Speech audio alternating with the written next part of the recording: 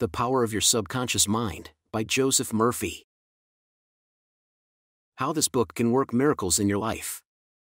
I have seen miracles happen to men and women in all walks of life all over the world. Miracles will happen to you too when you begin using the magic power of your subconscious mind. This book is designed to teach you that your habitual thinking and imagery mold, fashion, and create your destiny, for as a man thinketh in his subconscious mind, so is he. Do you know the answers? Why is one man sad and another man happy? Why is one man joyous and prosperous and another man poor and miserable? Why is one man fearful and anxious and another full of faith and confidence?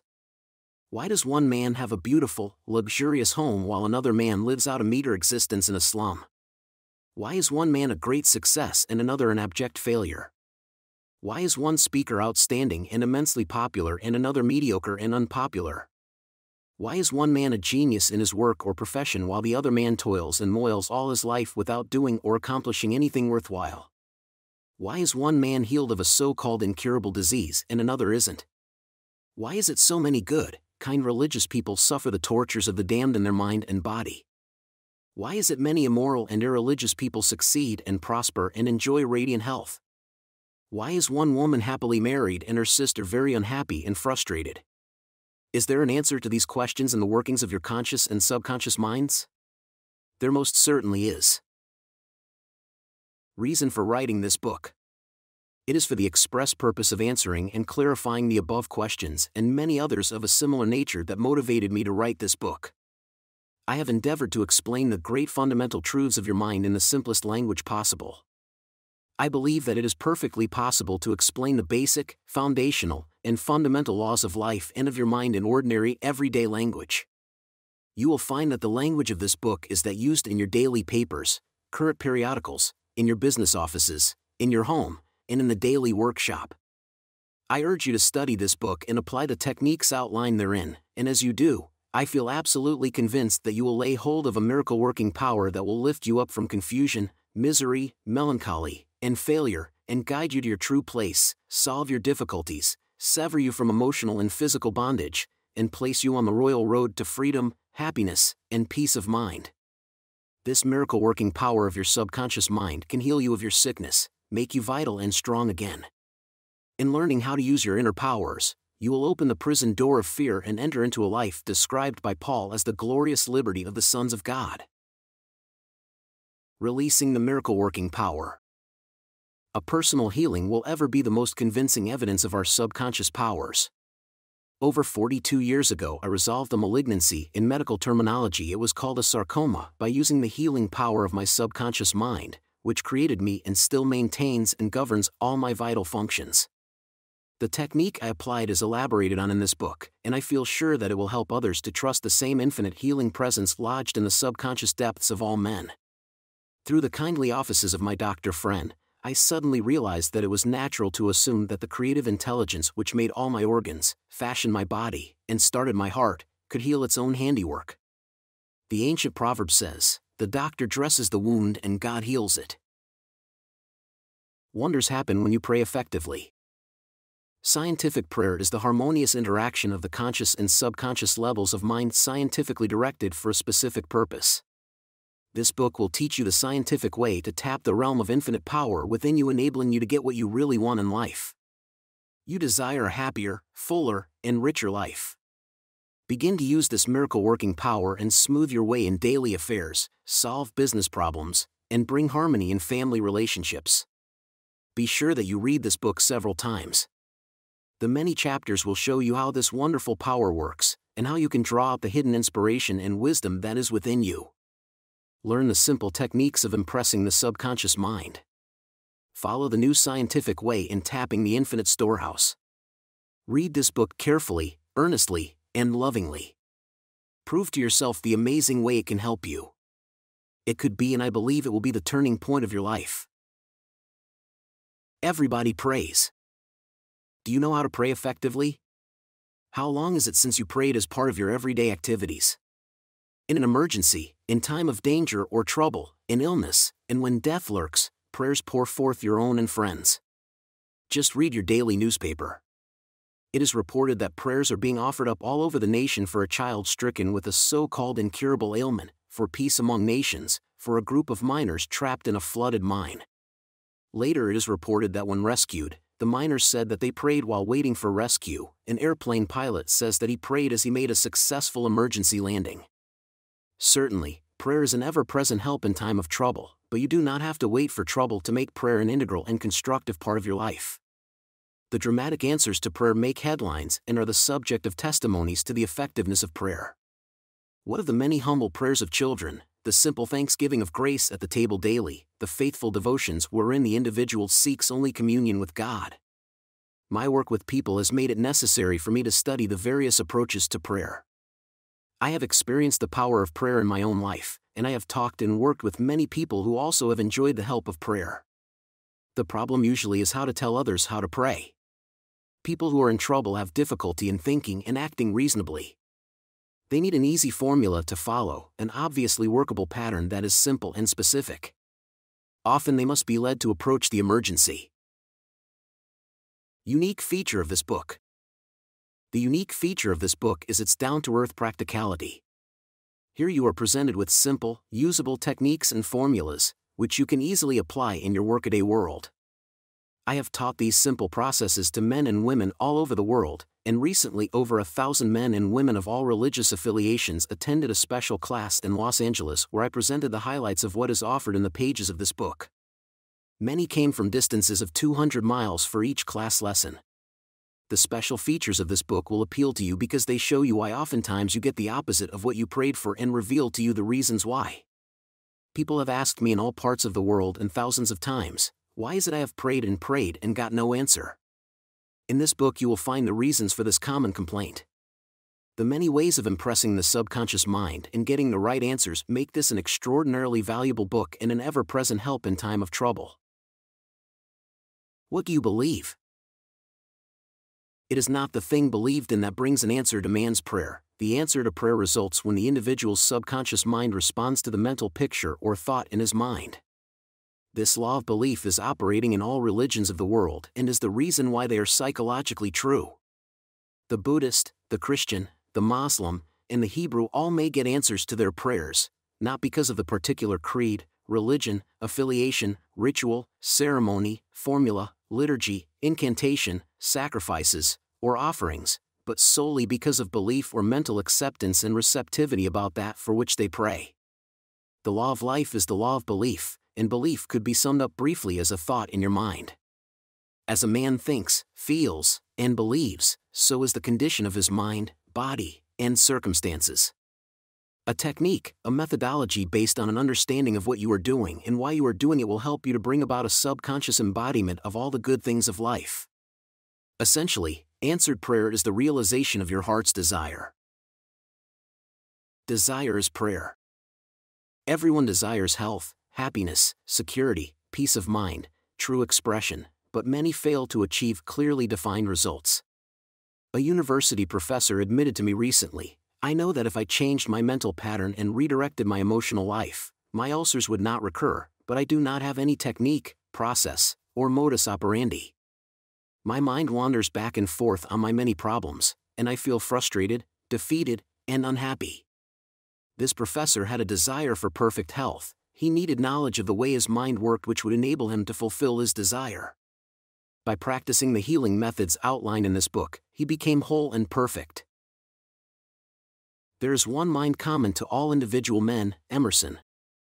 The miracle working powers of your subconscious mind existed before you and I were born, before any church or world existed. The great eternal truths and principles of life antedate all religions. It is with these thoughts in mind that I urge you in the following chapters to lay hold of this wonderful, magical, transforming power, which will bind up mental and physical wounds, proclaim liberty to the fear ridden mind, and liberate you completely from the limitations of poverty, failure, misery, lack, and frustration. All you have to do is unite mentally and emotionally with the good you wish to embody, and the creative powers of your subconscious will respond accordingly. Begin now, today, let wonders happen in your life. Keep on, keeping on until the day breaks and the shadows flee away.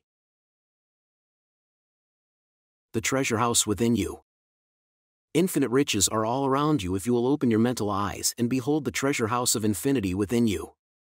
There is a gold mine within you from which you can extract everything you need to live life gloriously, joyously, and abundantly.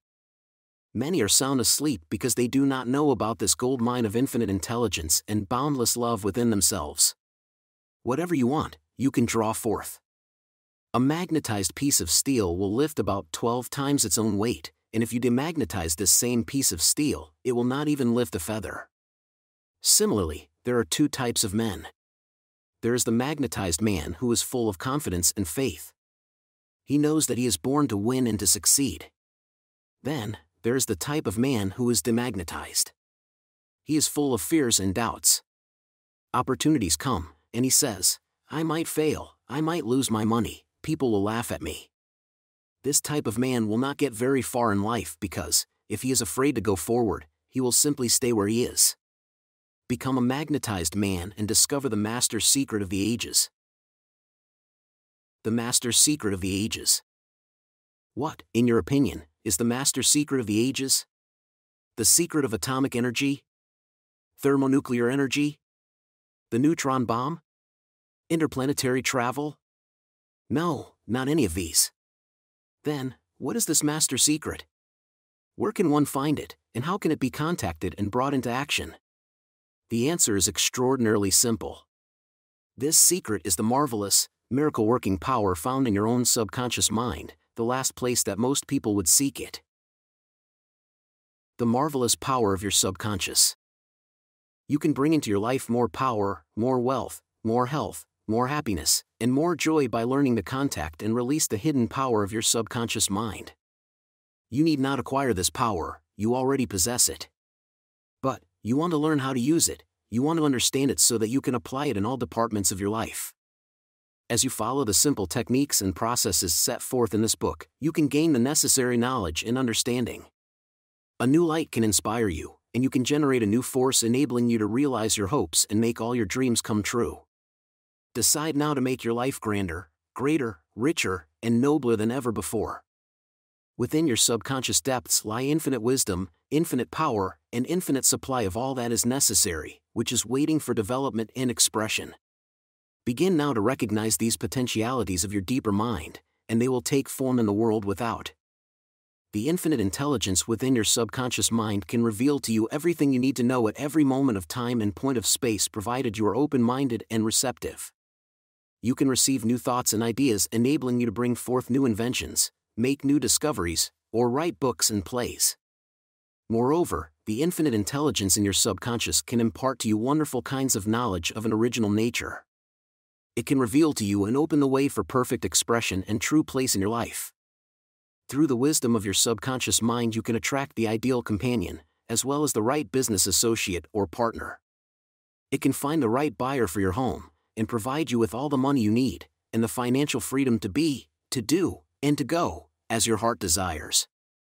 It is your right to discover this inner world of thought, feeling, and power, of light, love, and beauty. Though invisible, its forces are mighty. Within your subconscious mind, you will find the solution for every problem, and the cause for every effect. Because you can draw out the hidden powers, you come into actual possession of the power and wisdom necessary to move forward in abundance, security, joy, and dominion. I have seen the power of the subconscious lift people up out of crippled states, making them whole, vital, and strong once more, and free to go out into the world to experience happiness, health, and joyous expression. There is a miraculous healing power in your subconscious that can heal the troubled mind and the broken heart. It can open the prison door of the mind and liberate you it can free you from all kinds of material and physical bondage. Necessity of a working basis. Substantial progress in any field of endeavor is impossible in the absence of a working basis, which is universal in its application. You can become skilled in the operation of your subconscious mind. You can practice its powers with a certainty of results in exact proportion to your knowledge of its principles and to your application of them for definite specific purposes and goals you wish to achieve. Being a former chemist, I would like to point out that if you combine hydrogen and oxygen in the proportions of two atoms of the former to one of the latter, water would be the result. You are very familiar with the fact that one atom of oxygen and one atom of carbon will produce carbon monoxide, a poisonous gas. But, if you add another atom of oxygen, you will get carbon dioxide, a harmless gas, and so on throughout the vast realm of chemical compounds. You must not think that the principles of chemistry, physics, and mathematics differ from the principles of your subconscious mind. Let us consider a generally accepted principle water seeks its own level. This is a universal principle, which is applicable to water everywhere. Consider another principle matter expands when heated. This is true anywhere, at any time, and under all circumstances. You can heat a piece of steel, and it will expand regardless whether the steel is found in China, England, or India. It is a universal truth that matter expands when heated. It is also a universal truth that whatever you impress on your subconscious mind is expressed on the screen of space as condition, experience, and event. Your prayer is answered because your subconscious mind is principle, and by principle I mean the way a thing works.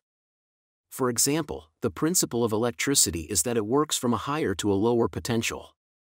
You do not change the principle of electricity when you use it, but by cooperating with nature, you can bring forth marvelous inventions and discoveries, which bless humanity in countless ways.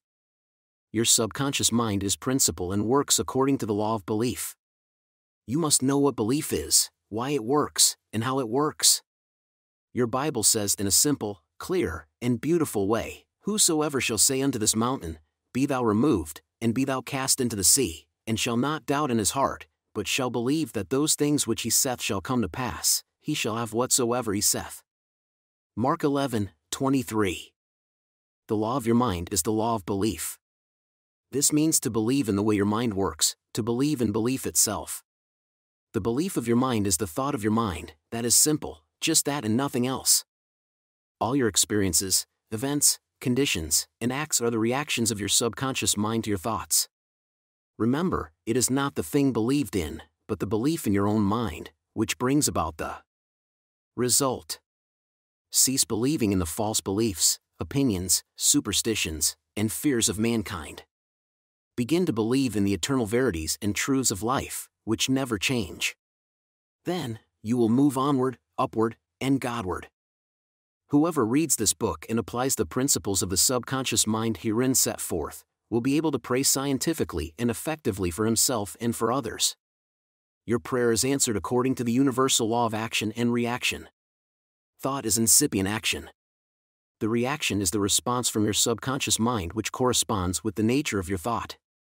Busy your mind with the concepts of harmony, health, peace, and goodwill, and wonders will happen in your life.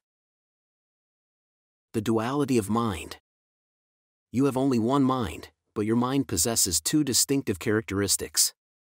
The line of demarcation between the two is well known to all thinking men and women today. The two functions of your mind are essentially unlike. Each is endowed with separate and distinct attributes and powers. The nomenclature generally used to distinguish the two functions of your mind is as follows the objective and subjective mind, the conscious and subconscious mind, the waking and sleeping mind, the surface self and the deep self, the voluntary mind and the involuntary mind, the male and the female, and many other terms. You will find the terms conscious and subconscious used to represent the dual nature of your mind throughout this book. The conscious and subconscious minds. An excellent way to get acquainted with the two functions of your mind is to look upon your own mind as a garden. You are a gardener, and you are planting seeds, thoughts, in your subconscious mind all day long, based on your habitual thinking. As you sow in your subconscious mind, so shall you reap in your body and environment. Begin now to sow thoughts of peace, happiness, right action, goodwill, and prosperity. Think quietly and with interest on these qualities and accept them fully in your conscious reasoning mind.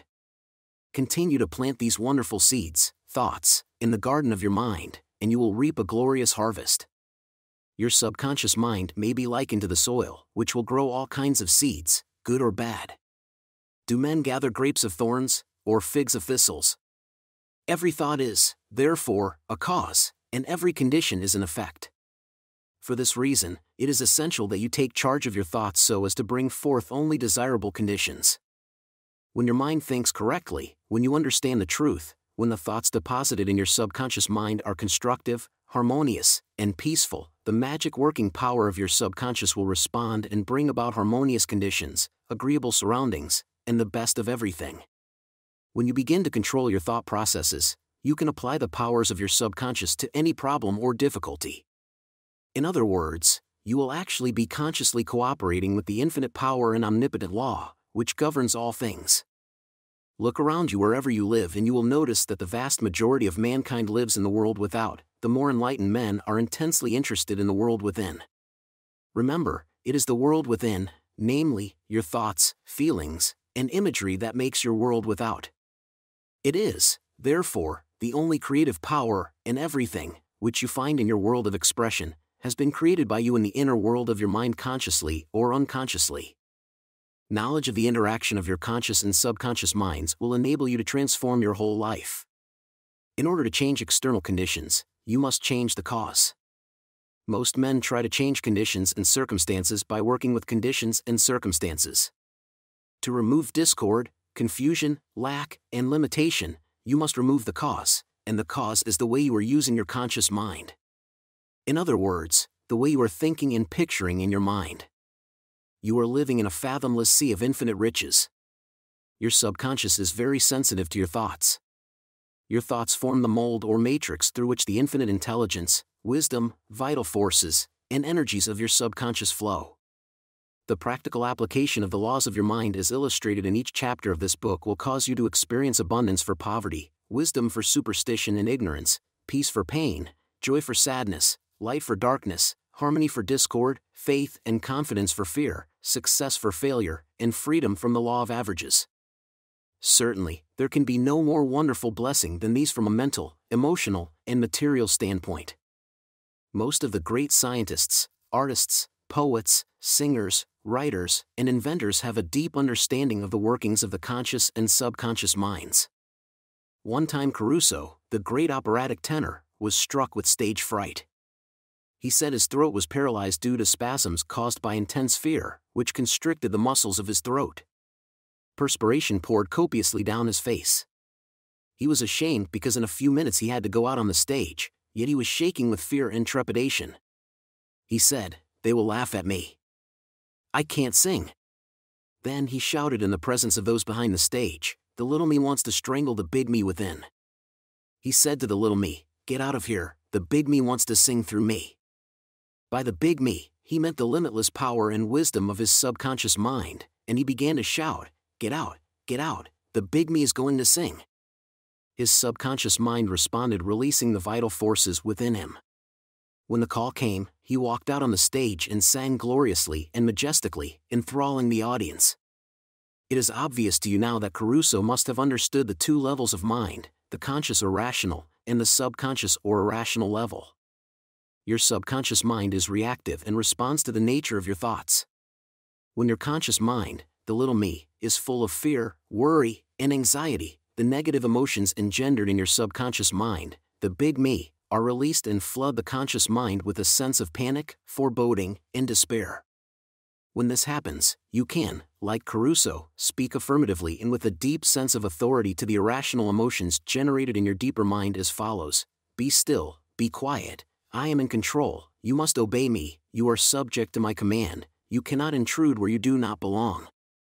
It is fascinating and intensely interesting to observe how you can speak authoritatively and with conviction to the irrational movement of your deeper self, bringing silence, harmony, and peace to your mind. The subconscious is subject to the conscious mind, and that is why it is called subconscious or subjective. Outstanding differences in modes of operation you will perceive the main differences by the following illustrations. The conscious mind is like the navigator or captain at the bridge of a ship. He directs the ship and signals orders to men in the engine room, who in turn control all the boilers, instruments, gauges, etc. The men in the engine room do not know where they are going, they follow orders. They would go on the rocks if the man on the bridge issued faulty or wrong instructions based on his findings with the compass, sextant, or other instruments the men in the engine room obey him because he is in charge and issues orders, which are automatically obeyed. Members of the crew do not talk back to the captain, they simply carry out orders. The captain is the master of his ship, and his decrees are carried out. Likewise, your conscious mind is the captain and the master of your ship, which represents your body, environment, and all your affairs. Your subconscious mind takes the orders you give it based upon what your conscious mind believes and accepts as true. When you repeatedly say to people, I can't afford it, then your subconscious mind takes you at your word and sees to it that you will not be in a position to purchase what you want. As long as you persist in saying, I can't afford that car, that trip to Europe, that home, that fur coat or ermine wrap, you can rest assured that your subconscious mind will follow your orders, and you will go through life experiencing the lack of all these things. Last Christmas Eve, a beautiful young university student looked at an attractive and rather expensive traveling bag in a store window. She was going home to Buffalo, New York, for the holidays. She was about to say, I can't afford that bag, when she recalled something she had heard at one of my lectures, which was, never finish a negative statement, reverse it immediately, and wonders will happen in your life. She said, That bag is mine. It is for sale. I accept it mentally, and my subconscious sees to it that I receive it.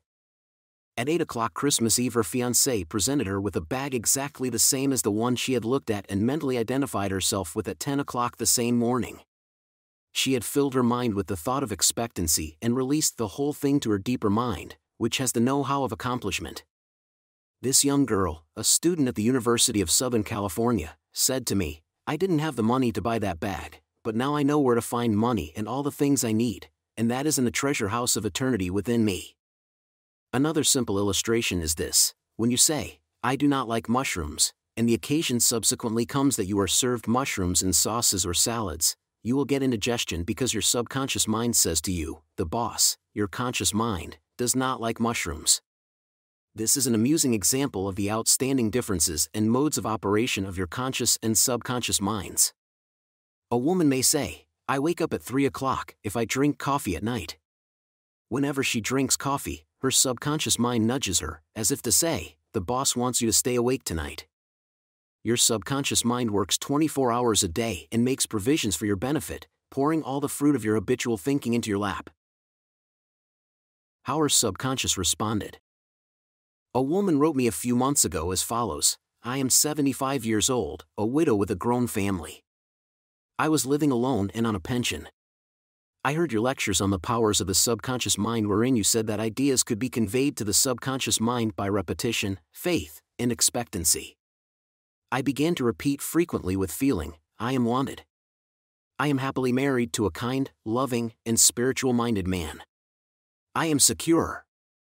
I kept on doing this many times a day for about two weeks, and one day at the corner drugstore, I was introduced to a retired pharmacist. I found him to be kind, understanding, and very religious. He was a perfect answer to my prayer. Within a week, he proposed to me, and now we are on our honeymoon in Europe. I know that the intelligence within my subconscious mind brought both of us together in divine order.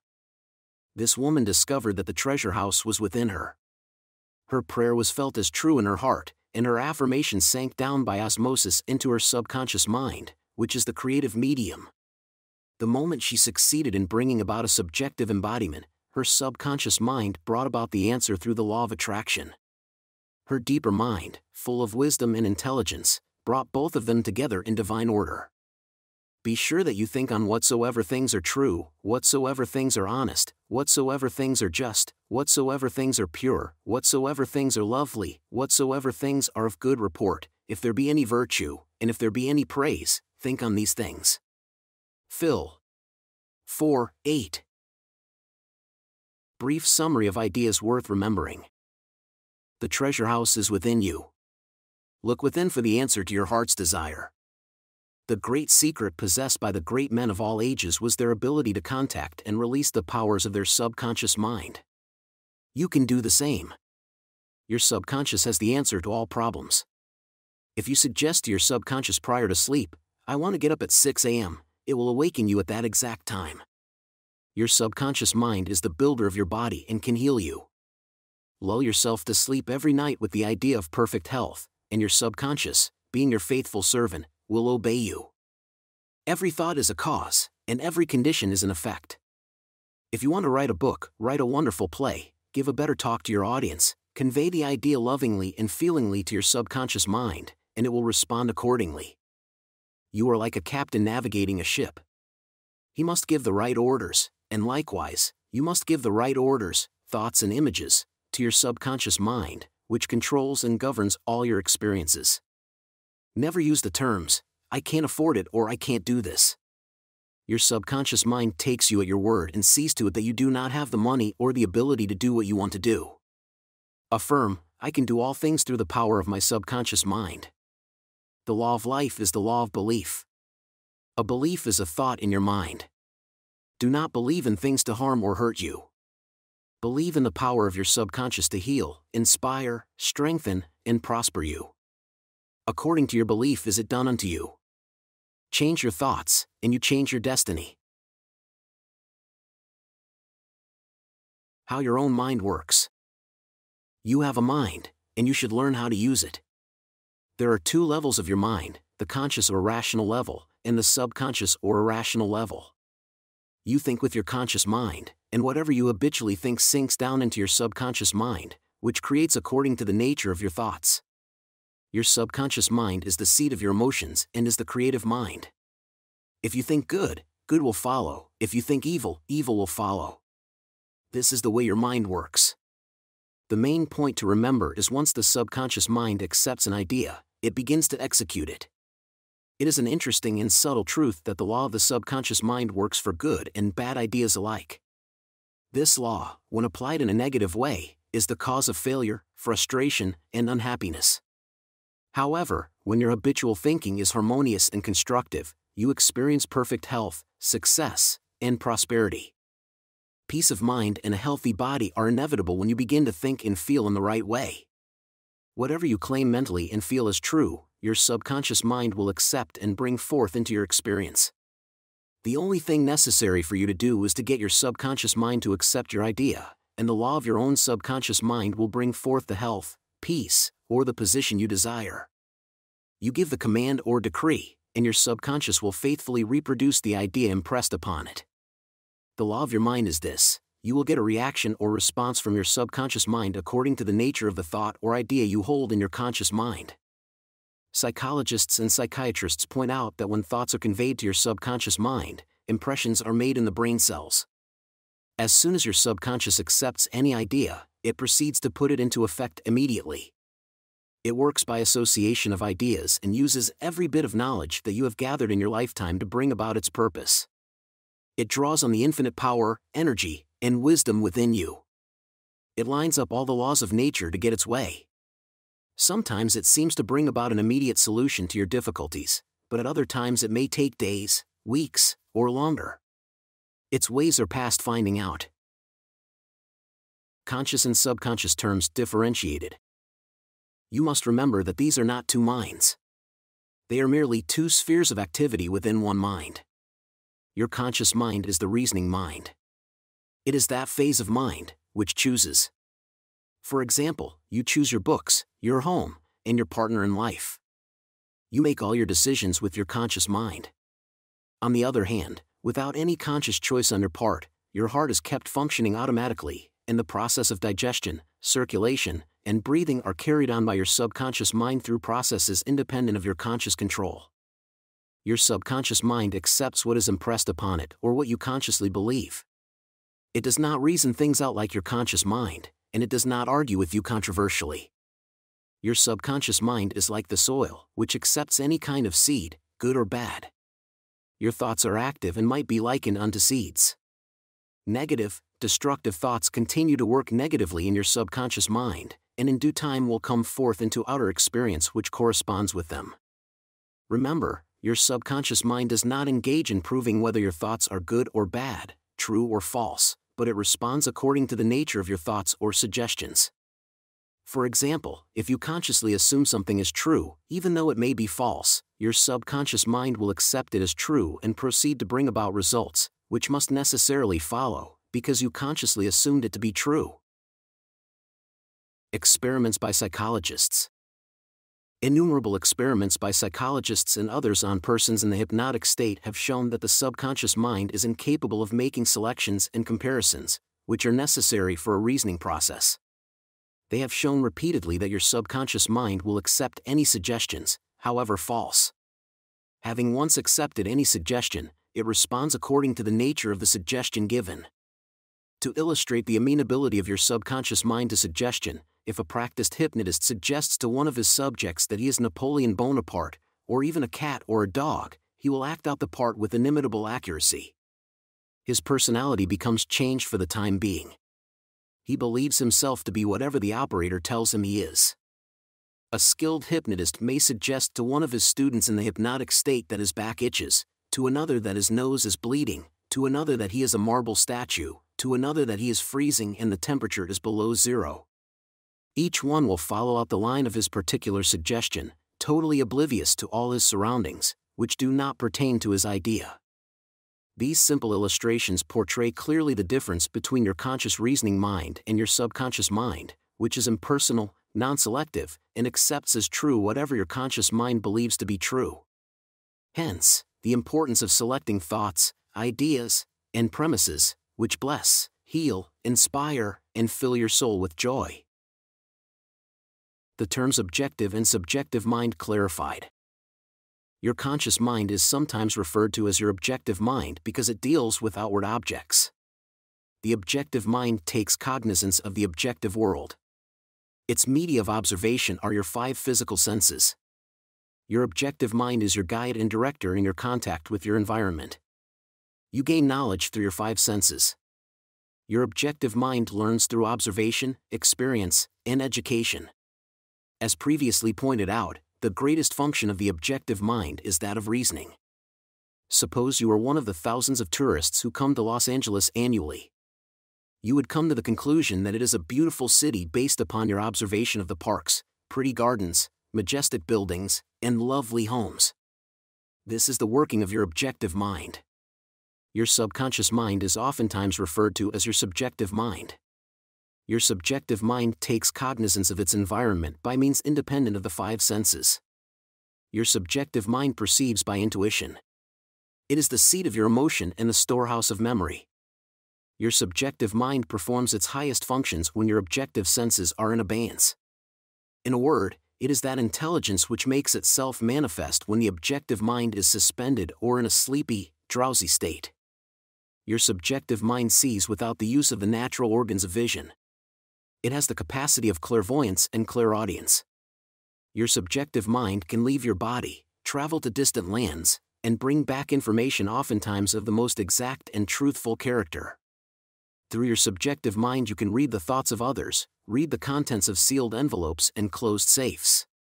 Your subjective mind has the ability to apprehend the thoughts of others without the use of the ordinary objective means of communication it is of the greatest importance that we understand the interaction of the objective and subjective mind in order to learn the true art of prayer. The subconscious cannot reason like your conscious mind. Your subconscious mind cannot argue controversially. Hence, if you give it wrong suggestions, it will accept them as true and will proceed to bring them to pass as conditions, experiences, and events. All things that have happened to you are based on thoughts impressed on your subconscious mind through belief. If you have conveyed erroneous concepts to your subconscious mind, the sure method of overcoming them is by the repetition of constructive, harmonious thoughts frequently repeated which your subconscious mind accepts, thus forming new and healthy habits of thought and life, for your subconscious mind is the seat of habit. The habitual thinking of your conscious mind establishes deep grooves in your subconscious mind. This is very favorable for you if your habitual thoughts are harmonious, peaceful, and constructive. If you have indulged in fear, worry, and other destructive forms of thinking, the remedy is to recognize the omnipotence of your subconscious mind and decree freedom, happiness, and perfect health. Your subconscious mind, being creative and one with your divine source, will proceed to create the freedom and happiness which you have earnestly decreed. The tremendous power of suggestion. You must realize by now that your conscious mind is the watchman at the gate, and its chief function is to protect your subconscious mind from false impressions you are now aware of one of the basic laws of mind your subconscious mind is amenable to suggestion. As you know, your subconscious mind does not make comparisons or contrasts, neither does it reason and think things out for itself. This latter function belongs to your conscious mind. It simply reacts to the impressions given to it by your conscious mind. It does not show a preference for one course of action over another.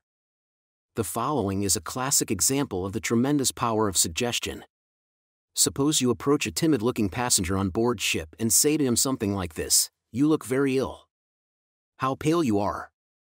I feel certain you are going to be seasick. Let me help you to your cabin. The passenger turns pale. Your suggestion of seasickness associates itself with his own fears and forebodings.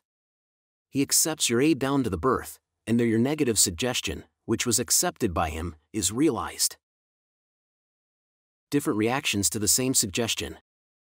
It is true that different people will react in different ways to the same suggestion because of their subconscious conditioning or belief. For example, if you go to a sailor on the ship and say to him sympathetically, My dear fellow, you're looking very ill. Aren't you feeling sick? You look to me as if you were going to be seasick. According to his temperament, he either laughs at your joke or expresses a mild irritation.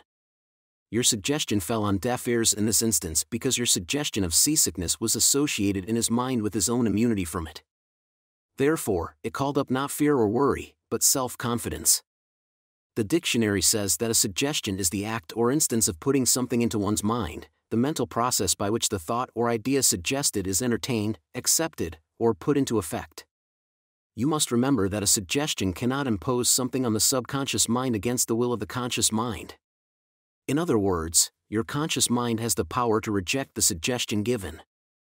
In the case of the sailor, he had no fear of seasickness.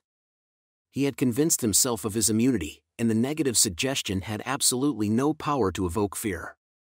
The suggestion of seasickness to the other passenger called forth his indwelling fear of seasickness.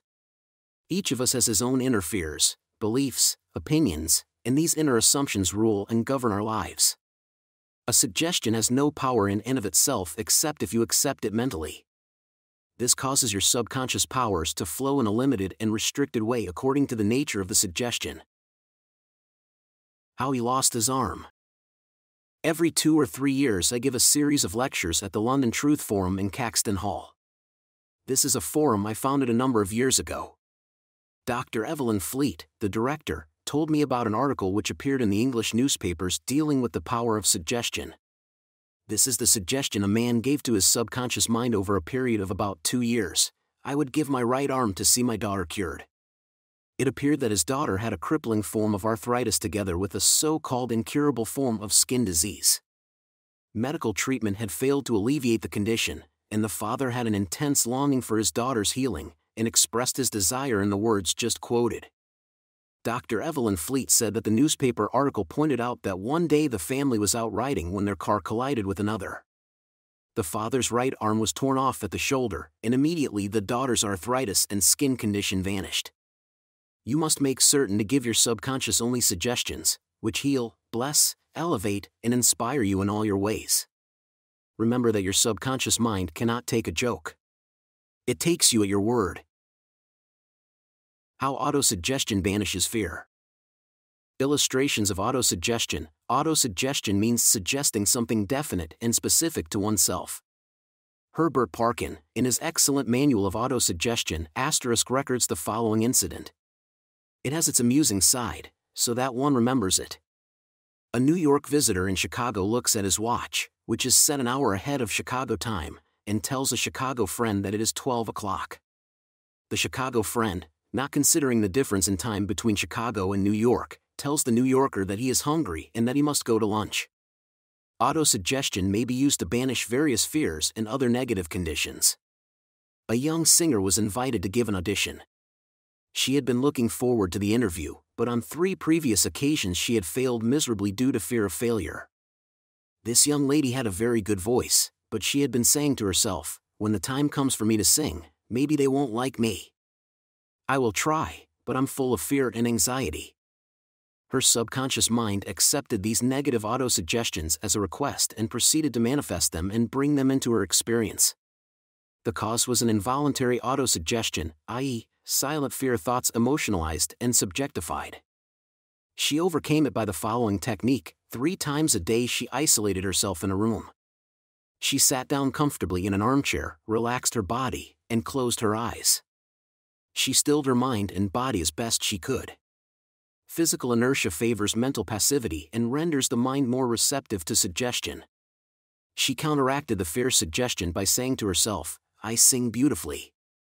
I am poised, serene, confident, and calm. She repeated this statement slowly, quietly, and with feeling from five to ten times at each sitting. She had three such sittings every day and one immediately prior to sleep. At the end of a week, she was completely poised and confident. When the invitation to audition came, she gave a remarkable, wonderful audition. How she restored her memory. A woman, aged 75, was in the habit of saying to herself, I am losing my memory. She reversed the procedure and practiced induced autosuggestion several times a day as follows My memory from today on is improving in every department. I shall always remember whatever I need to know at every moment of time and point of space. The impressions received will be clearer and more definite. I shall retain them automatically and with ease. Whatever I wish to recall will immediately present itself in the correct form in my mind. I am improving rapidly every day and very soon my memory will be better than it has ever been before. At the end of three weeks, her memory was back to normal, and she was delighted. How he overcame a nasty temper. Many men who complained of irritability and bad temper proved to be very susceptible to autosuggestion and obtained marvelous results by using the following statements three or four times a day, morning, noon, and at night prior to sleep for about a month. Henceforth, I shall grow more good humored, joy, happiness, and cheerfulness are now becoming my normal states of mind. Every day I am becoming more and more lovable and understanding. I am now becoming the center of cheer and goodwill to all those about me, infecting them with good humor. This happy, joyous, and cheerful mood is now becoming my normal, natural state of mind. I am grateful. The constructive and destructive power of suggestion. Some illustrations and comments on heterosuggestion. Heterosuggestion means suggestions from another person. In all ages, the power of suggestion has played a part in the life and thought of man in every period of time and in each country of the earth. In many parts of the world, it is the controlling power in religion. Suggestion may be used to discipline and control ourselves, but it can also be used to take control and command over others who do not know the laws of mind. In its constructive form, it is wonderful and magnificent. In its negative aspects, it is one of the most destructive of all the response patterns of the mind, resulting in patterns of misery, failure, suffering, sickness, and disaster. Have you accepted any of these? From infancy on, the majority of us have been given many negative suggestions. Not knowing how to thwart them, we unconsciously accepted them. Here are some of the negative suggestions you can't. You'll never amount to anything. You mustn't. You'll fail you haven't got a chance. You're all wrong. It's no use. It's not what you know, but who you know. The world is going to the dogs. What's the use? Nobody cares. It's no use trying so hard. You're too old now. Things are getting worse and worse. Life is an endless grind. Love is for the birds. You just can't win. Pretty soon you'll be bankrupt. Watch out, you'll get the virus. You can't trust a soul, etc. Unless, as an adult, you use constructive autosuggestion, which is a reconditioning therapy, the impressions made on you in the past can cause behavior patterns that cause failure in your personal and social life. Autosuggestion is a means releasing you from the mass of negative verbal conditioning that might otherwise distort your life pattern, making the development of good habits difficult. You can counteract negative suggestions pick up the paper any day, and you can read dozens of items that could sow the seeds of futility, fear, worry, anxiety, and impending doom. If accepted by you, these thoughts of fear could cause you to lose the will for life. Knowing that you can reject all these negative suggestions by giving your subconscious mind constructive autosuggestions, you counteract all these destructive ideas. Check regularly on the negative suggestions that people make to you. You do not have to be influenced by destructive heterosuggestion all of us have suffered from it in our childhood and in our teens.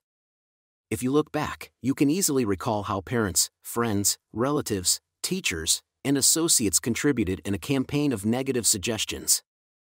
Study the things said to you, and you will discover much of it was in the form of propaganda. The purpose of much of what was said was to control you or instill fear into you. This heterosuggestion process goes on in every home, office, factory, and club. You will find that many of these suggestions are for the purpose of making you think, feel, and act as others want you to and in ways that are to their advantage. How suggestion killed a man. Here is an illustration of heterosuggestion. A relative of mine went to a crystal gazer in India who told him that he had a bad heart and predicted that he would die at the next new moon he began to tell all members of his family about this prediction, and he arranged his will. This powerful suggestion entered into his subconscious mind because he accepted it completely. My relative also told me that this crystal gazer was believed to have some strange occult powers, and he could do harm or good to a person. He died as predicted, not knowing that he was the cause of his own death. I suppose many of us have heard similar stupid, ridiculous, superstitious stories let us look at what happened in the light of our knowledge of the way the subconscious mind works. Whatever the conscious, reasoning mind of man believes, the subconscious mind will accept and act upon. My relative was happy, healthy, vigorous, and robust when he went to see the fortune teller. She gave him a very negative suggestion, which he accepted. He became terrified, and constantly dwelled upon the fact that he was going to die at the next new moon. He proceeded to tell everyone about it, and he prepared for the end. The activity took place in his own mind, and his own thought was the cause. He brought about his own so called death, or rather destruction of the physical body, by his fear and expectation of the end. The woman who predicted his death had no more power than the stones and sticks in the field. Her suggestion had no power to create or bring about the end she suggested. If he had known the laws of his mind, he would have completely rejected the negative suggestion and refused to give her words any attention, knowing in his heart that he was governed and controlled by his own thought and feeling. Like tin arrows aimed at a battleship, her prophecy could have been completely neutralized and dissipated without hurting him. The suggestions of others in themselves have absolutely no power whatever over you except the power that you give them through your own thoughts. You have to give your mental consent, you have to entertain the thought. Then, it becomes your thought, and you do the thinking. Remember, you have the capacity to choose. Choose life. Choose love. Choose health. The power of an assumed major premise. Your mind works like a syllogism.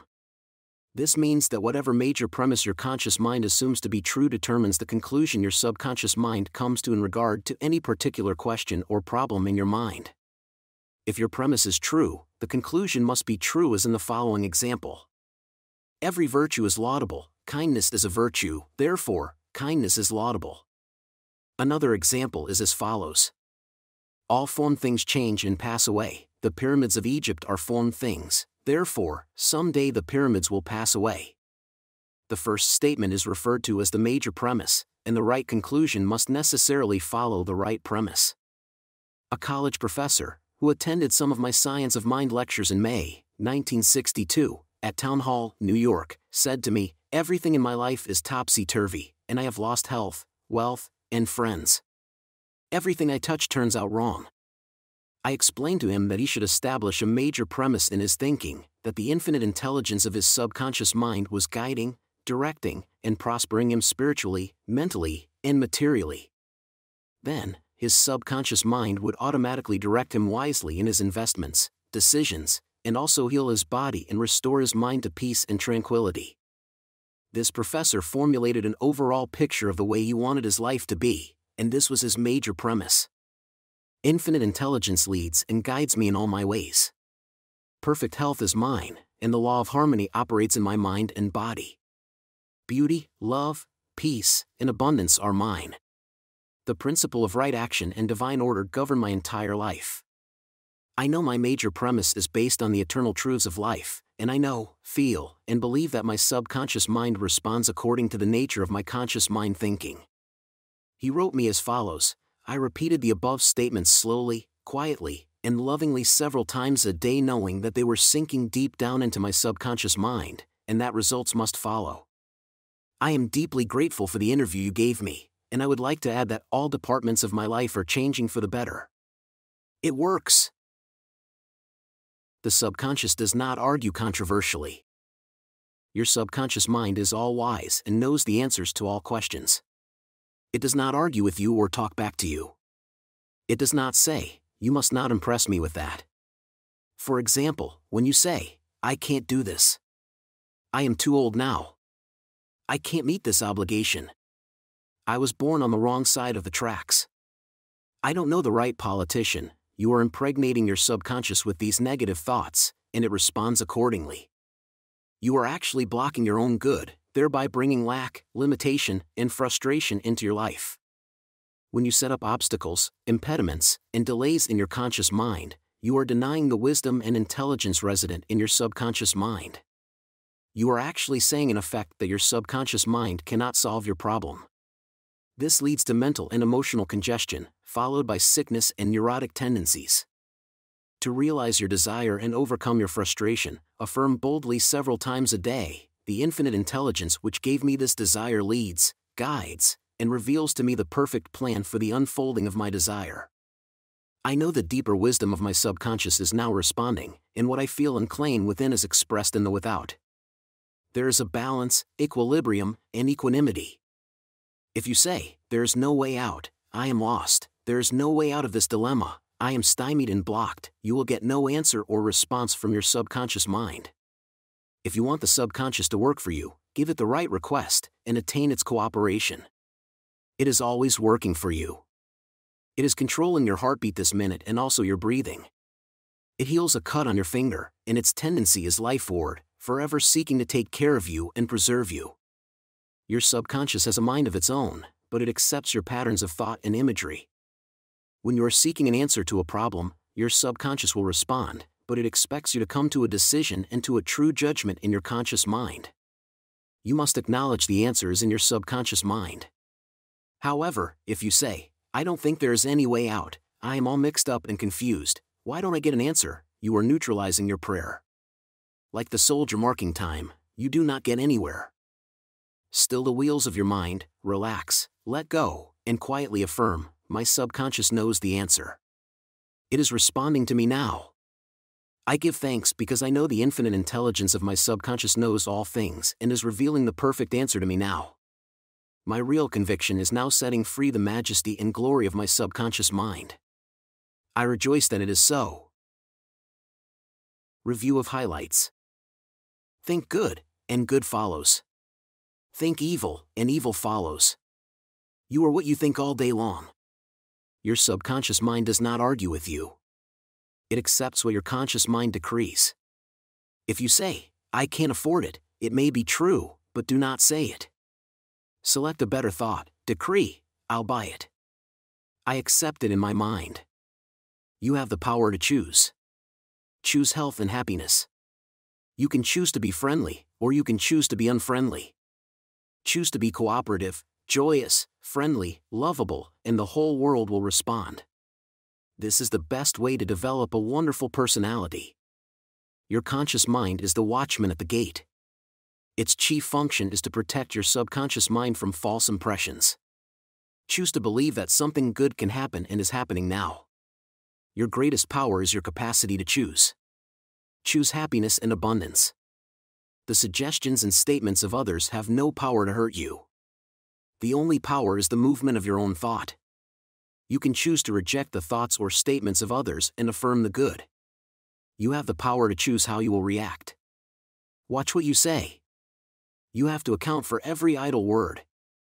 Never say, I will fail, I will lose my job, I can't pay the rent. Your subconscious cannot take a joke. It brings all these things to pass. Your mind is not evil. No force of nature is evil. It depends how you use the powers of nature. Use your mind to bless, heal, and inspire all people everywhere. Never say, I can't. Overcome that fear by substituting the following I can do all things through the power of my own subconscious mind. Begin to think from the standpoint of the eternal truths and principles of life and not from the standpoint of fear, ignorance, and superstition do not let others do your thinking for you. Choose your own thoughts and make your own decisions. You are the captain of your soul, subconscious mind, and the master of your fate. Remember, you have the capacity to choose. Choose life. Choose love. Choose health. Choose happiness. Whatever your conscious mind assumes and believes to be true, your subconscious mind will accept and bring to pass. Believe in good fortune, divine guidance, right action, and all the blessings of life. The miracle working power of your subconscious. The power of your subconscious is enormous. It inspires you, it guides you, and it reveals to you names, facts, and scenes from the storehouse of memory. Your subconscious started your heartbeat, controls the circulation of your blood, and regulates your digestion, assimilation, and elimination. When you eat a piece of bread, your subconscious mind transmutes it into tissue, muscle, bone, and blood. This process is beyond the ken of the wisest man who walks the earth. Your subconscious mind controls all the vital processes and functions of your body and knows the answer to all problems. Your subconscious mind never sleeps, never rests. It is always on the job. You can discover the miracle working power of your subconscious by plainly stating to your subconscious prior to sleep that you wish a certain specific thing accomplished. You will be delighted to discover that forces within you will be released, leading to the desired result. Here, then, is a source of power and wisdom which places you in touch with omnipotence or the power that moves the world, guides the planets in their course, and causes the sun to shine. Your subconscious mind is the source of your ideals, aspirations, and altruistic urges. It was through the subconscious mind that Shakespeare perceived great truths hidden from the average man of his day. Undoubtedly, it was the response of his subconscious mind that caused the Greek sculptor, Phidias, to portray beauty, order, symmetry, and proportion in marble and bronze. It enabled the Italian artist, Raphael, to paint Madonnas, and Ludwig van Beethoven to compose symphonies. In 1955, I lectured at the Yoga Forest University, Rishikesh, India, and there I chatted with a visiting surgeon from Bombay. He told me about Dr. James Esdaile, a Scotch surgeon, who worked in Bengal before ether or other modern methods of anesthesia were discovered. Between 1843 and 1846, Dr. Esdaile performed about 400 major operations of all kinds, such as amputations, removal of tumors and cancerous growths, as well as operations on the eye, ear, and throat. All operations were conducted under mental anesthesia only.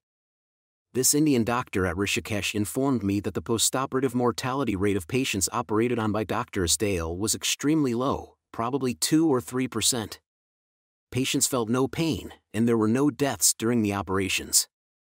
Dr. Esdaile suggested to the subconscious minds of all his patients, who were in a hypnotic state, that no infection or septic condition would develop. You must remember that this was before Louis Pasteur, Joseph Lister, and others who pointed out the bacterial origin of disease and causes of infection due to unsterilized instruments and virulent organisms. This Indian surgeon said that the reason for the low mortality rate and the general absence of infection which was reduced to a minimum, was undoubtedly due to the suggestions of Dr. Esdaile to the subconscious minds of his patients. They responded according to the nature of his suggestion. It is simply wonderful when you conceive how a surgeon, over 120 years ago, discovered the miraculous wonder working powers of the subconscious mind. Doesn't it cause you to be seized with a sort of mystic awe when you stop and think of the transcendental powers of your subconscious mind? Consider its extrasensory perceptions, such as its capacity for clairvoyance and clairaudience, its independence of time and space, its capacity to render you free from all pain and suffering, and its capacity to get the answer to all problems, be they what they may. All these and many more reveal to you that there is a power and intelligence within you that far transcends your intellect, causing you to marvel at the wonders of it all. All these experiences cause you to rejoice and believe in the miracle working powers of your own subconscious mind. Your subconscious is your book of life whatever thoughts, beliefs, opinions, theories, or dogmas you write, engrave, or impress on your subconscious mind, you shall experience them as the objective manifestation of circumstances, conditions, and events. What you write on the inside, you will experience on the outside. You have two sides to your life objective and subjective, visible and invisible, thought and its manifestation. Your brain receives your thought, which is the organ of your conscious reasoning mind. When your conscious or objective mind accepts the thought completely, it is sent to the solar plexus, called the brain of your mind, where it becomes flesh and is made manifest in your experience. As previously outlined, your subconscious cannot argue. It acts only from what you write on it. It accepts your verdict or the conclusions of your conscious mind as final. This is why you are always writing on the book of life, because your thoughts become your experiences. The American essayist, Ralph Waldo Emerson said, Man is what he thinks all day long. What is impressed in the subconscious is expressed. William James, the father of American psychology, said that the power to move the world is in your subconscious mind. Your subconscious mind is one with infinite intelligence and boundless wisdom. It is fed by hidden springs, and is called the law of life. Whatever you impress upon your subconscious mind, the latter will move heaven and earth to bring it to pass. You must, therefore, impress it with right ideas and constructive thoughts. The reason there is so much chaos and misery in the world is because people do not understand the interaction of their conscious and subconscious minds. When these two principles work in accord, in concord, in peace, and synchronously together, you will have heath, happiness, peace, and joy. There is no sickness or discord when the conscious and subconscious work together harmoniously and peacefully. The tomb of Hermes was opened with great expectancy and a sense of wonder because people believed that the greatest secret of the ages was contained therein.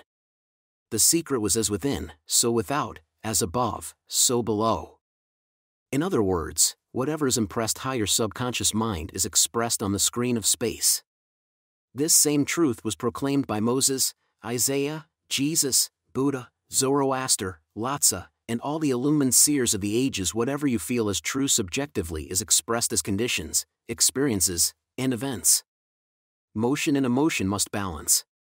As in heaven, your own mind, so on earth, in your body and environment. This is the great law of life. You will find throughout all nature the law of action and reaction, of rest and motion. These two must balance, then there will be harmony and equilibrium you are here to let the life principle flow through rhythmically and harmoniously. The intake and the outgo must be equal. The impression and the expression must be equal. All your frustration is due to unfulfilled desire. If you think negatively, destructively, and viciously, these thoughts generate destructive emotions which must be expressed and find an outlet. These emotions, being of a negative nature, are frequently expressed as ulcers, heart trouble, tension, and anxieties. What is your idea or feeling about yourself now? Every part of your being expresses that idea. Your vitality, body, financial status, friends, and social status represent a perfect reflection of the idea you have of yourself. This is the real meaning of what is impressed in your subconscious mind, and which is expressed in all phases of your life. We injure ourselves by the negative ideas, which we entertain. How often have you wounded yourself by getting angry, fearful, jealous, or vengeful. These are the poisons that enter your subconscious mind. You were not born with these negative attitudes. Feed your subconscious mind life giving thoughts, and you will wipe out all the negative patterns lodged therein. As you continue to do this, all the past will be wiped out and remembered no more. The subconscious heals a malignancy of the skin. A personal healing will ever be the most convincing evidence of the healing power of the subconscious mind. Over 40 years ago, I resolved the malignancy of the skin through prayer. Medical therapy had failed to check the growth, and it was getting progressively worse. A clergyman, with a deep psychological knowledge, explained to me the inner meaning of the 139th Psalm wherein it says, In thy book all my members were written, which in continuance were fashioned, when as yet there was none of them. He explained that the term book meant my subconscious mind, which fashioned and molded all my organs from an invisible cell he also pointed out that inasmuch as my subconscious mind made my body, it could also recreate it and heal it according to the perfect pattern within it. This clergyman showed me his watch and said, This had a maker, and the watchmaker had to have the idea first in mind before the watch became an objective reality, and if the watch was out of order, the watchmaker could fix it.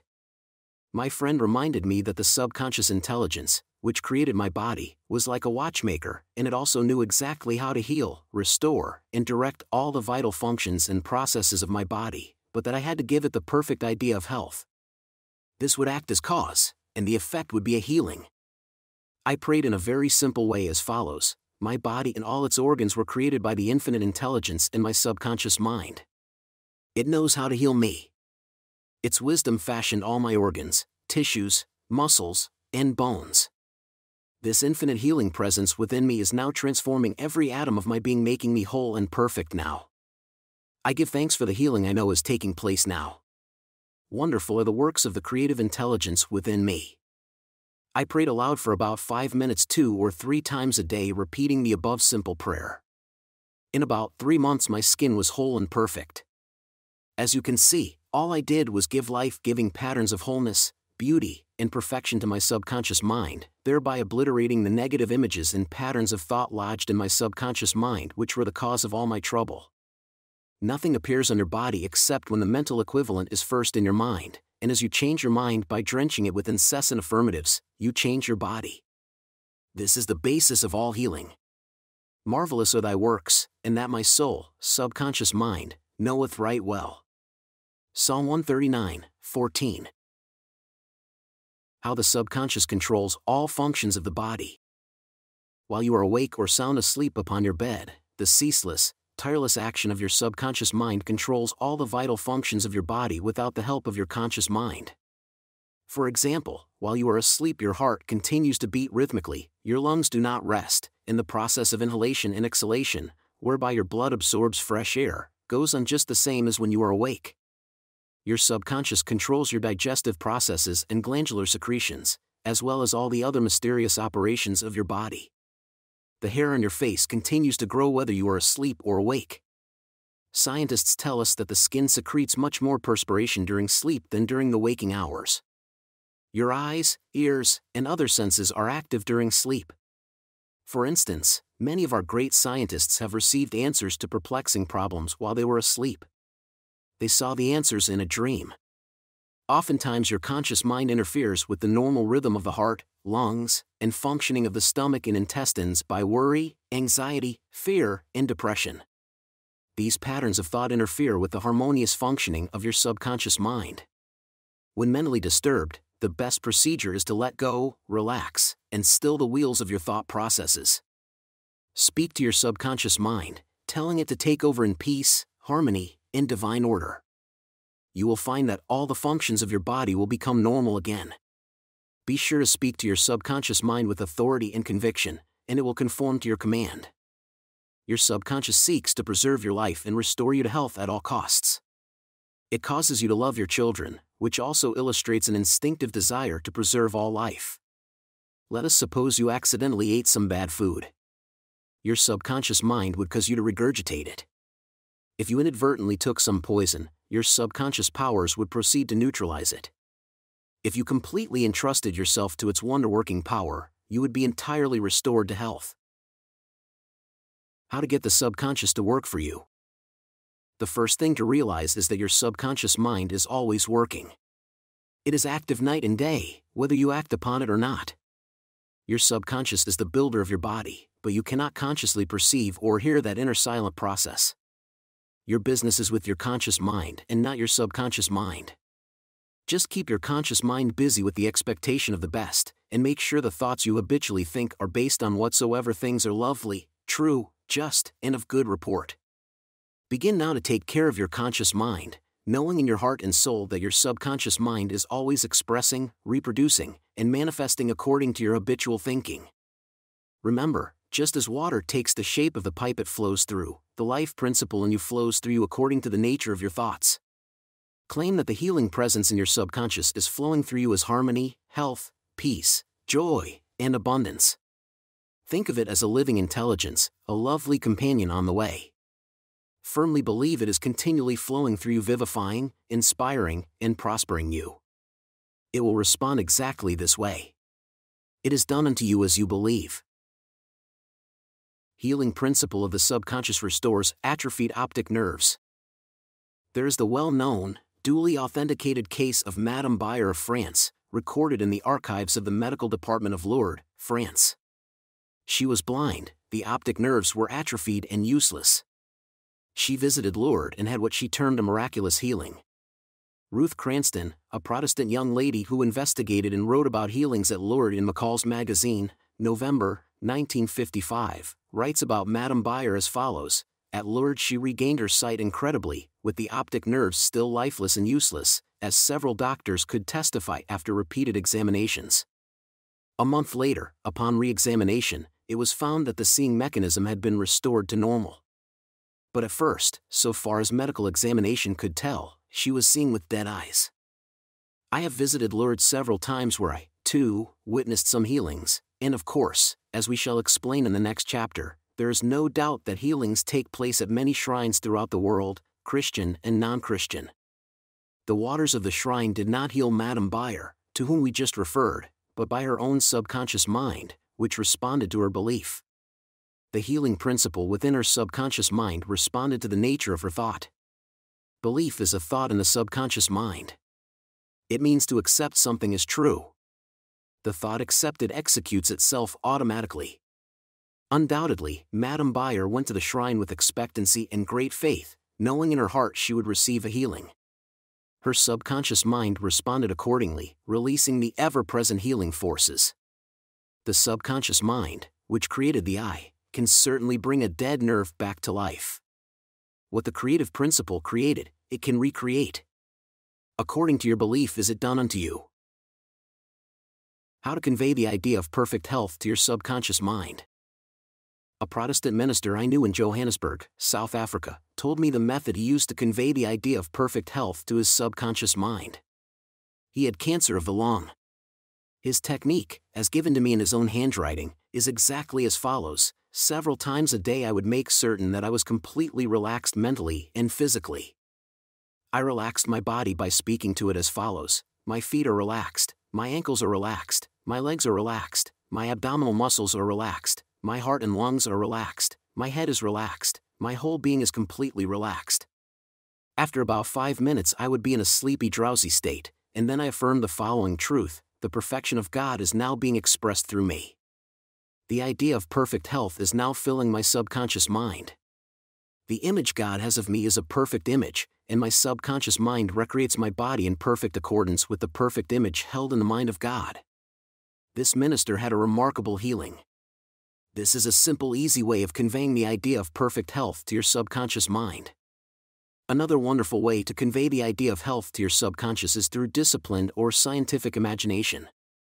I told a man who was suffering from functional paralysis to make a vivid picture of himself walking around in his office, touching the desk, answering the telephone, and doing all the things he ordinarily would do if he were healed. I explained to him that this idea and mental picture of perfect health would be accepted by his subconscious mind he lived the role and actually felt himself back in the office. He knew that he was giving his subconscious mind something definite to work upon. His subconscious mind was the film upon which the picture was impressed. One day, after several weeks of frequent conditioning of the mind with this mental picture, the telephone rang by prearrangement and kept ringing while his wife and nurse were out. The telephone was about 12 feet away, but nevertheless he managed to answer it. He was healed at that hour the healing power of his subconscious mind responded to his mental imagery, and a healing followed. This man had a mental block, which prevented impulses from the brain reaching his legs, therefore, he said he could not walk. When he shifted his attention to the healing power within him, the power flowed through his focused attention, enabling him to walk whatsoever ye shall ask in prayer, believing, ye shall receive. Matt 21 22 Ideas worth remembering. Your subconscious mind controls all the vital processes of your body and knows the answer to all problems. Prior to sleep, turn over a specific request to your subconscious mind and prove its miracle working power to yourself. Whatever you impress on your subconscious mind is expressed on the screen of space as conditions, experiences, and events. Therefore, you should carefully watch all ideas and thoughts entertained in your conscious mind the law of action and reaction is universal. Your thought is action, and the reaction is the automatic response of your subconscious mind to your thought. Watch your thoughts. All frustration is due to unfulfilled desires. If you dwell on obstacles, delays, and difficulties, your subconscious mind responds accordingly, and you are blocking your own good. The life principle will flow through you rhythmically and harmoniously if you consciously affirm, I believe that the subconscious power which gave me this desire is now fulfilling it through me. This dissolves all conflicts. You can interfere with the normal rhythm of your heart, lungs, and other organs by worry, anxiety, and fear. Feed your subconscious with thoughts of harmony, health, and peace, and all the functions of your body will become normal again. Keep your conscious mind busy with the expectation of the best, and your subconscious will faithfully reproduce your habitual thinking. Imagine the happy ending or solution to your problem, feel the thrill of accomplishment, and what you imagine and feel will be accepted by your subconscious mind and bring it to pass. Mental healings in ancient times. Down through the ages, men of all nations have somehow instinctively believed that somewhere there resided a healing power which could restore to normal the functions and sensations of man's body. They believed that this strange power could be invoked under certain conditions, and that the alleviation of human suffering would follow the history of all nations presents testimony in support of this belief. In the early history of the world, the power of secretly influencing men for good or evil, including the healing of the sick, was said to be possessed by the priests and holy men of all nations. Healing of the sick was supposed to be a power derived directly by them from God, and the procedures and processes of healing varied throughout the world. The healing processes took the form of supplications to God attended by various ceremonies, such as the laying on of hands, incantations, the application of amulets, talismans, rings, relics, and images. For example, in the religions of antiquity, priests in the ancient temples gave drugs to the patient and practiced hypnotic suggestions prior to the patient's sleep, telling him that the gods would visit him in his sleep and heal him. Many healings followed. Obviously, all this was the work of potent suggestions to the subconscious mind. After the performance of certain mysterious rites, the devotees of Hecate would see the goddess during sleep, provided that before going to sleep they had prayed to her according to weird and fantastic instructions. They were told to mix lizards with resin, frankincense, and myrrh, and pound all this together in the open air under the crescent moon. Healings were reported in many cases following this grotesque procedure. It is obvious that these strange procedures, as mentioned in the illustrations given, favored suggestion and acceptance by the subconscious mind of these people by making a powerful appeal to their imagination. Actually, in all these healings, the subconscious mind of the subject was the healer. In all ages, unofficial healers have obtained remarkable results in cases where authorized medical skill has failed. This gives cause for thought. How do these healers in all parts of the world affect their cures? The answer to all these healings is due to the blind belief of the sick person, which released the healing power resident in his subconscious mind. Many of the remedies and methods employed were rather strange and fantastic, which fired the imagination of the patients, causing an aroused emotional state. This state of mind facilitated the suggestion of health, and was accepted both by the conscious and subconscious mind of the sick. This will be elaborated on further in the next chapter. Biblical accounts on the use of the subconscious powers. What things soever ye desire, when ye pray, believe that ye receive them, and ye shall have them. Mark 11, 24. Note the difference in tenses. The inspired writer tells us to believe and accept as true the fact that our desire has already been accomplished and fulfilled, that it is already completed, and that its realization will follow as a thing in the future. The success of this technique depends on the confident conviction that the thought, the idea, the picture is already a fact in mind. In order for anything to have substance in the realm of mind, it must be thought of as actually existing there. Here in a few cryptic words is a concise and specific direction for making use of the creative power of thought by impressing upon the subconscious the particular thing, which you desire. Your thought, idea, plan, or purpose is as real on its own plane as your hand or your heart. In following the biblical technique, you completely eliminate from your mind all consideration of conditions, circumstances, or anything, which might imply adverse contingencies. You are planting a seed, concept, in the mind, which, if you leave it undisturbed, will infallibly germinate into external fruition. The prime condition, which Jesus insisted upon, was faith. Over and over again you read in the Bible, according to your faith is it done unto you. If you plant certain types of seeds in the ground, you have faith they will grow after their kind. This is the way of seeds, and trusting the laws of growth in agriculture, you know that the seeds will come forth after their kind. Faith, as mentioned in the Bible, is a way of thinking, an attitude of mind, an inner certitude, knowing that the idea you fully accept in your conscious mind will be embodied in your subconscious mind and made manifest. Faith is, in a sense, accepting as true what your reason and senses deny, i.e., a shutting out of the little, rational, analytical, conscious mind and embracing an attitude of complete reliance on the inner power of your subconscious mind. A classical instance of Bible technique is recorded in Matthew 9, 28 30. And when he was come into the house, the blind men came to him, and Jesus saith unto them, Believe ye that I am able to do this? They said unto him, Yea, Lord. Then touched he their eyes, saying, According to your faith be it unto you. And their eyes were opened, and Jesus straightly charged them, saying, See that no man know it. In the words, According to your faith be it unto you, you can see that Jesus was actually appealing to the cooperation of the subconscious mind of the blind men. Their faith was their great expectancy, their inner feeling, their inner conviction that something miraculous would happen, and that their prayer would be answered, and it was. This is the time honored technique of healing, utilized alike by all healing groups throughout the world regardless of religious affiliation. In the words, See that no man know it, Jesus enjoins the newly healed patients not to discuss their healing because they might be subjected to the skeptical and derogatory criticisms of the unbelieving.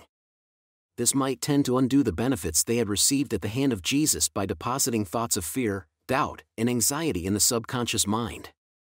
For with authority and power he commandeth the unclean spirits, and they came out. Luke 4 36. When the sick came to Jesus to be healed, they were healed by their faith together with his faith and understanding of the healing power of the subconscious mind. Whatever he decreed, he felt inwardly to be true. He and the people needing help were in the one universal subjective mind, and his silent inner knowing and conviction of the healing power changed the negative destructive patterns in the patient's subconscious. The resultant healings were the automatic response to the internal mental change his command was his appeal to the subconscious mind of the patients plus his awareness, feeling, and absolute trust in the response of the subconscious mind to the words which he spoke with authority.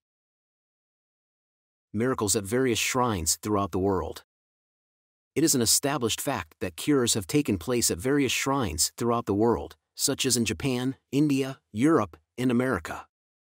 I have visited several of the famous shrines in Japan at the world-famous shrine called Daibutsu is a gigantic divinity of bronze where Buddha is seated with folded hands, and the head is inclined in an attitude of profound contemplative ecstasy. It is 42 feet in height and is called the Great Buddha. Here I saw young and old making offerings at its feet. Money, fruit, rice, and oranges were offered. Candles were lit, incense was burned, and prayers of petition recited. The guide explained the chant of a young girl as she murmured a prayer, bowed low, and placed two oranges as an offering. She also lit a candle. He said she had lost her voice, and it was restored at the shrine. She was thanking Buddha for restoring her voice. She had the simple faith that Buddha would give her back her singing voice if she followed a certain ritual, fasted, and made certain offerings. All this helped to kindle faith and expectancy, resulting in a conditioning of her mind to the point of belief. Her subconscious mind responded to her belief. To illustrate further the power of imagination and blind belief, I will relate the case of a relative of mine who had tuberculosis. His lungs were badly diseased. His son decided to heal his father. He came home to Perth, Western Australia, where his father lived, and said to him that he had met a monk who had returned from one of the healing shrines in Europe. This monk sold him a piece of the true cross. He said that he gave the monk the equivalent of $500 for it this young man had actually picked up a splinter of wood from the sidewalk, went to the jeweler's, and had it set in a ring so that it looked real. He told his father that just touching the ring or the cross healed many. He inflamed and fired his father's imagination to the point that the old gentleman snatched the ring from him, placed it over his chest, prayed silently, and went to sleep. In the morning he was healed. All the clinic's tests proved negative. You know, of course, it was not the splinter of wood from the sidewalk that healed him. It was his imagination aroused to an intense degree, plus the confident expectancy of a perfect healing. Imagination was joined to faith or subjective feeling, and the union of the two brought about a healing. The father never learned of the trick that had been played upon him. If he had, he probably would have had a relapse. He remained completely cured and passed away 15 years later at the age of 89. One universal healing principle. It is a well known fact that all of the various schools of healing effect cures of the most wonderful character. The most obvious conclusion, which strikes your mind, is that there must be some underlying principle, which is common to them all, namely, the subconscious mind, and the one process of healing is faith. It will now be in order to recall to your mind once more the following fundamental truths. First, that you possess mental functions, which have been distinguished by designating one the conscious mind and the other the subconscious mind. Secondly, your subconscious mind is constantly amenable to the power of suggestion. Furthermore, your subconscious mind has complete control of the functions, conditions, and sensations of your body. I venture to believe that all the readers of this book are familiar with the fact that symptoms of almost any disease can be induced in hypnotic subjects by suggestion. For example, a subject in the hypnotic state can develop a high temperature, flushed face, or chills according to the nature of the suggestion given. By experiment, you can suggest to the person that he is paralyzed and cannot walk, it will be so. By illustration, you can hold a cup of cold water under the nose of the hypnotic subject and tell him, This is full of pepper, smell it. He will proceed to sneeze. What do you think caused him to sneeze, the water or the suggestion? If a man says he is allergic to Timothy grass, you can place a synthetic flower or an empty glass in front of his nose, when he is in a hypnotic state, and tell him it is Timothy grass. He will portray the usual allergic symptoms. This indicates that the cause of the disease is in the mind. The healing of the disease can also take place mentally.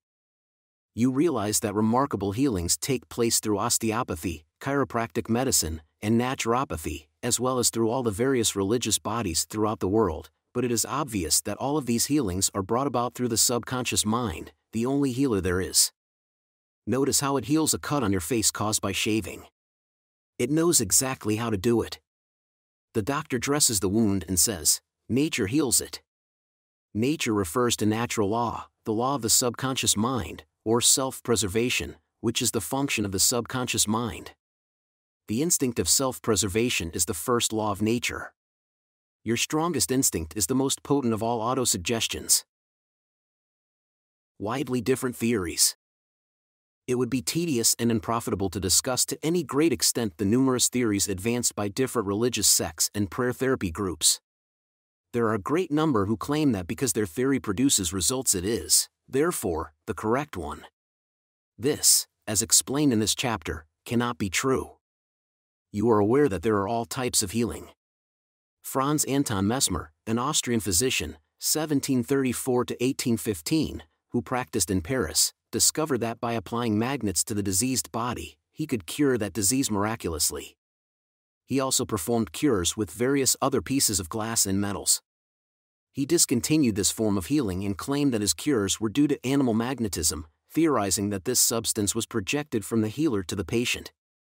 His method of treating disease from men on was by hypnotism, which was called mesmerism in his day. Other physicians said that all his healings were due to suggestion and nothing else. All of these groups, such as psychiatrists, psychologists, osteopaths, chiropractors, physicians, and all the churches are using the one universal power resident in the subconscious mind. Each may proclaim the healings are due to their theory. The process of all healing is a definite, positive, mental attitude, an inner attitude, or a way of thinking, called faith. Healing is due to a confident expectancy, which acts as a powerful suggestion to the subconscious mind releasing its healing potency. One man does not heal by a different power than another. It is true he may have his own theory or method. There is only one process of healing, and that is faith. There is only one healing power, namely, your subconscious mind. Select the theory and method you prefer you can rest assured, if you have faith, you shall get results. Views of Paracelsus Philippus Paracelsus, a famous Swiss alchemist and physician, who lived from 1493 to 1541, was a great healer in his day. He stated what is now an obvious scientific fact when he uttered these words whether the object of your faith be real or false, you will nevertheless obtain the same effects. Thus, if I believed in St. Peter's statue as I should have believed in St. Peter himself, I shall obtain the same effects that I should have obtained from St. Peter. But that is superstition. Faith, however, produces miracles, and whether it is true or false faith, it will always produce the same wonders. The views of Paracelsus were also entertained in the 16th century by Pietro Pomponazzi, an Italian philosopher and contemporary of Paracelsus, who said, We can easily conceive the marvelous effects which confidence and imagination can produce, particularly when both qualities are reciprocated between the subjects and the person who influences them. The cures attributed to the influence of certain relics are the effect of their imagination and confidence. Quacks and philosophers know that if the bones of any skeleton were put in place of the saint's bones, the sick would none the less experience beneficial effects, if they believed that they were veritable relics. Then, if you believe in the bones of saints to heal, or if you believe in the healing power of certain waters, you will gel results because of the powerful suggestion given to your subconscious mind. It is the latter that does the healing. Bernheim's experiments. Hippolyte Bernheim, professor of medicine at Nancy, France, 1910 to 1919, was the expounder of the fact that the suggestion of the physician to the patient was exerted through the subconscious mind. Bernheim, in his Suggestive Therapeutics, page 197, tells a story of a man with paralysis of the tongue which had yielded to no form of treatment. His doctor told the patient that he had a new instrument with which he promised to heal him. He introduced a pocket thermometer into the patient's mouth the patient imagined it to be the instrument, which was to save him. In a few moments he cried out joyfully that he could once more move his tongue freely. Among our cases, continues Bernheim, facts of the same sort will be found. A young girl came into my office, having suffered from complete loss of speech for nearly four weeks. After making sure of the diagnosis, I told my students that loss of speech sometimes yielded instantly to electricity, which might act simply by its suggestive influence. I sent for the induction apparatus. I applied my hand over the larynx and moved a little, and said, Now you can speak aloud. In an instant I made her saw A, then B, then Maria. She continued to speak distinctly, the loss of voice had disappeared. Here Bernheim is showing the power of faith and expectancy on the part of the patient, which acts as a powerful suggestion to the subconscious mind. Producing a blister by suggestion. Bernheim states that he produced a blister on the back of a patient's neck by applying a postage stamp and suggesting to the patient that it was a fly plaster. This has been confirmed by the experiments and experiences of many doctors in many parts of the world, which leave no doubt that structural change are a possible result of oral suggestion to patients. The cause of bloody stigmata. In Hudson's Law of Psychic Phenomena, page 153, he states, hemorrhages and bloody stigmata may be induced in certain subjects by means of suggestion. Dr. M. Bourru put a subject into the somnambulistic condition and gave him the following suggestion At 4 o'clock this afternoon, after the hypnosis, you will come into my office, sit down in the armchair, cross your arms upon your breast, and your nose will begin to bleed. At the hour appointed, the young man did as directed. Several drops of blood came from the left nostril. On another occasion, the same investigator traced the patient's name on both his forearms with the dull point of an instrument. Then, when the patient was in the somnambulistic condition, he said, At four o'clock this afternoon, you will go to sleep, and your arms will bleed along the lines which I have traced, and your name will appear written on your arms in letters of blood. He was watched at four o'clock and seen to fall asleep. On the left arm, the letters stood out in bright relief, and in several places there were drops of blood the letters were still visible three months afterward, although they had gradually grown faint. These facts demonstrate at once the correctness of the two fundamental propositions previously stated, namely, the constant amenability of the subconscious mind to the power of suggestion and the perfect control, which the subconscious mind exercises, over the functions, sensations, and conditions of the body. All the foregoing phenomena dramatize vividly abnormal conditions induced by suggestion, and are conclusive proof that as a man thinketh in his heart, subconscious mind, so is he. Healing points in review. Remind yourself frequently that the healing power is in your own subconscious mind. Know that faith is like a seed planted in the ground, it grows after its kind. Plant the idea, seed, in your mind, water and fertilize it with expectancy, and it will manifest. The idea you have for a book, new invention, or play is real in your mind. This is why you can believe you have it now. Believe in the reality of your idea, plan, or invention, and as you do, it will become manifest. In praying for another, know that your silent inner knowing of wholeness, beauty, and perfection can change the negative patterns of the other's subconscious mind and bring about wonderful results. The miraculous healings you hear about at various shrines are due to imagination and blind faith which act on the subconscious mind, releasing the healing power. All disease originates in the mind. Nothing appears on the body unless there is a mental pattern corresponding to it. The symptoms of almost any disease can be induced in you by hypnotic suggestion. This shows you the power of your thought. There is only one process of healing, and that is faith. There is only one healing power, namely, your subconscious mind. Whether the object of your faith is real or false, you will get results. Your subconscious mind responds to the thought in your mind. Look upon faith as a thought in your mind, and that will suffice.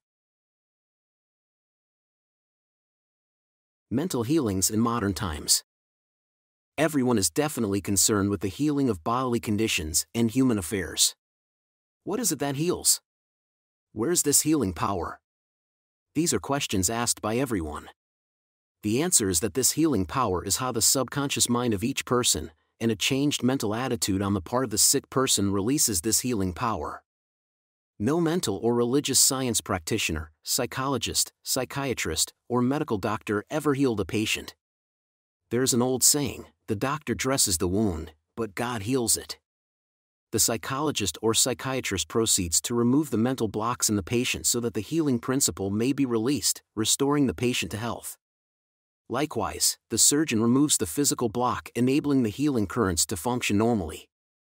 No physician, surgeon, or mental science practitioner claims he healed the patient. The one healing power is called by many names nature, life, God, creative intelligence, and subconscious power. As previously outlined, there are many different methods used to remove the mental, emotional, and physical blocks which inhibit the flow of the healing life principle animating all of us. The healing principle resonant in your subconscious mind can and will, if properly directed by you or some other person, heal your mind and body of all disease. This healing principle is operative in all men regardless of creed, color, or race. You do not have to belong to some particular church in order to use and participate in this healing process your subconscious will heal the burn or cut on your hand even though you profess to be an atheist or agnostic. The modern mental therapeutic procedure is based on the truth that the infinite intelligence and power of your subconscious mind responds according to your faith. The mental science practitioner or minister follows the injunction of the Bible, i.e., he goes into his closet and shuts the door, which means he stills his mind, relaxes, lets go, and thinks of the infinite healing presence within him he closes the door of his mind to all outside distractions as well as appearances, and then he quietly and knowingly turns over his request or desire to his subconscious mind, realizing that the intelligence of his mind will answer him according to his specific needs. The most wonderful thing to know is this imagine the end desired and feel its reality, then the infinite life principle will respond to your conscious choice and your conscious request. This is the meaning of believe you have received, and you shall receive. This is what the modern mental scientist does when he practices prayer therapy. One process of healing. There's only one universal healing principle operating through everything the cat, the dog, the tree, the grass, the wind, the earth, for everything is alive. This life principle operates through the animal, vegetable, and mineral kingdoms as instinct and the law of growth man is consciously aware of this life principle, and he can consciously direct it to bless himself in countless ways. There are many different approaches, techniques, and methods in using the universal power, but there is only one process of healing, which is faith, for according to your faith is it done unto you. The Law of Belief All religions of the world represent forms of belief, and these beliefs are explained in many ways. The law of life is belief. What do you believe about yourself, life, and the universe? It is done unto you, as you believe. Belief is a thought in your mind, which causes the power of your subconscious to be distributed into all phases of your life according to your thinking habits. You must realize the Bible is not talking about your belief in some ritual, ceremony, form, institution, man, or formula. It is talking about belief itself. The belief of your mind is simply the thought of your mind. If thou canst believe, all things are possible to him that believeth. Mark 9, 23. It is foolish to believe in something to hurt or harm you. Remember, it is not the thing believed in that hurts or harms you, but the belief or thought in your mind, which creates the result. All your experiences, all your actions, and all the events and circumstances of your life are but the reflections and reactions to your own thought. Prayer therapy is the combined function of the conscious and subconscious mind scientifically directed. Prayer therapy is the synchronized, harmonious, and intelligent function of the conscious and subconscious levels of mind specifically directed for a definite purpose. In scientific prayer or prayer therapy, you must know what you are doing and why you are doing it. You trust the law of healing. Prayer therapy is sometimes referred to as mental treatment, and another term is scientific prayer. In prayer therapy, you consciously choose a certain idea, mental picture, or plan which you desire to experience you realize your capacity to convey this idea or mental image to your subconscious by feeling the reality of the state assumed. As you remain faithful in your mental attitude, your prayer will be answered. Prayer therapy is a definite mental action for a definite specific purpose. Let us suppose that you decide to heal a certain difficulty by prayer therapy. You are aware that your problem or sickness, whatever it may be, must be caused by negative thoughts charged with fear and lodged in your subconscious mind, and that if you can succeed in cleansing your mind of these thoughts, you will get a healing. You, therefore, turn to the healing power within your own subconscious mind and remind yourself of its infinite power and intelligence and its capacity to heal all conditions. As you dwell on these truths, your fear will begin to dissolve, and the recollection of these truths also corrects the erroneous beliefs.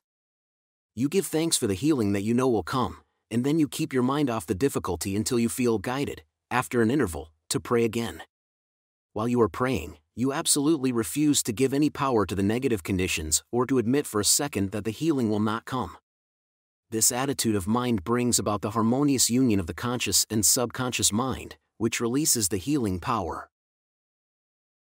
Faith healing, what it means, and how blind faith works. What is popularly termed faith healing is not the faith mentioned in the Bible, which means knowledge of the interaction of the conscious and subconscious mind. A faith healer is one who heals without any real scientific understanding of the powers and forces involved.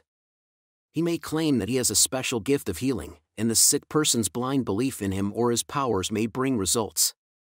The voodoo doctor in South Africa and other parts of the world may heal by incantations, or touching the so called bones of saints, or anything else may heal a person, which cause the patients to honestly believe in the method or process. Any method, which causes you to move from fear and worry to faith and expectancy, will heal.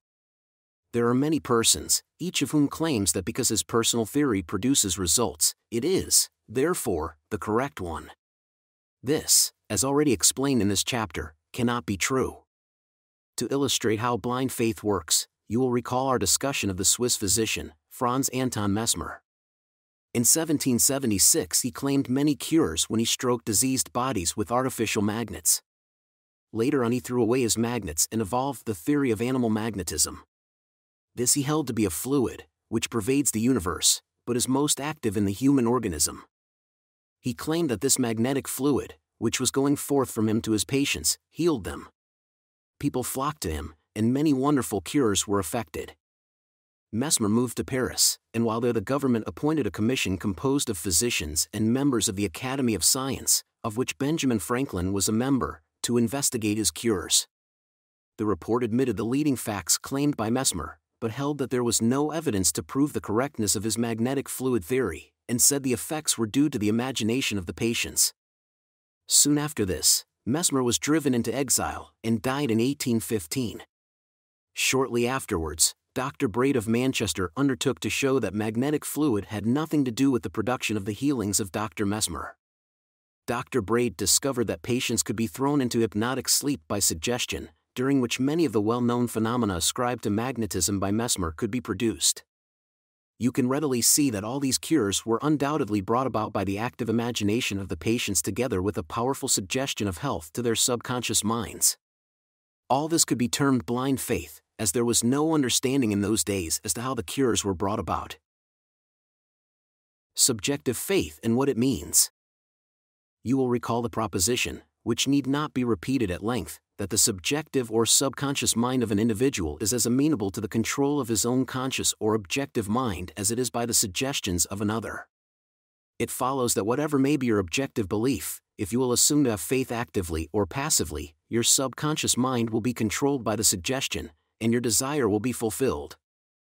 The faith required in mental healings is a purely subjective faith, and it is attainable upon the cessation of active opposition on the part of the objective or conscious mind. In the healing of the body, it is, of course, desirable to secure the concurrent faith of both the conscious and subconscious mind. However, it is not always essential if you will enter into a state of passivity and receptivity by relaxing the mind and the body and getting into a sleepy state. In this drowsy state, your passivity becomes receptive to subjective impression. Recently, I was asked by a man, How is it that I got a healing through a minister? I did not believe what he said when he told me that there is no such thing as disease and that matter does not exist. This man at first thought his intelligence was being insulted, and he protested against such a palpable absurdity. The explanation is simple. He was quieted by soothing words and told to get into a perfectly passive condition, to say nothing, and think of nothing for the time being. His minister also became passive and affirmed quietly, peacefully, and constantly for about one half hour that this man would have perfect health, peace, harmony, and wholeness. He felt immense relief and was restored to health it is easy to see that his subjective faith had been made manifest by his passivity under treatment, and the suggestions of perfect healthfulness by the minister were conveyed to his subconscious mind. The two subjective minds were then en rapport. The minister was not handicapped by antagonistic autosuggestions of the patient arising from objective doubt of the power of the healer or the correctness of the theory. In this sleepy, drowsy state, the conscious mind resistance is reduced to a minimum, and results followed the subconscious mind of the patient being necessarily controlled by such suggestion exercised its functions in accordance therewith, and a healing followed. The meaning of absent treatment. Suppose you learn that your mother was sick in New York City and you lived in Los Angeles. Your mother would not be physically present where you are, but you could pray for her. It is the Father within which doeth the work. The creative law of mind, subconscious mind, serves you and will do the work its response to you is automatic. Your treatment is for the purpose of inducing an inner realization of health and harmony in your mentality. This inner realization, acting through the subconscious mind, operates through your mother's subconscious mind as there is but one creative mind. Your thoughts of health, vitality, and perfection operate through the one universal subjective mind, and set a law in motion on the subjective side of life, which manifests through her body as a healing. In the mind principle, there is no time or space. It is the same mind that operates through your mother no matter where she may be. In reality, there is no absent treatment as opposed to present treatment, for the universal mind is omnipresent. You do not try to send out thoughts or hold a thought. Your treatment is a conscious movement of thought, and as you become conscious of the qualities of health, well being, and relaxation, these qualities will be resurrected in the experience of your mother, and results will follow. The following is a perfect example of what is called absent treatment. Recently, a listener of our radio program in Los Angeles prayed as follows for her mother in New York who had a coronary thrombosis The healing presence is right where my mother is. Her bodily condition is but a reflection of her thought life like shadows cast on the screen. I know that in order to change the images on the screen, I must change the projection reel. My mind is the projection reel, and I now project in my own mind the image of wholeness, harmony, and perfect health for my mother. The infinite healing presence, which created my mother's body and all her organs, is now saturating every atom of her being, and a river of peace flows through every cell of her body. The doctors are divinely guided and directed, and whoever touches my mother is guided to do the right thing. I know that disease has no ultimate reality, if it had, no one could be healed. I now align myself with the infinite principle of love and life, and I know and decree that harmony, health, and peace are now being expressed in my mother's body. She prayed in the above manner several times daily, and her mother had a most remarkable recovery after a few days, much to the amazement of her specialist. He complimented her on her great faith in the power of God. The conclusion arrived at in the daughter's mind set the creative law of mind in motion on the subjective side of life, which manifested itself through her mother's body as perfect health and harmony what the daughter felt as true about her mother was simultaneously resurrected in the experience of her mother. Releasing the kinetic action of the subconscious mind. a psychologist friend of mine told me that one of his lungs was infected. X rays and analysis showed the presence of tuberculosis. At night before going to sleep, he would quietly affirm Every cell, nerve, tissue, and muscle of my lungs are now being made whole, pure, and perfect. My whole body is being restored to health and harmony. These are not his exact words, but they represent the essence of what he affirmed. A complete healing followed in about a month's time. Subsequent x rays showed a perfect healing. I wanted to know his method, so I asked him why he repeated the words prior to sleep. Here is his reply The kinetic action of the subconscious mind continues throughout your sleep time period. Hence, give the subconscious mind something good to work on as you drop off into slumber. This was a very wise answer. In thinking of harmony and perfect health, he never mentioned his trouble by name. I strongly suggest that you cease talking about your ailments or giving them a name. The only sap from which they draw life is your attention and fear of them like the above mentioned psychologist, become a mental surgeon. Then your troubles will be cut off like dead branches are pruned from a tree. If you are constantly naming your aches and symptoms, you inhibit the kinetic action, which means the release of the healing power and energy of your subconscious mind. Furthermore, by the law of your own mind, these imaginings tend to take shape, as the thing I greatly feared. Fill your mind with the great truths of life and walk forward in the light of love. Summary of your aids to health. Find out what it is that heals you. Realize that correct directions given to your subconscious mind will heal your mind and body. Develop a definite plan for turning over your requests or desires to your subconscious mind. Imagine the end desired and feel its reality. Follow it through, and you will get definite results. Decide what belief is. Know that belief is a thought in your mind, and what you think you create it is foolish to believe in sickness and something to hurt or to harm you. Believe in perfect health, prosperity, peace, wealth, and divine guidance. Great and noble thoughts upon which you habitually dwell become great acts. Apply the power of prayer therapy in your life. Choose a certain plan, idea, or mental picture. Mentally and emotionally unite with that idea, and as you remain faithful to your mental attitude, your prayer will be answered, Always remember, if you really want the power to heal, you can have it through faith, which means knowledge of the working of your conscious and subconscious mind. Faith comes with understanding. Blind faith means that a person may get results in healing without any scientific understanding of the powers and forces involved. Learn to pray for your loved ones who may be ill. Quiet your mind, and your thoughts of health, vitality, and perfection operating through the one universal subjective mind will be felt and resurrected in the mind of your loved one. Practical techniques in mental healings. An engineer has a technique and a process for building a bridge or an engine. Like the engineer, your mind also has a technique for governing, controlling, and directing your life. You must realize that methods and techniques are primary. In building the Golden Gate Bridge, the chief engineer understood mathematical principles, stresses, and strains. Secondly, he had a picture of the ideal bridge across the bay. The third step was his application of tried and proven methods by which the principles were implemented until the bridge took form and we drive on it. There also are techniques and methods by which your prayers are answered. If your prayer is answered, there is a way in which it is answered, and this is a scientific way nothing happens by chance. This is a world of law and order. In this chapter, you will find practical techniques for the unfolding and nurture of your spiritual life. Your prayers must not remain up in the air like a balloon. They must go somewhere and accomplish something in your life. When we come to analyze prayer, we discover there are many different approaches and methods. We will not consider in this book the formal, ritual prayers used in religious services. These have important place in group worship we are immediately concerned with the methods of personal prayer as it is applied in your daily life and as it is used to help others. Prayer is the formulation of an idea concerning something we wish to accomplish. Prayer is the soul's sincere desire. Your desire is your prayer. It comes out of your deepest needs and it reveals the things you want in life. Blessed are they that hunger and thirst after righteousness, for they shall be filled. That is really prayer, life's hunger and thirst for peace, harmony, health, joy, and all the other blessings of life.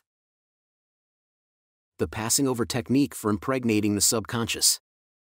This consists essentially in inducing the subconscious mind to take over your request as handed it by the conscious mind. This passing over is best accomplished in the reverie like state. Know that in your deeper mind are infinite intelligence and infinite power. Just calmly think over what you want, see it coming into fuller fruition from this moment forward. Be like the little girl who had a very bad cough and a sore throat. She declared firmly and repeatedly, It is passing away now. It is passing away now. It passed away in about an hour. Use this technique with complete simplicity and naivete. Your subconscious will accept your blueprint. If you were building a new home for yourself and family, you know that you would be intensely interested in regard to the blueprint for your home. You would see to it that the builders conform to the blueprint you would watch the material and select only the best wood, steel, in fact, the best of everything. What about your mental home and your mental blueprint for happiness and abundance? All your experiences and everything that enters into your life depend upon the nature of the mental building blocks, which you use in the construction of your mental home. If your blueprint is full of mental patterns of fear, worry, anxiety, or lack, and if you are despondent, doubtful, and cynical, then the texture of the mental material you are weaving into your mind will come forth as more toil, care, tension, anxiety, and limitation of all kinds. The most fundamental and the most far reaching activity in life is that which you build into your mentality every waking hour. Your word is silent and invisible, nevertheless, it is real. You are building your mental home all the time, and your thought and mental imagery represent your blueprint. Hour by hour, moment by moment, you can build radiant health, success, and happiness by the thoughts you think, the ideas which you harbor, the beliefs that you accept, and the scenes that you rehearse in the hidden studio of your mind. This stately mansion, upon the construction of which you are perpetually engaged, is your personality, your identity in this plane, your whole life story on this earth. Get a new blueprint, build silently by realizing peace, harmony, joy, and goodwill in the present moment. By dwelling upon these things and claiming them, your subconscious will accept your blueprint and bring all these things to pass. By their fruits ye shall know them. The science and art of true prayer. The term science means knowledge, which is coordinated, arranged, and systematized. Let us think of the science and art of true prayer as it deals with the fundamental principles of life and the techniques and processes by which they can be demonstrated in your life, as well as in the life of every human being when he applies them faithfully. The art is your technique or process, and the science behind it is the definite response of creative mind to your mental picture or thought. Ask, and it shall be given you, seek, and ye shall find, knock, and it shall be opened unto you. Matthew 7 7. Here you are told you shall receive that for which you ask. It shall be opened to you when you knock, and you shall find that for which you are searching. This teaching implies the definiteness of mental and spiritual laws there is always a direct response from the infinite intelligence of your subconscious mind to your conscious thinking. If you ask for bread, you will not receive a stone. You must ask believing, if you are to receive.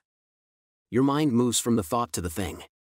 Unless there is first an image in the mind, it cannot move, for there would be nothing for it to move toward. Your prayer, which is your mental act, must be accepted as an image in your mind before the power from your subconscious will play upon it and make it productive you must reach a point of acceptance in your mind, an unqualified and undisputed state of agreement. This contemplation should be accompanied by a feeling of joy and restfulness in foreseeing the certain accomplishment of your desire.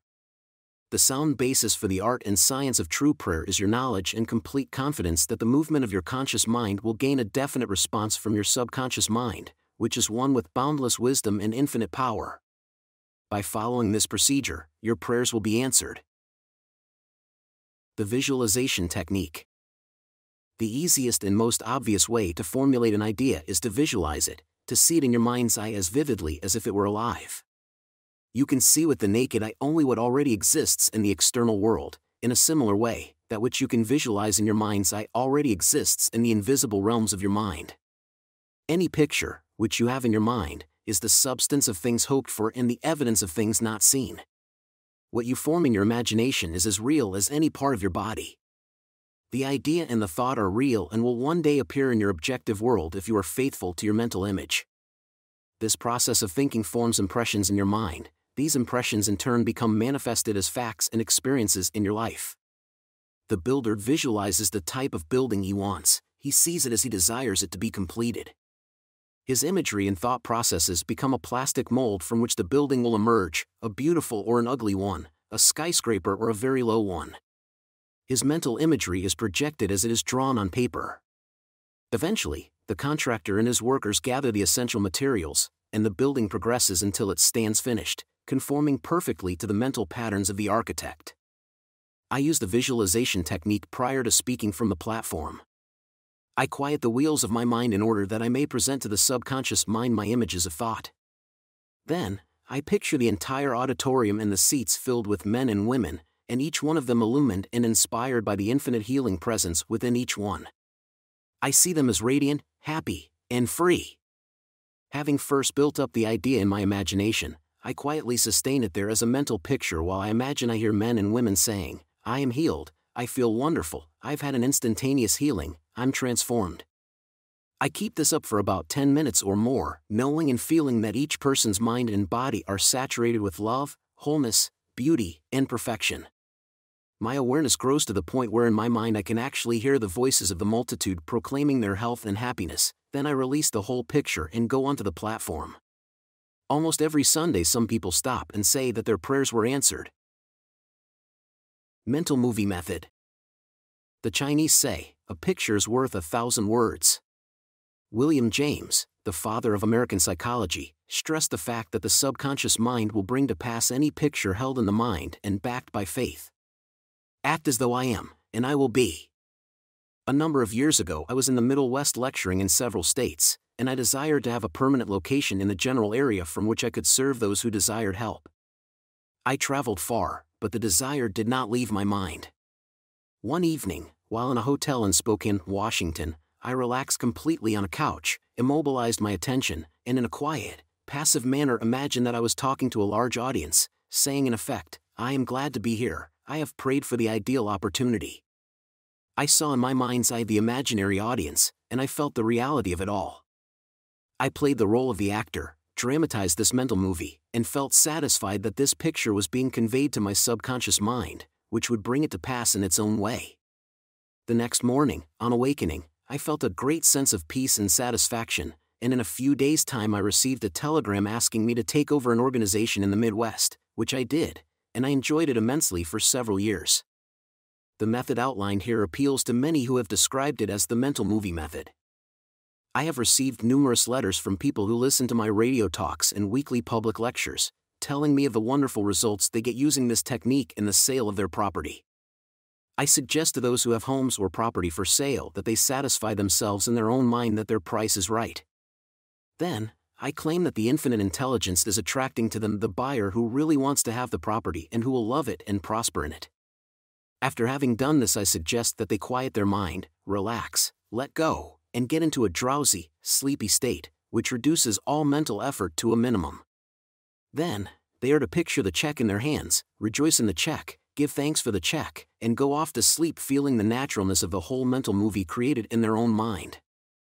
They must act as though it were an objective reality, and the subconscious mind will take it as an impression, and through the deeper currents of the mind, the buyer and the seller are brought together.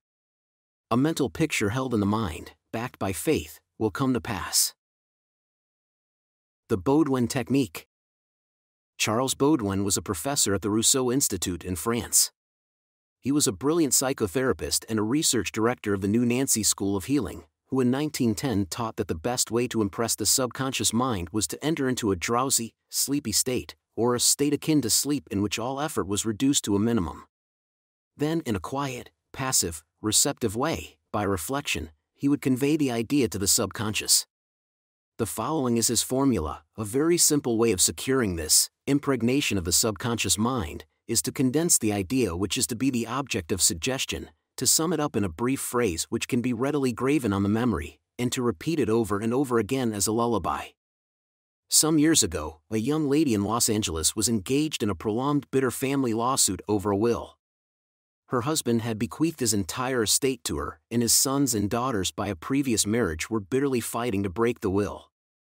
The Baudouin technique was outlined to her, and this is what she did she relaxed her body in an armchair, entered into the sleepy state and, as suggested, condensed the idea of her need into a phrase consisting of six words easily graven on the memory.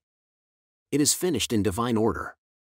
The significance to her of these words meant that infinite intelligence operating through the laws of her subconscious mind would bring about a harmonious adjustment through the principle of harmony. She continued this procedure every night for about 10 nights.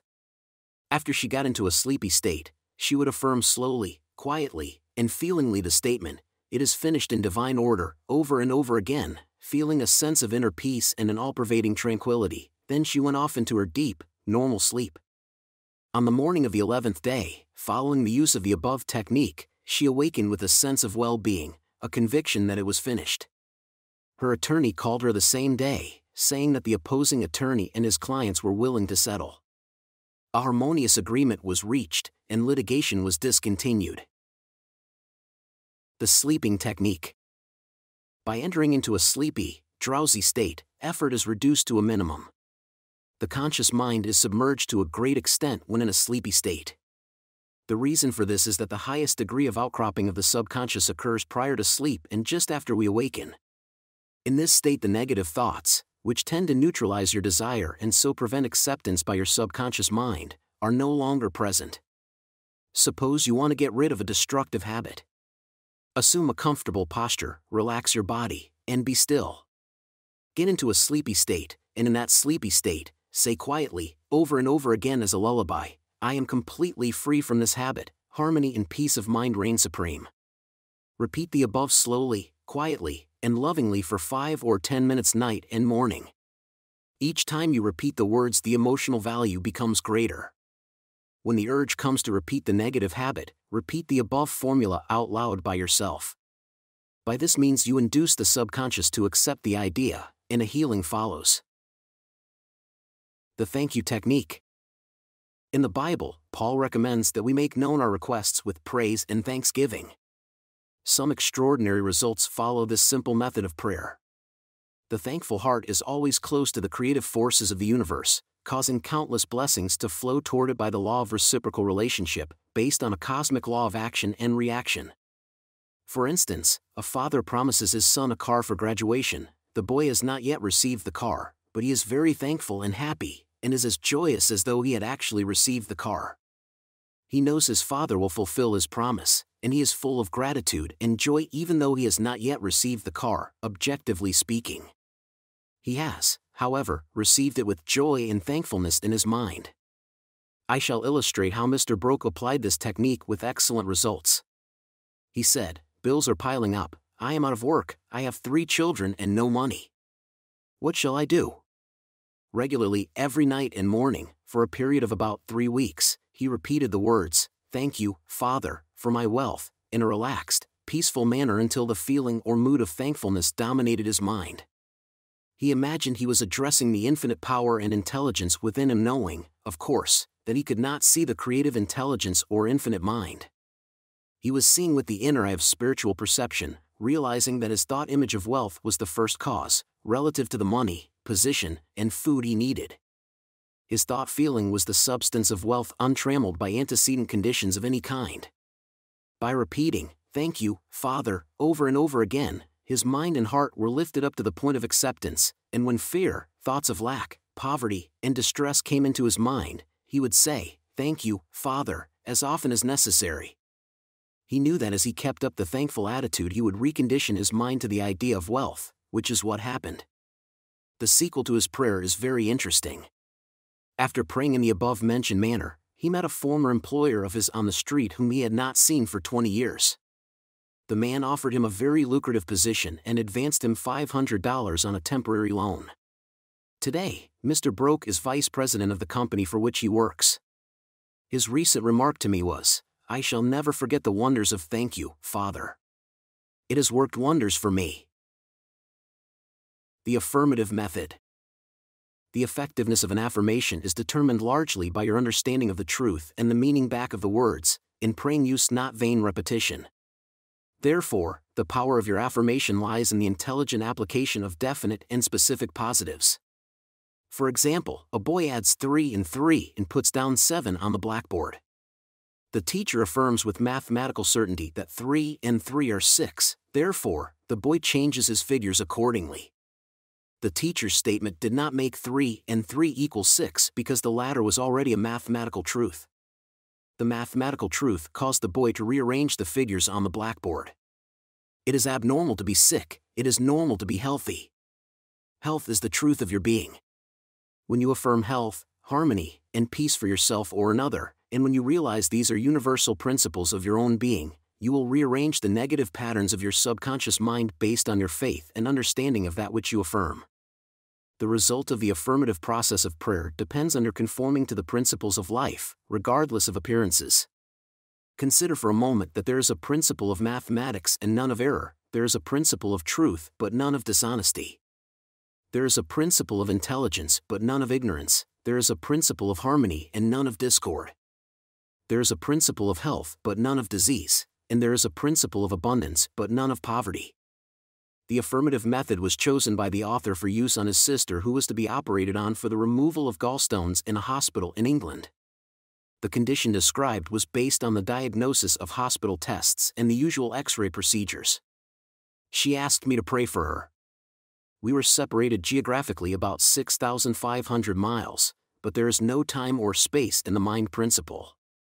Infinite mind or intelligence is present in its entirety at every point simultaneously. I withdrew all thought from the contemplation of symptoms and from the corporeal personality altogether. I affirmed as follows This prayer is for my sister Catherine.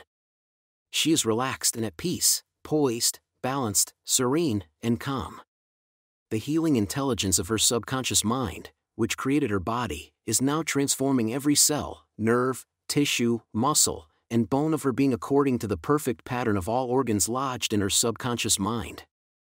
Silently, quietly, all distorted thought patterns in her subconscious mind are removed and dissolved, and the vitality, wholeness, and beauty of the life principle are made manifest in every atom of her being.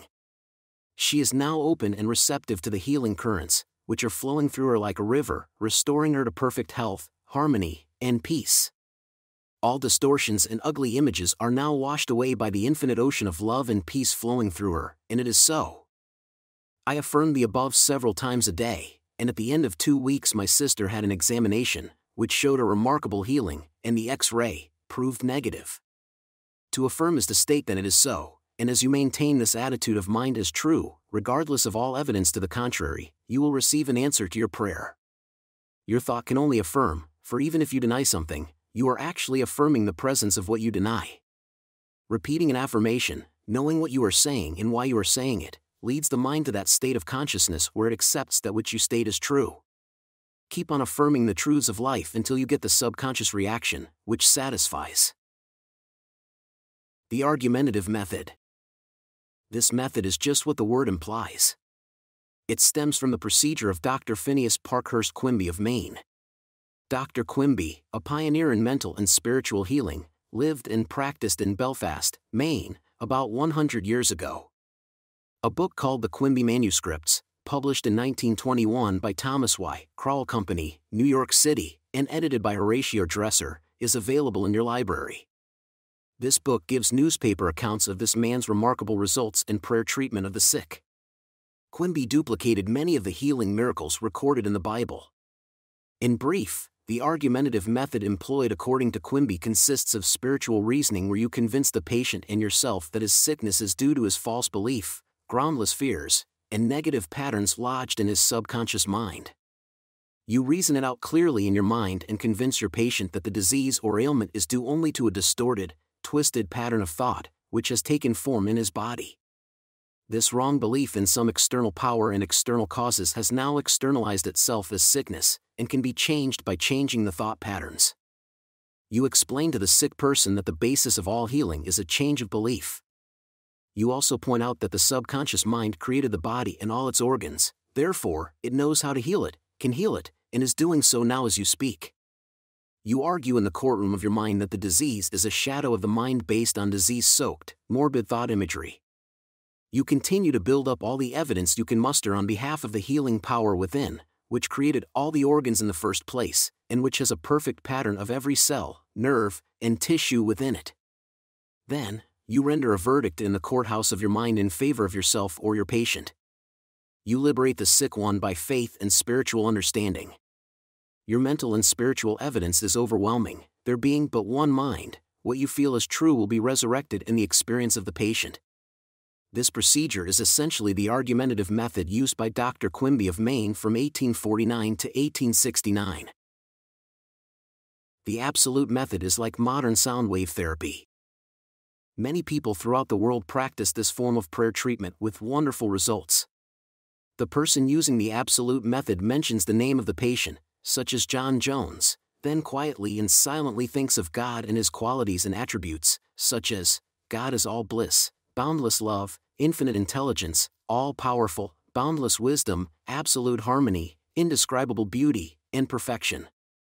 As he quietly thinks along these lines, he is lifted up in consciousness into a new spiritual wavelength, at which times he feels the infinite ocean of God's love is now dissolving everything unlike itself in the mind and body of John Jones for whom he is praying he feels all the power and love of God are now focused on John Jones, and whatever is bothering or vexing him is now completely neutralized in the presence of the infinite ocean of life and love. The absolute method of prayer might be likened to the sound wave or sonic therapy recently shown me by a distinguished physician in Los Angeles. He has an ultrasound wave machine, which oscillates at a tremendous speed and sends sound waves to any area of the body to which it is directed. These sound waves can be controlled, and he told me of achieving remarkable results in dissolving arthritic calcareous deposits, as well as the healing and removal of other disturbing conditions. To the degree that we rise in consciousness by contemplating qualities and attributes of God, do we generate spiritual electronic waves of harmony, health, and peace. Many remarkable healings follow this technique of prayer. A cripple walks. Dr. Phineas Parkhurst Quimby, of whom we spoke previously in this chapter, used the absolute method in the latter years of his healing career. He was really the father of psychosomatic medicine and the first psychoanalyst. He had the capacity to diagnose clairvoyantly the cause of the patient's trouble, pains, and aches.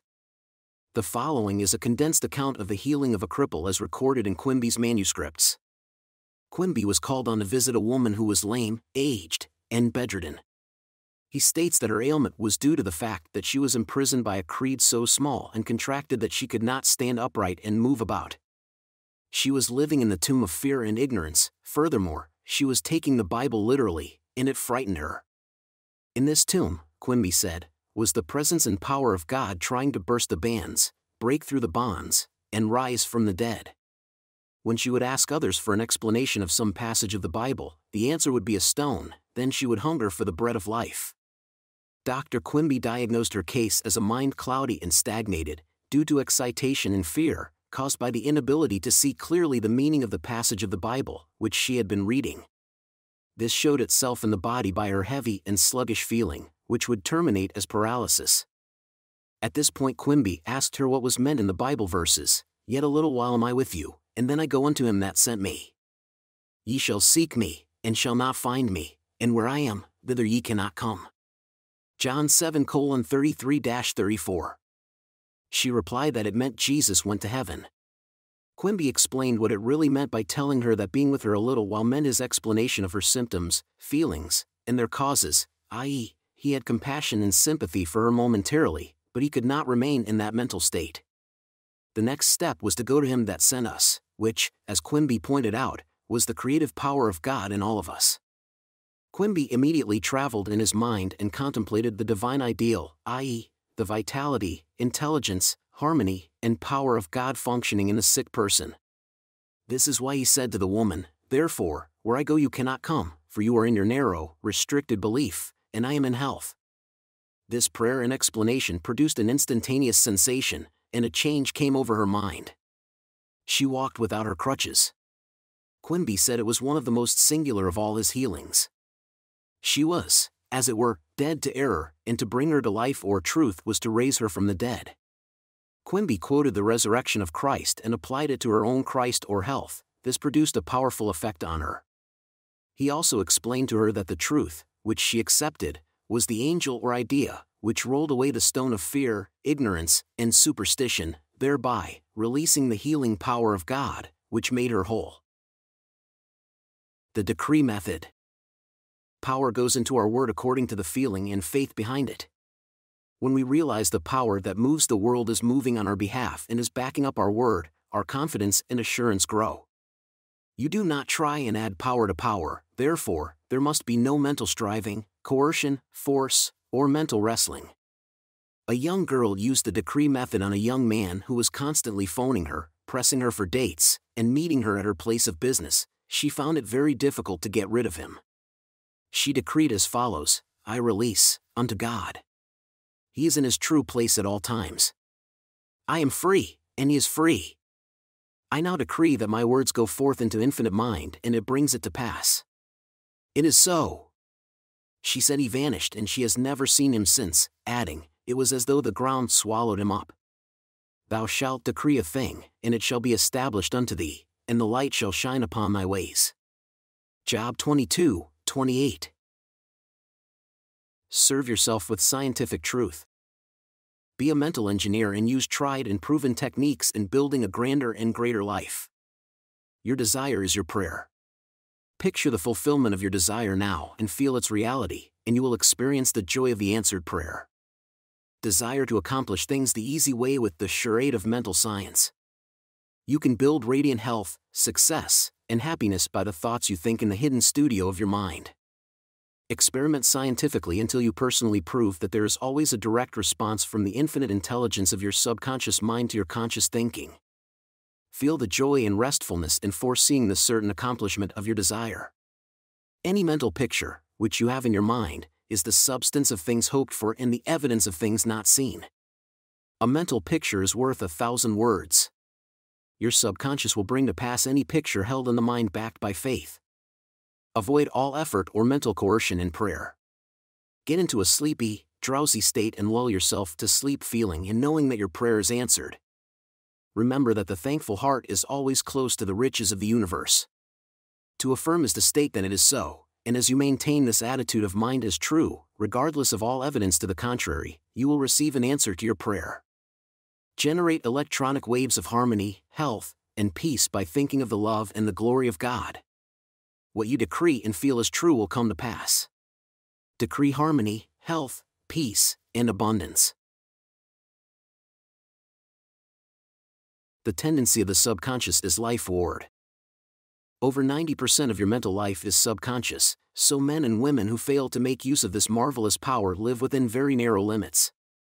Your subconscious processes are always life ward and constructive your subconscious is the builder of your body and maintains all its vital functions. It is on the job 24 hours a day and never sleeps. It is always trying to help and preserve you from harm. Your subconscious mind is in touch with infinite life and boundless wisdom, and its impulses and ideas are always life forward. The great aspirations, inspirations, and visions for a grander and nobler life spring from the subconscious your profoundest convictions are those you cannot argue about rationally because they do not come from your conscious mind, they come from your subconscious mind. Your subconscious speaks to you in intuitions, impulses, hunches, intimations, urges, and ideas, and it is always telling you to rise, transcend, grow, advance, adventure, and move forward to greater heights. The urge to love, to save the lives of others comes from the depths of your subconscious. For example, during the Great San Francisco earthquake and fire of April 18, 1906, invalids and cripples who had been confined to bed for long periods of time rose up and performed some of the most amazing feats of bravery and endurance. The intense desire welled up within them to save others at all costs, and their subconscious responded accordingly. Great artists, musicians, poets, speakers, and writers tune in with their subconscious powers and become animated and inspired. For example, Robert Louis Stevenson, before he went to sleep, used to charge his subconscious with the task of evolving stories for him while he slept. He was accustomed to ask his subconscious to give him a good, marketable thriller when his bank account was low. Stevenson said the intelligence of his deeper mind gave him the story piece by piece, like a serial. This shows how your subconscious will speak lofty and wise sayings through you, which your conscious mind knows nothing about. Mark Twain confided to the world on many occasions that he never worked in his life. All his humor and all his great writings were due to the fact that he tapped the inexhaustible reservoir of his subconscious mind. How the body portrays the workings of the mind. the interaction of your conscious and subconscious mind requires a similar interaction between the corresponding system of nerves.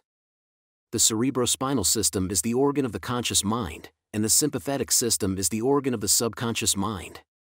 The cerebrospinal system is the channel through which you receive conscious perception by means of your five physical senses and exercise control over the movement of your body. This system has its nerves in the brain, and it is the channel of your volitional and conscious mental action. The sympathetic system, sometimes referred to as the involuntary nervous system, has its center in a ganglionic mass at the back of the stomach known as the solar plexus, and is sometimes spoken of as the abdominal brain. It is the channel of that mental action which unconsciously supports the vital functions of the body. The two systems may work separately or synchronously. Judge Thomas Troward says, the vagus nerve passes out of the cerebral region as a portion of the voluntary system, and through it we control the vocal organs, then it passes onward to the thorax sending out branches to the heart and lungs, finally, passing through the diaphragm, it loses the outer coating which distinguishes the nerves of the voluntary system and becomes identified with those of the sympathetic system, so forming a connecting link between the two and making the man physically a single entity. Similarly, different areas of the brain indicate their connection with the objective and subjective activities of the mind, respectively, and speaking in a general way, we may assign the frontal portion of the brain to the former and the posterior portion to the latter, while the intermediate portion partakes of the character of both. A rather simple way of looking at the mental and physical interaction is to realize that your conscious mind grasps an idea, which induces a corresponding vibration in your voluntary system of nerves. This in turn causes a similar current to be generated in your involuntary system of nerves, thus handling the idea over to your subconscious mind, which is the creative medium this is how your thoughts become things.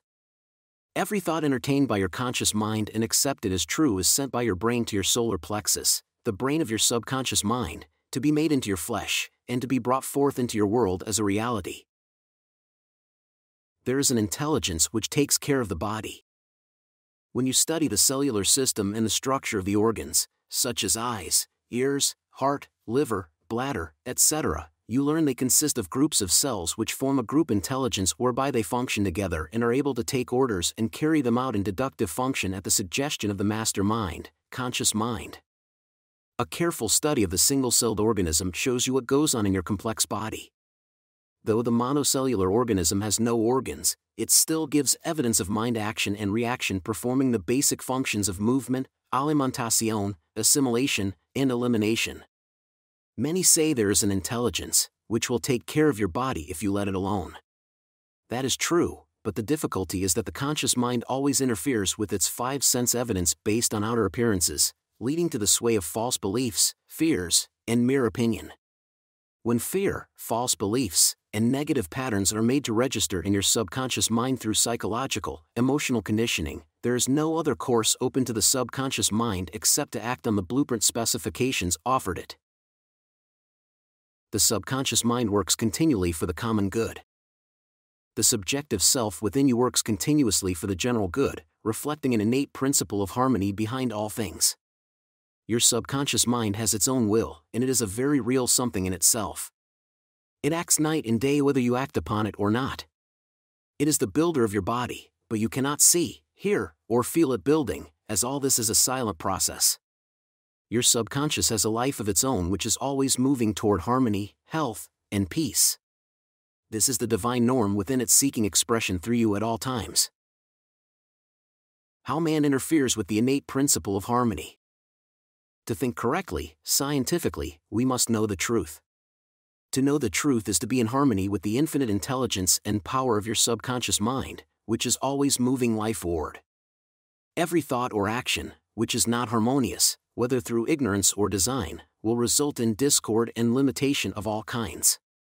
Scientists inform us that you build a new body every 11 months, so you are really only 11 months old from a physical standpoint.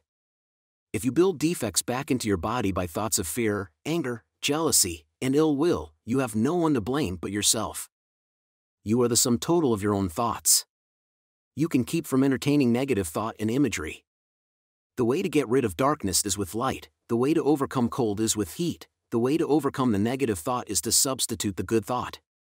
Affirm the good, and the bad will vanish. Why it's normal to be healthy, vital, and strong, it's abnormal to be sick. The average child born into the world is perfectly healthy with all its organs functioning perfectly. This is the normal state, and we should remain healthy, vital, and strong. The instinct of self preservation is the strongest instinct of your nature, and it constitutes a most potent, ever present, and constantly operative truth, inherent in your nature. It is, therefore, obvious that all your thoughts, ideas, and beliefs must operate with greater potentiality when they are in harmony with the innate life principle in you, which is forever seeking to preserve and protect you along all lines. It follows from this that normal conditions can be restored with greater ease and certainty than abnormal conditions can be induced. It is abnormal to be sick, it simply means you are going against the stream of life and thinking negatively. The law of life is the law of growth, all nature testifies to the operation of this law by silently, constantly expressing itself in the law of growth. Where there is growth and expression, there must be life, where there is life, there must be harmony, and where there is harmony, there is perfect health. If your thought is in harmony with the creative principle of your subconscious mind, you are in tune with the innate principle of harmony. If you entertain thoughts which are not in accordance with the principle of harmony, these thoughts cling to you, harass you, worry you, and finally bring about disease, and if persisted in, possibly death. In the healing of disease, you must increase the inflow and distribution of the vital forces of your subconscious mind throughout your system. This can be done by eliminating thoughts of fear, worry, anxiety, jealousy, hatred, and every other destructive thought which tends to tear down and destroy your nerves and glands, body tissue which controls the elimination of all waste material. Pott's disease cured. In the Nautilus magazine of March, 1917, there appears an article about a boy suffering from Pott's disease, or tuberculosis of the spine, who had a remarkable healing. His name was Frederick Elias Andrews of Indianapolis, now minister of Unity School of Christianity, Kansas City, Missouri. His physician pronounced him incurable. He began to pray, and from a crooked, twisted cripple going about on hands and knees, he became a strong, straight, well formed man. He created his own affirmation, mentally absorbing the qualities he needed. He affirmed over and over again many times a day I am whole, perfect, strong, powerful, loving, harmonious, and happy. He persevered and said that this prayer was the last utterance on his lips at night and the first in the morning. He prayed for others also by sending out thoughts of love and health. This attitude of mind and way of prayer returned to him multiplied many times. His faith and perseverance paid off with big dividends. When thoughts of fear, anger, jealousy, or envy drew his attention, he would immediately start his counteracting force of affirmation going in his mind. His subconscious mind responded according to the nature of his habitual thinking. This is the meaning of the statement in the Bible Go thy way, thy faith hath made thee whole. Mark 10, 52. How faith in your subconscious powers makes you whole. A young man, who came to my lectures on the healing power of the subconscious mind, had severe eye trouble, which his doctor said necessitated an operation. He said to himself, My subconscious made my eyes, and it can heal me. Each night, as he went to sleep, he entered into a drowsy, meditative state, the condition akin to sleep. His attention was immobilized and focused on the eye doctor. He imagined the doctor was in front of him, and he plainly heard, or imagined he heard, the doctor saying to him, A miracle has happened. He heard this over and over again every night for perhaps five minutes or so before going to sleep. At the end of three weeks, he again went to the ophthalmologist who had previously examined his eyes, and the physician said to this man, This is a miracle. What happened? This man impressed his subconscious mind using the doctor as an instrument or a means of convincing it or conveying the idea. Through repetition, faith, and expectancy, he impregnated his subconscious mind. His subconscious mind made his eye, within it was the perfect pattern, and immediately it proceeded to heal the eye. This is another example of how faith in the healing power of your subconscious can make you whole. Pointers to review Your subconscious is the builder of your body and is on the job 24 hours a day. You interfere with its life giving patterns by negative thinking. Charge your subconscious with the task of evolving an answer to any problem, prior to sleep, and it will answer you. Watch your thoughts. Every thought accepted as true is sent by your brain to your solar plexus, your abdominal brain, and is brought into your world as a reality. Know that you can remake yourself by giving a new blueprint to your subconscious mind.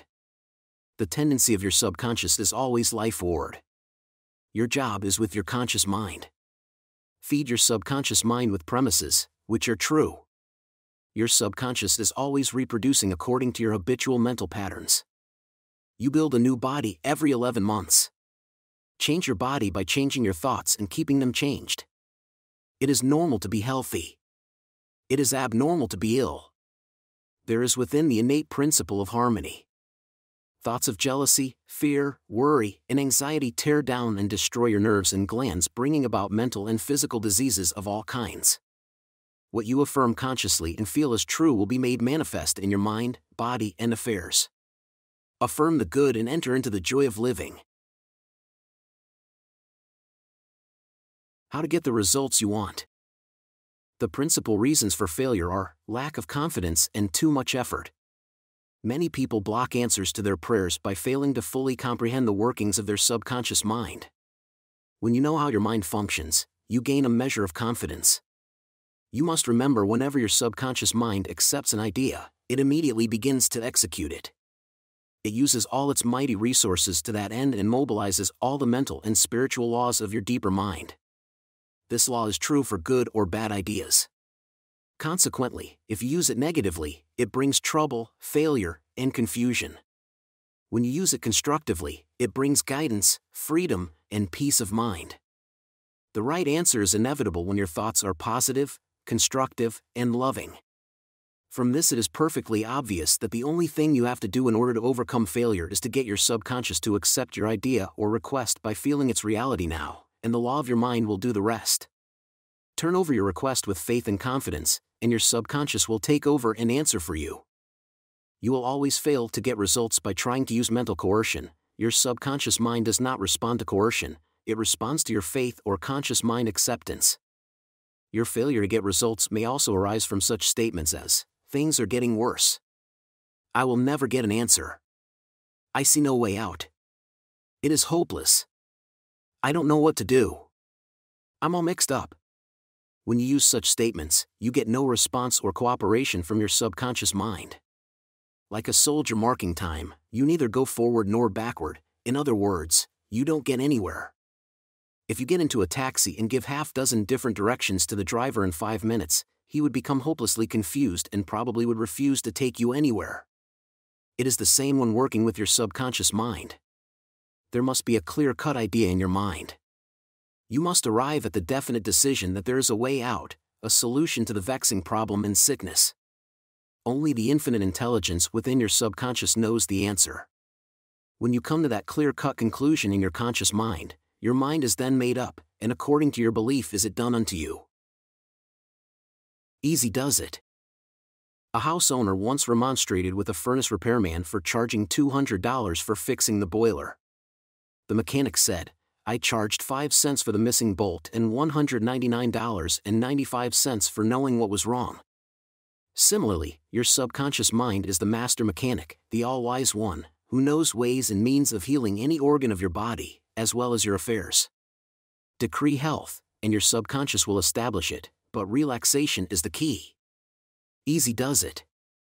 Do not be concerned with details and means, but know the end result get the feel of the happy solution to your problem, whether it is health, finances, or employment. Remember how you felt after you had recovered from a severe state of illness. Bear in mind that your feeling is the touchstone of all subconscious demonstration. Your new idea must be felt subjectively in a finished state, not the future, but as coming about now. Infer no opponent, use imagination and not will power. In using your subconscious mind, you infer no opponent, you use no will power. You imagine the end and the freedom state. You will find your intellect trying to get in the way, but persist in maintaining a simple, childlike, miracle making faith.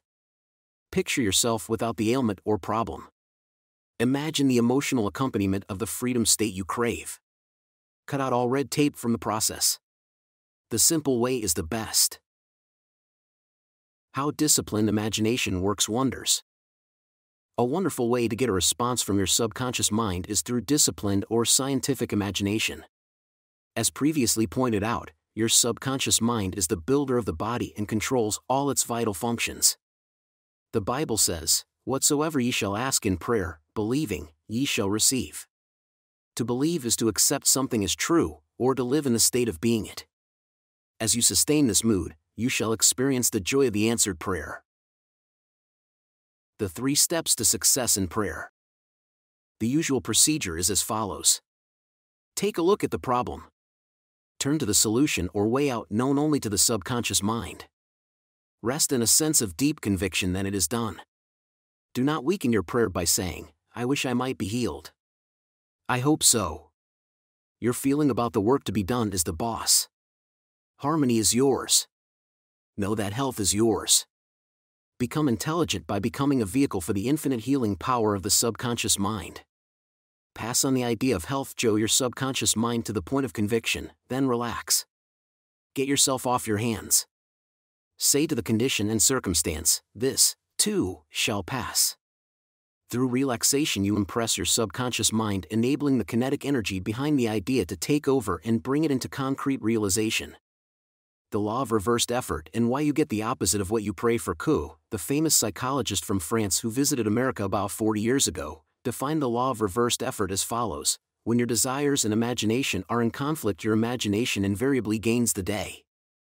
If, for example, you were asked to walk a plank on the floor, you would do so without question. Now suppose the same plank were placed 20 feet up in the air between two walls, would you walk it?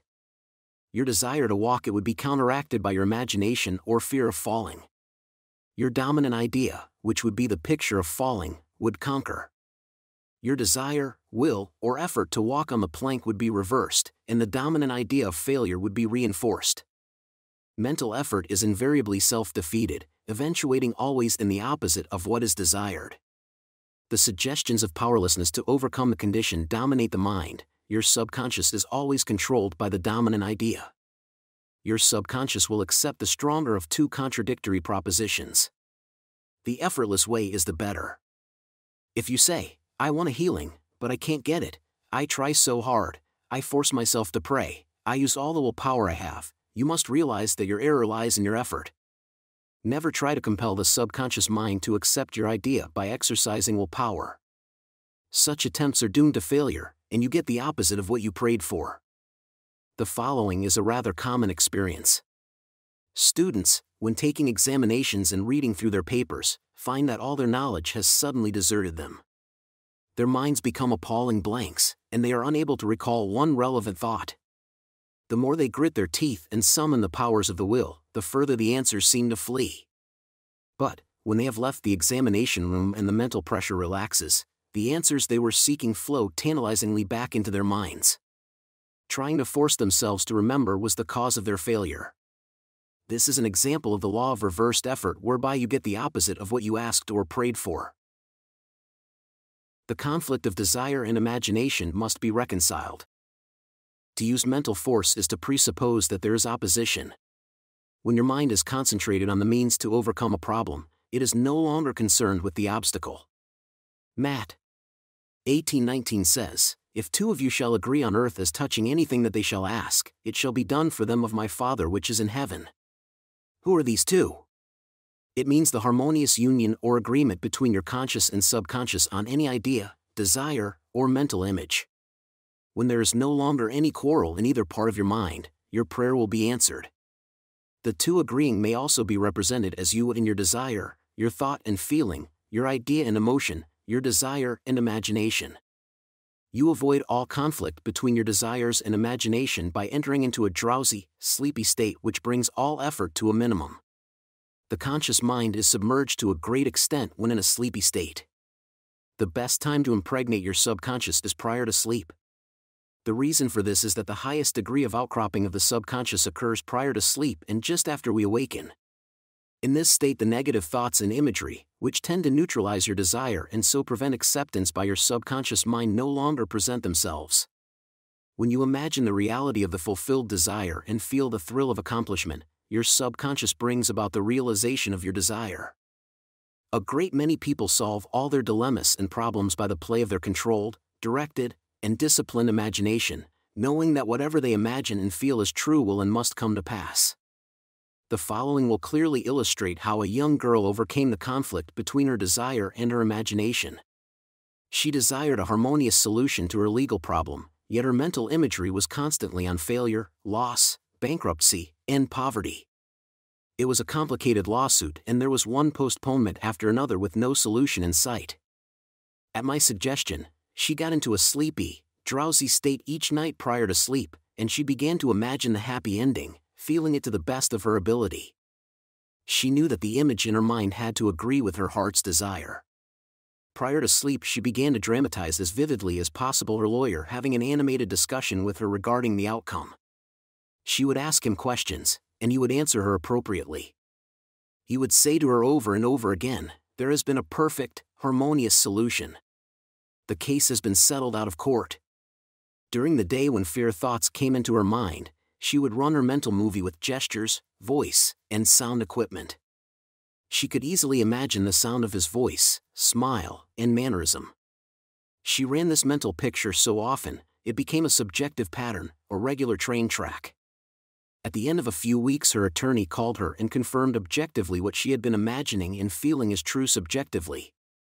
This is really what the psalmist meant when he wrote, Let the words of my mouth, your thoughts, mental images, good, and the meditations of my heart, your feeling, nature, emotion, be acceptable in thy sight, O Lord, the law of your subconscious mind, my strength, and my Redeemer, the power and wisdom of your subconscious mind can redeem you from sickness, bondage, and misery. Psalm 19, 14. Ideas worth recalling. Mental coercion or too much effort shows anxiety and fear, which block your answer. Easy does it. When your mind is relaxed and you accept an idea, your subconscious goes to work to execute the idea. Think and plan independently of traditional methods. Know that there is always an answer and a solution to every problem. Do not be overly concerned with the beating of your heart, with the breathing of your lungs, or the functions of any part of your anatomy. Lean heavily upon your subconscious and proclaim frequently that divine right action is taking place. The feeling of health produces health, the feeling of wealth produces wealth. How do you feel? Imagination is your most powerful faculty. Imagine what is lovely and of good report. You are what you imagine yourself to be. You avoid conflict between your conscious and subconscious in the sleepy state. Imagine the fulfillment of your desire over and over again prior to sleep. Sleep in peace and wake in joy. How to use the power of your subconscious for wealth. If you are having financial difficulties, if you are trying to make ends meet, it means you have not convinced your subconscious mind that you will always have plenty and some to spare. You know men and women who work a few hours a week and make fabulous sums of money. They do not strive or slave hard. Do not believe the story that the only way you can become wealthy is by the sweat of your brow and hard labor. It is not so, the effortless way of life is the best. Do the thing you love to do, and do it for the joy and thrill of it. I know an executive in Los Angeles who receives a salary of $75,000 yearly.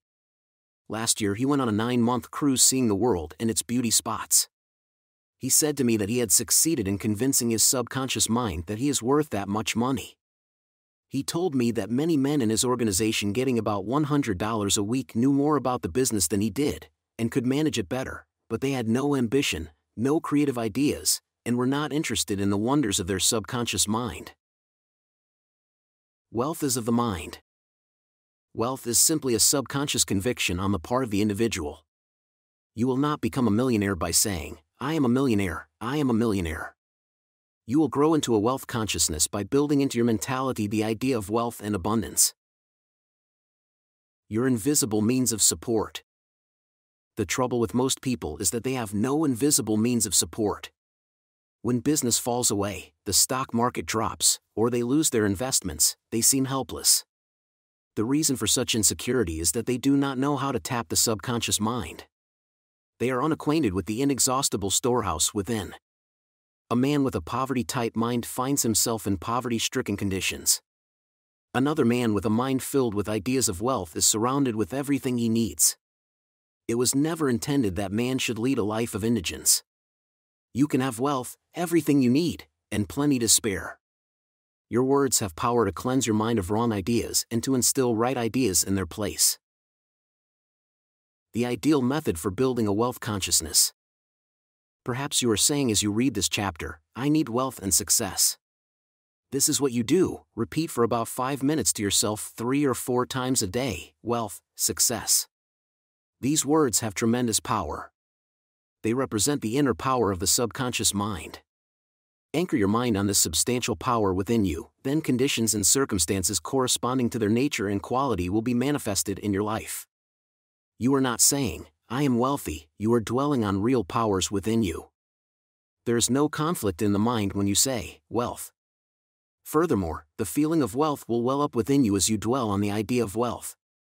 The feeling of wealth produces wealth, keep this in mind at all times your subconscious mind is like a bank, a sort of universal financial institution. It magnifies whatever you deposit or impress upon it, whether it is the idea of wealth or of poverty. Choose wealth. Why your affirmations for wealth fail. I have talked to many people during the past 35 years whose usual complaint is I have said for weeks and months, I am wealthy, I am prosperous, and nothing has happened. I discovered that when they said, I am prosperous, I am wealthy, they felt within that they were lying to themselves. One man told me, I have affirmed that I am prosperous until I am tired. Things are now worse. I knew when I made the statement that it was obviously not true. His statements were rejected by the conscious mind, and the very opposite of what he outwardly affirmed and claimed was made manifest. Your affirmation succeeds best when it is specific and when it does not produce a mental conflict or argument, hence the statements made by this man made matters worse because they suggested his lack. Your subconscious accepts what you really feel to be true, not just idle words or statements. The dominant idea or belief is always accepted by the subconscious mind. How to avoid mental conflict. The following is the ideal way to overcome this conflict for those who have this difficulty. Make this practical statement frequently, particularly prior to sleep, by day and by night I am being prospered in all of my interests. This affirmation will not arouse any argument because it does not contradict your subconscious mind's impression of financial lack. I suggested to one businessman whose sales and finances were very low and who was greatly worried that he sit down in his office, become quiet, and repeat this statement over and over again My sales are improving every day. This statement engaged the cooperation of the conscious and subconscious mind, results followed. Don't sign blank checks. You sign blank checks when you make such statements as, there is not enough to go around. There is a shortage. I will lose the house because of the mortgage, etc. If you are full of fear about the future, you are also writing a blank check and attracting negative conditions to you. Your subconscious mind takes your fear and negative statement as your request and proceeds in its own way to bring obstacles, delays, lack, and limitation into your life your subconscious gives you compound interest. To him that hath the feeling of wealth, more wealth shall be added, to him that hath the feeling of lack, more lack shall be added. Your subconscious multiplies and magnifies whatever you deposit in it. Every morning as you awaken, deposit thoughts of prosperity, success, wealth, and peace. Dwell upon these concepts. Busy your mind with them as often as possible these constructive thoughts will find their way as deposits in your subconscious mind and bring forth abundance and prosperity. Why nothing happened? I can hear you saying, Oh, I did that and nothing happened. You did not get results because you indulged in fear thoughts perhaps 10 minutes later and neutralized the good you had affirmed. When you place a seed in the ground, you do not dig it up. You let it take root and grow. Suppose, for example, you are going to say, I shall not be able to make that payment. Before you get further, then, I shall stop the sentence and dwell on a constructive statement, such as, By day and by night I am prospered in all my ways. True source of wealth. Your subconscious mind is never short of ideas. There are within it an infinite number of ideas ready to flow into your conscious mind and appear as cash in your pocketbook in countless ways this process will continue to go on in your mind regardless of whether the stock market goes up or down, or whether the pound sterling or dollar drops in value. Your wealth is never truly dependent on bonds, stocks, or money in the bank, these are really only symbols necessary and useful, of course, but only symbols. The point I wish to emphasize is that if you convince your subconscious mind that wealth is yours, and that it is always circulating in your life, you will always and inevitably have it, regardless of the form it takes. Trying to make ends meet and the real cause. There are people who claim that they are always trying to make ends meet. They seem to have a great struggle to meet their obligations. Have you listened to their conversation? In many instances, their conversation runs along this vein. They are constantly condemning those who have succeeded in life and who have raised their heads above the crowd. Perhaps they are saying, Oh, that fellow has a racket, he is ruthless, he is a crook. This is why they lack, they are condemning the thing they desire and want. The reason they speak critically of their more prosperous associates is because they are envious and covetous of the other's prosperity. The quickest way to cause wealth to take wings and fly away is to criticize and condemn others who have more wealth than you. A common stumbling block to wealth. There is one emotion, which is the cause of the lack of wealth in the lives of many. Most people learn this the hard way. It is envy. For example, if you see a competitor depositing large sums of money in the bank, and you have only a meager amount to deposit, does it make you envious? The way to overcome this emotion is to say to yourself, Isn't it wonderful? I rejoice in that man's prosperity. I wish for him greater and greater wealth. To entertain envious thoughts is devastating because it places you in a very negative position, therefore, wealth flows from you instead of to you. If you are ever annoyed or irritated by the prosperity or great wealth of another, claim immediately that you truly wish for him greater wealth in every possible way. This will neutralize the negative thoughts in your mind and cause an ever greater measure of wealth to flow to you by the law of your own subconscious mind. Rubbing out a great mental block to wealth. If you are worried and critical about someone whom you claim is making money dishonestly, cease worrying about him. You know such a person is using the law of mind negatively, the law of mind takes care of him. Be careful not to criticize him for the reasons previously indicated. Remember, the block or obstacle to wealth is in your own mind. You can now destroy that mental block. This you may do by getting on mental good terms with everyone. Sleep and grow rich. As you go to sleep at night, practice the following technique. Repeat the word, wealth, quietly, easily, and feelingly. Do this over and over again, just like a lullaby. Lull yourself to sleep with the one word, wealth. You should be amazed at the result. Wealth should flow to you in avalanches of abundance. This is another example of the magic power of your subconscious mind. Serve yourself with the powers of your mind decide to be wealthy the easy way, with the infallible aid of your subconscious mind. Trying to accumulate wealth by the sweat of your brow and hard labor is one way to become the richest man in the graveyard. You do not have to strive or slave hard. Wealth is a subconscious conviction. Build into your mentality the idea of wealth. The trouble with most people is that they have no invisible means of support. Repeat the word, wealth, to yourself slowly and quietly for about 5 minutes prior to sleep, and your subconscious will bring wealth to pass in your experience. The feeling of wealth produces wealth. Keep this in mind at all times. Your conscious and subconscious mind must agree. Your subconscious accepts what you really feel to be true. The dominant idea is always accepted by your subconscious mind. The dominant idea should be wealth, not poverty. You can overcome any mental conflict regarding wealth by affirming frequently, by day and by night, I am being prospered in all of my interests. Increase your sales by repeating this statement over and over again My sales are improving every day, I am advancing, progressing, and getting wealthier every day. 10. Stop writing blank checks, such as, There's not enough to go around, or There is a shortage, etc. Such statements magnify and multiply your loss deposit thoughts of prosperity, wealth, and success in your subconscious mind, and the latter will give you compound interest. What you consciously affirm, you must not mentally deny a few moments later. This will neutralize the good you have affirmed. Your true source of wealth consists of the ideas in your mind. You can have an idea worth millions of dollars. Your subconscious will give you the idea you seek. Envy and jealousy are stumbling blocks to the flow of wealth rejoice in the prosperity of others.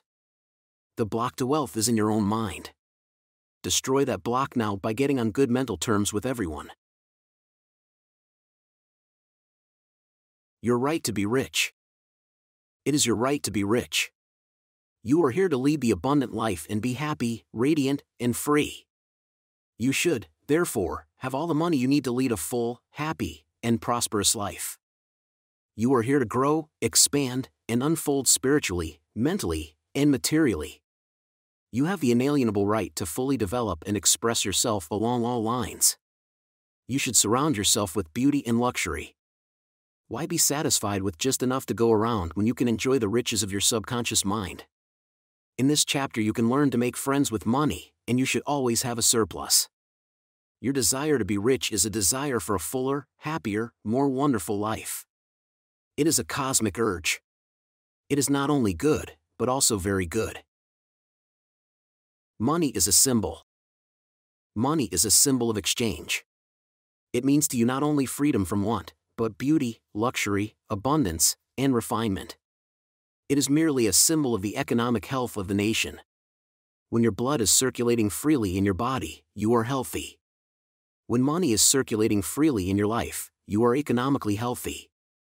When people begin to hoard money, to put it away in tin boxes, and become charged with fear, there is economic illness. Money has taken many forms as a medium of exchange down through the centuries, such as salt, beads, and trinkets of various kinds. In early times, a man's wealth was determined by the number of sheep and oxen he had.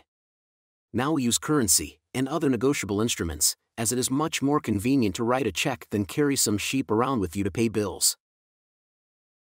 How to walk the royal road to riches. Knowledge of the powers of your subconscious mind is the means to the royal road to riches of all kinds, spiritual, mental, or financial. The student of the laws of mind believes and knows definitely that regardless of economic situations, stock market fluctuation, depression, strikes, war, other conditions, or circumstances, he will always be amply supplied, regardless of what form money takes. The reason for this is that he has conveyed the idea of wealth to his subconscious mind, and it keeps him supplied wherever he may be. He has convinced himself in his mind that money is forever flowing freely in his life and that there is always a wonderful surplus.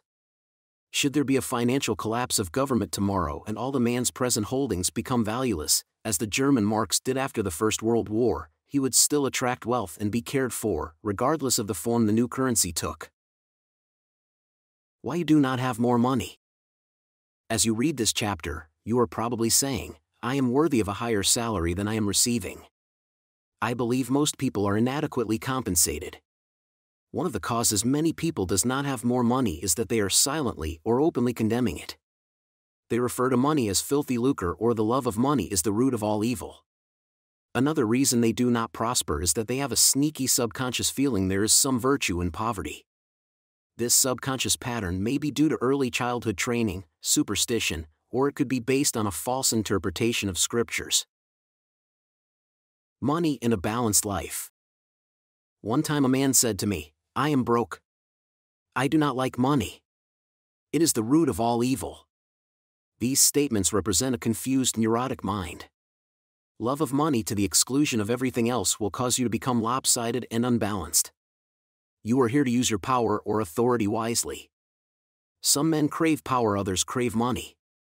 If you set your heart on money exclusively and say, Money is all I want, I am going to give all my attention to amassing money, nothing else matters, you can get money and attain a fortune, but you have forgotten that you are here to lead a balanced life.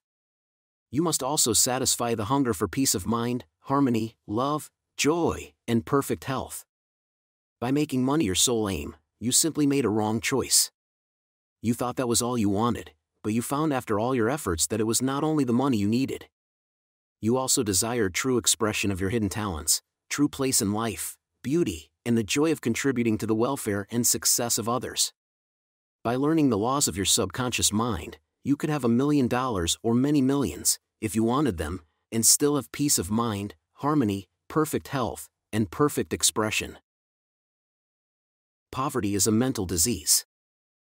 There is no virtue in poverty, it is a disease like any other mental disease. If you were physically ill, you would think there was something wrong with you. You would seek help and do something about the condition at once. Likewise, if you do not have money constantly circulating in your life, there is something radically wrong with you. The urge of the life principle in you is toward growth, expansion, and the life more abundant. You are not here to live in a hovel, dress in rags, and go hungry. You should be happy, prosperous, and successful. Why you must never criticize money. Cleanse your mind of all weird and superstitious beliefs about money. Do not ever regard money as evil or filthy. If you do, you cause it to take wings and fly away from you. Remember that you lose what you condemn. You cannot attract what you criticize. Getting the right attitude toward money. Here is a simple technique you may use to multiply money in your experience. Use the following statements several times a day I like money, I love it, I use it wisely, constructively, and judiciously. Money is constantly circulating in my life. I release it with joy, and it returns to me multiplied in a wonderful way. It is good and very good. Money flows to me in avalanches of abundance. I use it for good only, and I am grateful for my good and for the riches of my mind. How the scientific thinker looks at money. Suppose, for example, you found gold, silver, lead, copper, or iron in the ground. Would you pronounce these things evil? All evil comes from man's darkened understanding, from his ignorance, from his false interpretation of life, and from his misuse of his subconscious mind. Uranium, lead, or some other metal could have been used as a medium of exchange. We use paper bills, checks, nickel, and silver. Surely these are not evil. Physicists and chemists know today that the only difference between one metal and another is the number and rate of motion of electrons revolving around a central nucleus. They can now change one metal into another through a bombardment of the atoms in the powerful cyclotron. Gold under certain conditions becomes mercury. I believe that our modern scientists in the near future will be able to make gold, silver, and other metals synthetically in the chemical laboratory. The cost may be prohibitive now, but it can be done. I cannot imagine any intelligent person seeing anything evil in electrons, neutrons, protons, and isotopes. The piece of paper in your pocket is composed of atoms and molecules with their electrons and protons arranged differently. Their number and rate of motion are different that is the only way the paper differs from the silver in your pocket. How to attract the money you need. Many years ago, I met a young boy in Australia who wanted to become a physician and surgeon, but he had no money. I explained to him how a seed deposited in the soil attracts to itself everything necessary for its unfolding, and that all he had to do was to take a lesson from the seed and deposit the required idea in his subconscious mind. For expenses this young, brilliant boy used to clean out doctors' offices, wash windows, and do odd repair jobs. He told me that every night, as he went to sleep, he used to picture in his mind's eye a medical diploma on a wall with his name on it in big, bold letters. He used to clean and shine the framed diplomas in the medical building where he worked. It was not hard for him to engrave the image of a diploma in his mind and develop it there. Definite results followed as he persisted with his mental picture every night for about four months. The sequel of this story was very interesting. One of the doctors took a great liking to this young boy and after training him in the art of sterilizing instruments, giving hypodermic injections, and other miscellaneous first aid work, he employed him as a technical assistant in his office. The doctor later sent him to medical school at his own expense. Today, this young man is a prominent medical doctor in Montreal, Canada. He discovered the law of attraction by using his subconscious mind the right way he operated an age old law, which says, having seen the end, you have willed the means to the realization of the end. The end in this case was to become a medical doctor. This young man was able to imagine, see, and feel the reality of being a doctor. He lived with that idea, sustained it, nourished it, and loved it until through his imagination it penetrated the layers of his subconscious mind and became a conviction, thereby attracting to him everything necessary for the fulfillment of his dream why some men do not get a raise in pay.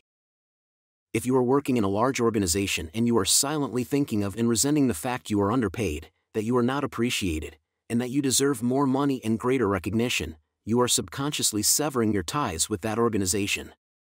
You are setting a law in motion, and the superintendent or manager will say to you, We have to let you go. Actually, you dismissed yourself. The manager was simply the instrument through which your own negative mental state was confirmed it was an example of the law of action and reaction. The action was your thought, and the reaction was the response of your subconscious mind. Obstacles and impediments on the pathway to riches. I am sure you have heard men say, that fellow has a racket. He is a racketeer. He is getting money dishonestly. He is a faker. I knew him when he had nothing. He is a crook, a thief, and a swindler. If you analyze the man who talks like that, you discover he is usually in want or suffering from some financial or physical illness. Perhaps his former college friends went up the ladder of success and excelled him. Now he is bitter and envious of their progress. In many instances, this is the cause of his downfall. Thinking negatively of these classmates and condemning their wealth causes the wealth and prosperity he is praying for to vanish and flee away. He is condemning the thing he is praying for. He is praying two ways. On the one hand, he is saying, Wealth is flowing to me now, and in the next breath, silently or audibly, he is saying, I resent that fellow's wealth. Always make it a special point to rejoice in the wealth of the other person. Protect your investments. If you are seeking wisdom regarding investments, or if you are worried about your stocks or bonds, quietly claim Infinite intelligence governs and watches over all my financial transactions, and whatsoever I do shall prosper. Do this frequently, and you will find that your investments will be wise. Moreover, you will be protected from loss, as you will be prompted to sell your securities or holdings before any loss accrues to you. You cannot get something for nothing. In large stores, the management employs store detectives to prevent people from stealing. They catch a number of people every day trying to get something for nothing. All such people are living in the mental atmosphere of lack and limitation and are stealing from themselves peace, harmony, faith, honesty, integrity, goodwill, and confidence. Furthermore, they are attracting to themselves all manner of loss, such as loss of character, prestige, social status, and peace of mind these people lack faith in the source of supply and the understanding of how their minds work. If they would mentally call on the powers of their subconscious mind and claim that they are guided to their true expression, they would find work in constant supply. Then, by honesty, integrity, and perseverance, they would become a credit to themselves and to society at large. Your constant supply of money recognizing the powers of your subconscious mind and the creative power of your thought or mental image is the way to opulence, freedom, and constant supply. Accept the abundant life in your own mind. Your mental acceptance and expectancy of wealth has its own mathematics and mechanics of expression. As you enter into the mood of opulence, all things necessary for the abundant life will come to pass. Let this be your daily affirmation, write it in your heart I am one with the infinite riches of my subconscious mind. It is my right to be rich, happy, and successful. Money flows to me freely, copiously, and endlessly. I am forever conscious of my true worth. I give of my talents freely, and I am wonderfully blessed financially. It is wonderful. Step up this way to riches. Be bold enough to claim that it is your right to be rich, and your deeper mind will honor your claim. You don't want just enough to go around. You want all the money you need to do all the things you want to do and when you want to do them. Get acquainted with the riches of your subconscious mind. When money is circulating freely in your life, you are economically healthy. Look at money like the tide and you will always have plenty of it. The ebb and flow of the tide is constant. When the tide is out, you are absolutely sure that it will return. Knowing the laws of your subconscious mind, you will always be supplied regardless of what form money takes.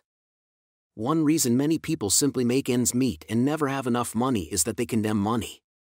What you condemn takes wings and flies away. Do not make a god of money. It is only a symbol. Remember that the real riches are in your mind. You are here to lead a balanced life, this includes acquiring all the money you need. Don't make money your sole aim. Claim wealth, happiness, peace, true expression, and love, and personally radiate love and goodwill to all then your subconscious mind will give you compound interest in all these fields of expression. There is no virtue in poverty.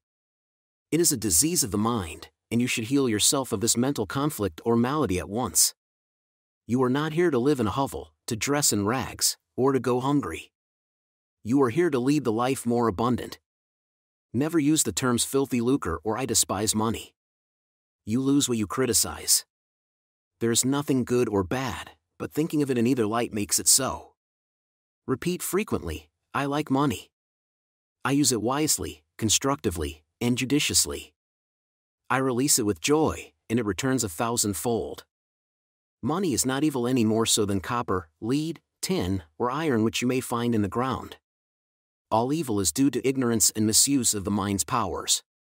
To picture the end result in your mind causes your subconscious to respond and fulfill your mental picture. Stop trying to get something for nothing. There is no such thing as a free lunch.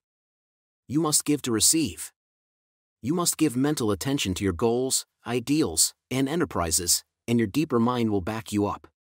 The key to wealth is application of the laws of the subconscious mind by impregnating it with the idea of wealth. Your subconscious mind as a partner in success. Success means successful living. A long period of peace, joy, and happiness on this plane may be termed success. The eternal experience of these qualities is the everlasting life spoken of by Jesus. The real things of life, such as peace, harmony, integrity, security, and happiness, are intangible. They come from the deep self of man. Meditating on these qualities builds these treasures of heaven in our subconscious. It is where moth and rust do not consume, and where thieves do not break through and steal. Matt 6, 20. The Three Steps to Success. Let us discuss three steps to success. The first step to success is to find out the thing you love to do, then do it. Success is in loving your work.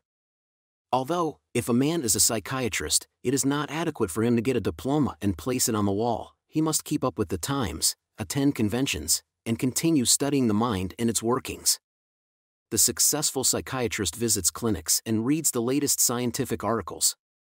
In other words, he is informed in the most advanced methods of alleviating human suffering.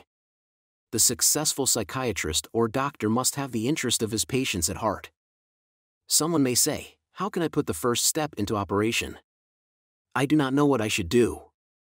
In such a case, pray for guidance as follows The infinite intelligence of my subconscious mind reveals to me my true place in life. Repeat this prayer quietly, positively, and lovingly to your deeper mind.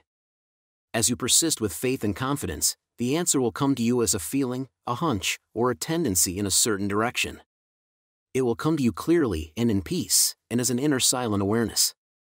The second step to success is to specialize in some particular branch of work and know more about it than anyone else. For example, if a young man chooses chemistry as his profession, he should concentrate on one of the many branches in this field. He should give all of his time and attention to his chosen specialty. He should become sufficiently enthusiastic to try to know all there is available about his field, if possible, he should know more than anyone else the young man should become ardently interested in his work and should desire to serve the world. He that is greatest among you, let him become your servant. There is a great contrast in this attitude of mind in comparison to that of the man who only wants to make a living or just get by.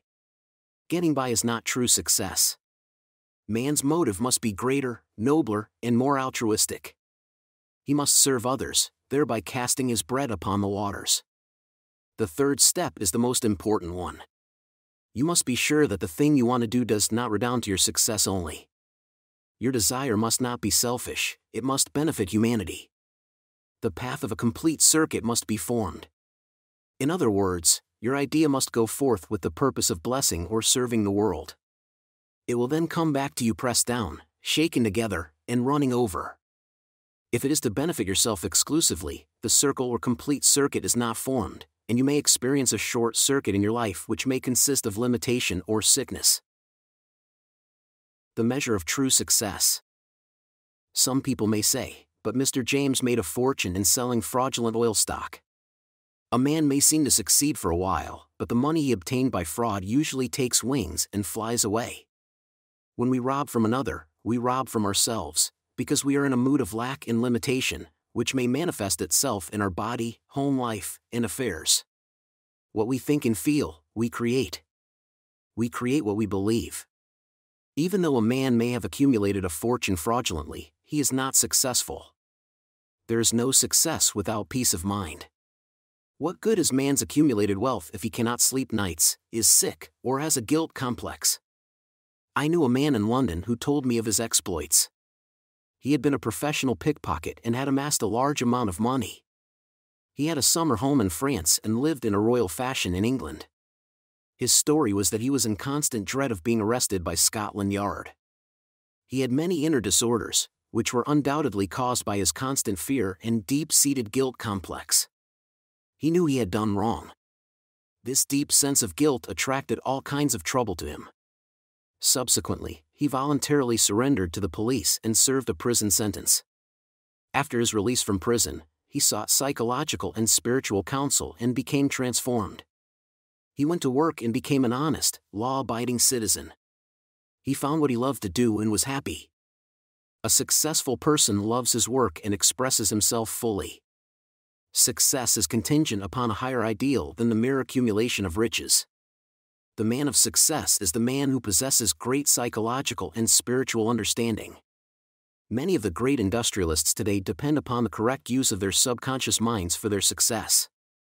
There was an article published some years ago about Flagler, an oil magnate. He admitted that the secret of his success was his ability to see a project in its completion. For instance, in his case, he closed his eyes, imagined a big oil industry, saw trains running on tracks, heard whistles blowing, and saw smoke. Having seen and felt the fulfillment of his prayer, his subconscious mind brought about its realization. If you imagine an objective clearly, you will be provided with the necessities, in ways you know not of, through the wonder working power of your subconscious mind.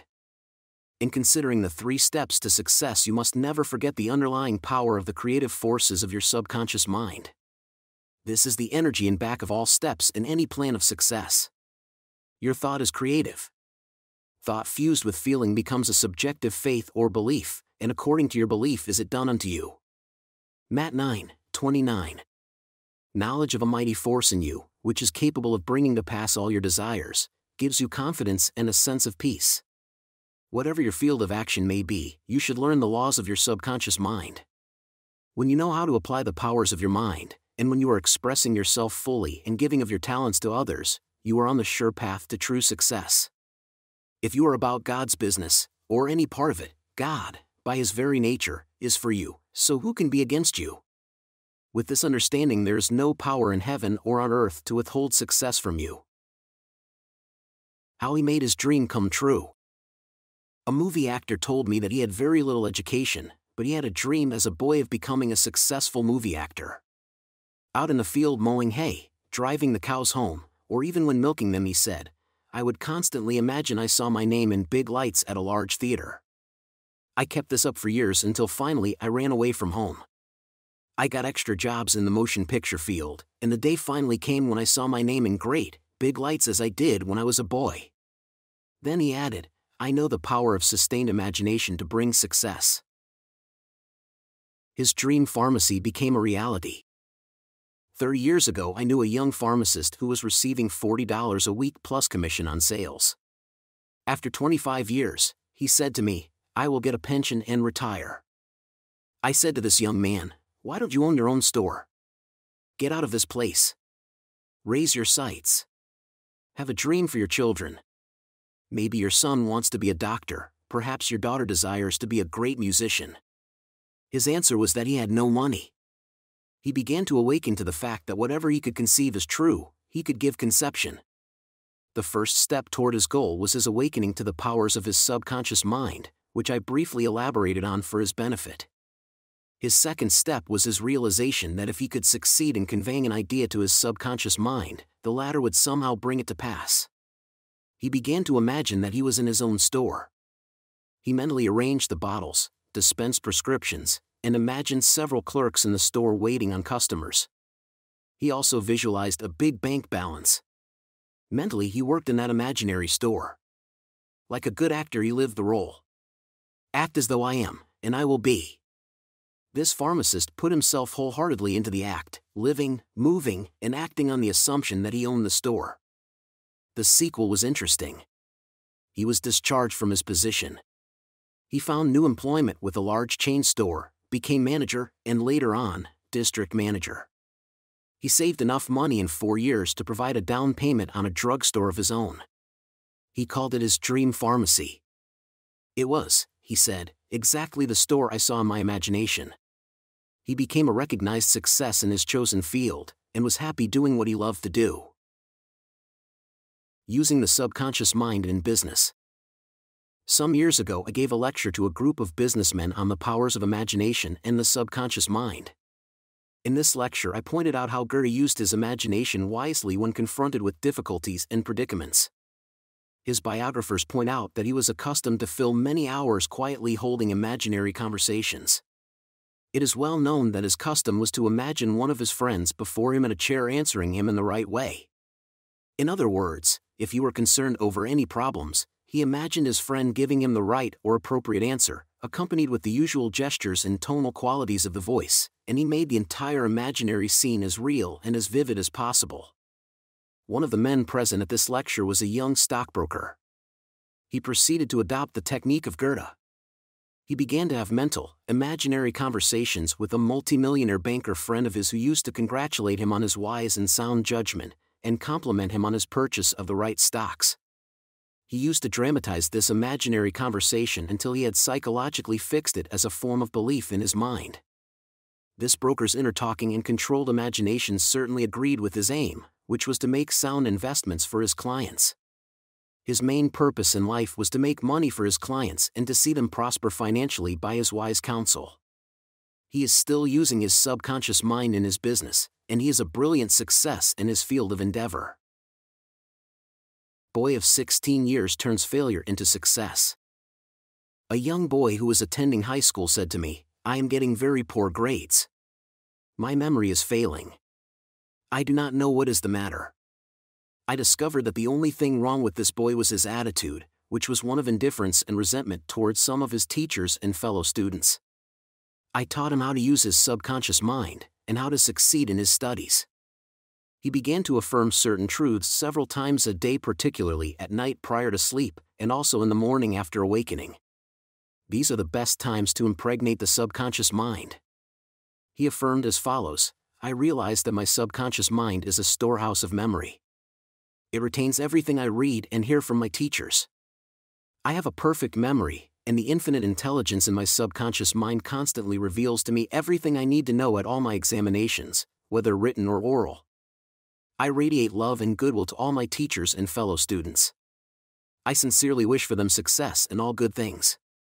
This young man is now enjoying a greater freedom than he has ever known. He is now receiving all A's. He constantly imagines the teachers and his mother congratulating him on his success in his studies. How to become successful in buying and selling.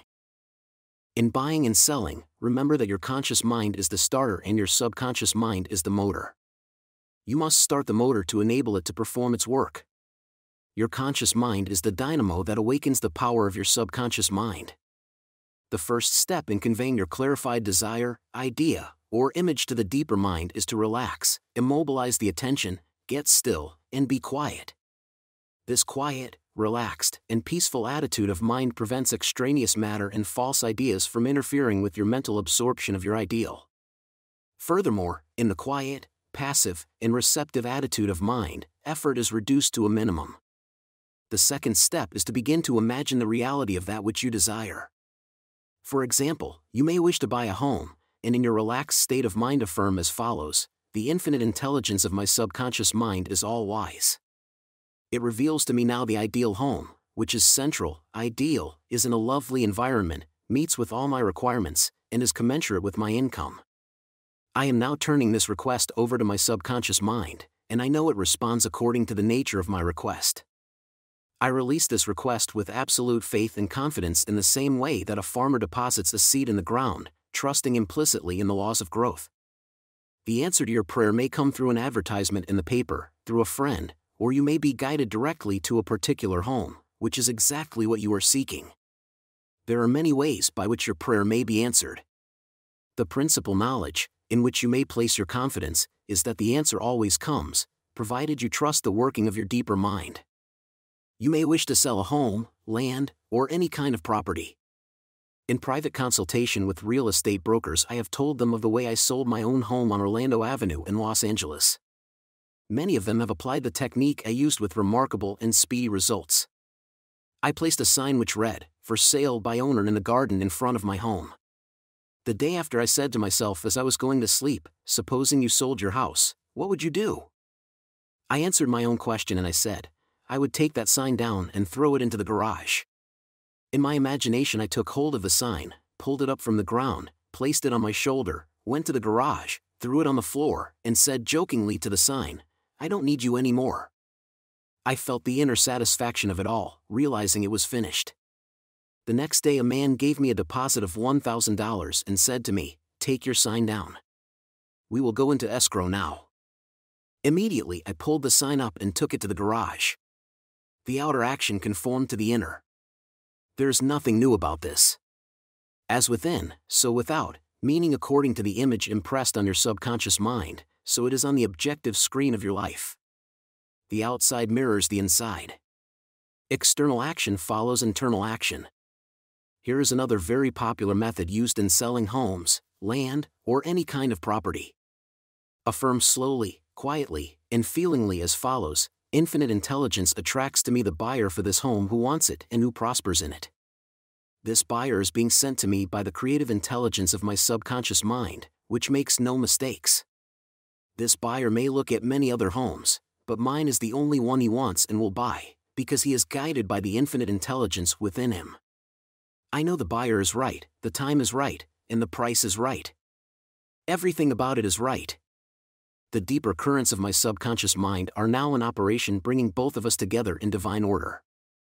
I know that it is so. Remember always that what you are seeking is also seeking you, and whenever you want to sell a home or property of any kind, there is always someone who wants what you have to offer by using the powers of your subconscious mind correctly. You free your mind of all sense of competition and anxiety in buying and selling. How she succeeded in getting what she wanted there is a young lady who regularly comes to my lectures and classes. She had to change buses three times, it took her one and a half hours each time to come to the lectures. In one lecture, I explained how a young man who needed a car in his work received one. She went home and experimented as outlined in my lecture. Here is her letter in part, narrating her application of my method, and published by her permission. Dear Dr. Murphy, This is how I received the Cadillac car, I wanted one to come to the lectures regularly. In my imagination, I went through the identical process I would go through if I were actually driving a car. I went to the showroom, and the salesman took me for a ride in one. I also drove it several blocks. I claimed the Cadillac car as my own over and over again. I kept the mental picture of getting into the car, driving it, feeling the upholstery, etc., consistently for over two weeks. Last week I drove to your lectures in a Cadillac. My uncle in Inglewood passed away, and left me his Cadillac and his entire estate. A success technique employed by many outstanding executives and businessmen. There are many prominent businessmen who quietly use the abstract term, success, over and over many times a day until they reach a conviction that success is theirs. They know that the idea of success contains all the essential elements of success. Likewise, you can begin now to repeat the word, success, to yourself with faith and conviction. Your subconscious mind will accept it as true of you, and you will be under a subconscious compulsion to succeed. You are compelled to express your subjective beliefs, impressions, and convictions. What does success imply to you? You want, undoubtedly, to be successful in your home life and in your relationship with others. You wish to be outstanding in your chosen work or profession. You wish to possess a beautiful home, and all the money you need to live comfortably and happily. You want to be successful in your prayer life and in your contact with the powers of your subconscious mind. You are a businessman also because you are in the business of living. Become a successful businessman by imagining yourself doing what you long to do and possessing the things you long to possess. Become imaginative, mentally participate in the reality of the successful state. Make a habit of it. Go to sleep feeling successful every night and perfectly satisfied, and you will eventually succeed in implanting the idea of success in your subconscious mind. Believe you were born to succeed, and wonders will happen as you pray. Profitable pointers. Success means successful living. When you are peaceful, happy, joyous, and doing what you love to do, you are successful. Find out what you love to do, and then do it. If you don't know your true expression, ask for guidance, and the lead will come. Specialize in your particular field and try to know more about it than anyone else. A successful man is not selfish. His main desire in life is to serve humanity. There is no true success without peace of mind. A successful man possesses great psychological and spiritual understanding. If you imagine an objective clearly, you will be provided with the necessities through the wonder-working power of your subconscious mind. Your thought fused with feeling becomes a subjective belief, and according to your belief is it done unto you. The power of sustained imagination draws forth the miracle working powers of your subconscious mind. If you are seeking promotion in your work, imagine your employer, supervisor, or loved one congratulating you on your promotion. Make the picture vivid and real. Hear the voice, see the gestures, and feel the reality of it all. Continue to do this frequently, and through frequent occupancy of your mind, you will experience the joy of the answered prayer. Your subconscious mind is a storehouse of memory. For a perfect memory, affirm frequently, the infinite intelligence of my subconscious mind reveals to me everything I need to know at all times, everywhere. If you wish to sell a home or property of any kind, affirm slowly, quietly, and feelingly as follows infinite intelligence attracts to me the buyer for this house or property, who wants it, and who prospers in it. Sustain this awareness, and the deeper currents of your subconscious mind will bring it to pass. The idea of success contains all the elements of success. Repeat the word, success, to yourself frequently with faith and conviction, and you will be under a subconscious compulsion to succeed. Scientists use the subconscious mind many scientists realize the true importance of the subconscious mind. Edison, Marconi, Kettering, Poincaré, Einstein, and many others have used the subconscious mind. It has given them the insight and the know how for all their great achievements in modern science and industry. Research has shown that the ability to bring into action the subconscious power has determined the success of all the great scientific and research workers. An instance of how a famous chemist, Friedrich von Stradonitz, used his subconscious mind to solve his problem is as follows. He had been working laboriously for a long time trying to rearrange the six carbon and the six hydrogen atoms of the benzene formula, and he was constantly perplexed and unable to solve the matter. Tired and exhausted, he turned the request over completely to his subconscious mind. Shortly afterward, as he was about to board a London bus, his subconscious presented his conscious mind with a sudden flash of a snake biting its own tail and turning around like a pinwheel. This answer, from his subconscious mind, gave him the long sought answer of the circular rearrangement of the atoms that is known as the benzene ring. How a distinguished scientist brought forth his inventions. Nikola Tesla was a brilliant electrical scientist who brought forth the most amazing innovations. When an idea for a new invention came into his mind, he would build it up in his imagination, knowing that his subconscious mind would reconstruct and reveal to his conscious mind all the parts needed for its manufacture in concrete form. Through quietly contemplating every possible improvement, he spent no time in correcting defects, and was able to give the technicians the perfect product of his mind. He said, Invariably, my device works as I imagine it should. In 20 years, there has not been a single exception.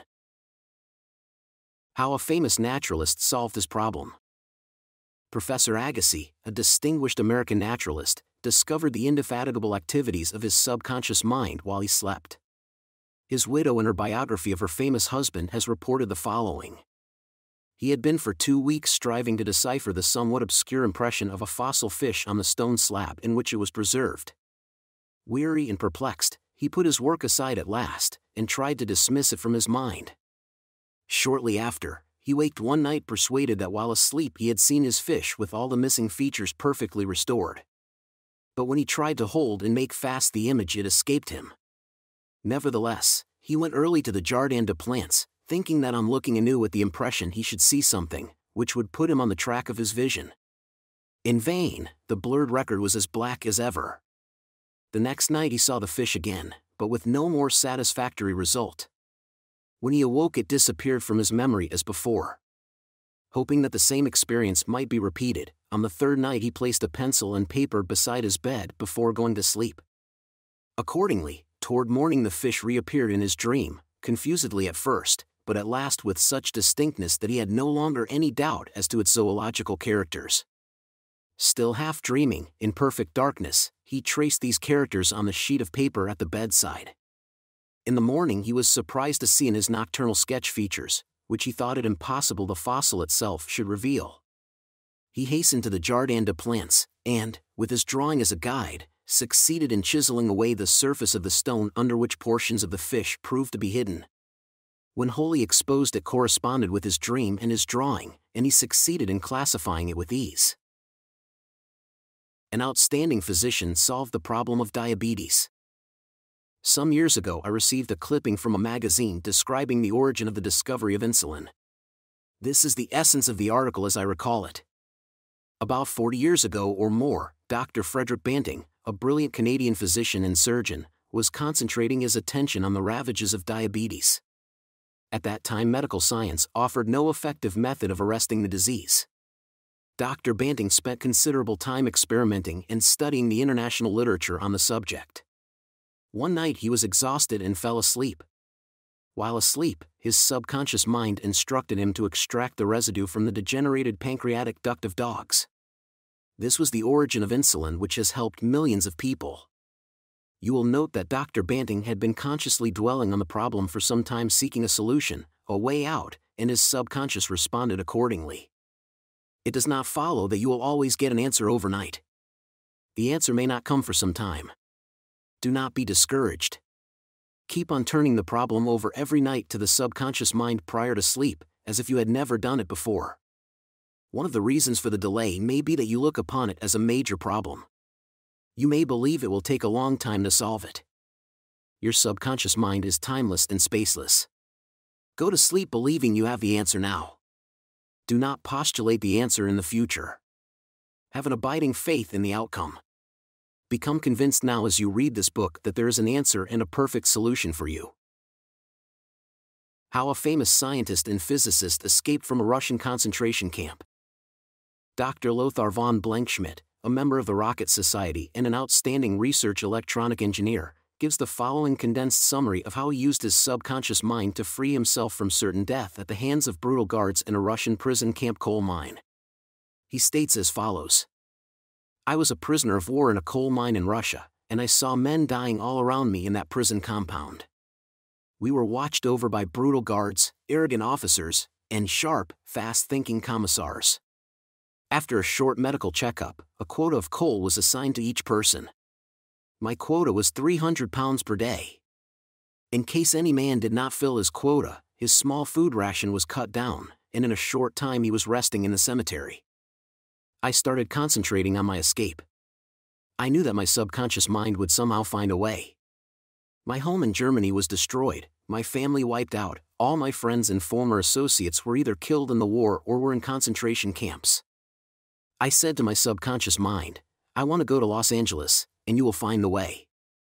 I had seen pictures of Los Angeles and I remembered some of the boulevards very well as well as some of the buildings. Every day and night I would imagine I was walking down Wilshire Boulevard with an American girl whom I met in Berlin prior to the war, she is now my wife.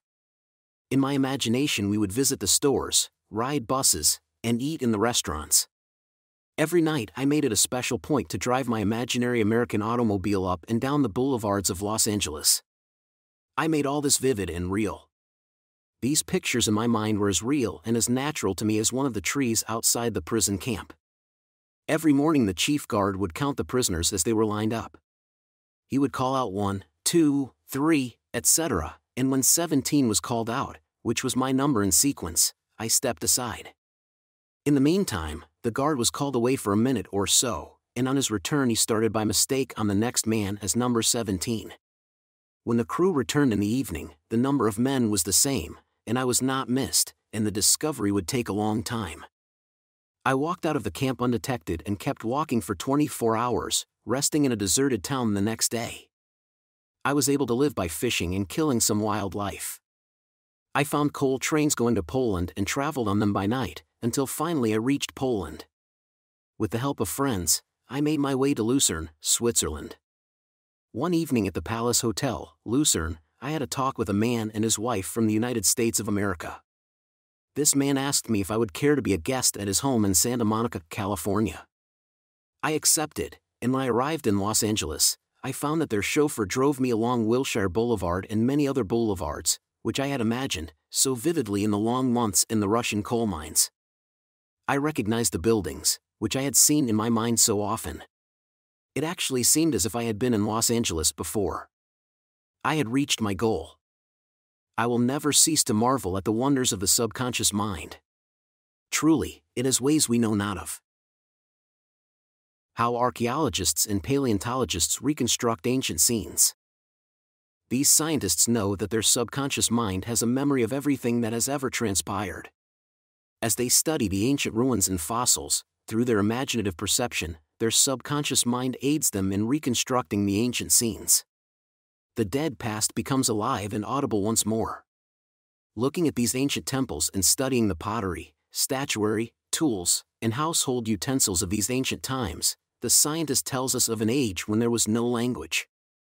Communication was done by grunts, groans, and signs the keen concentration and disciplined imagination of the scientist awakens the latent powers of his subconscious mind, enabling him to clothe the ancient temples with roofs, and surround them with gardens, pools, and fountains.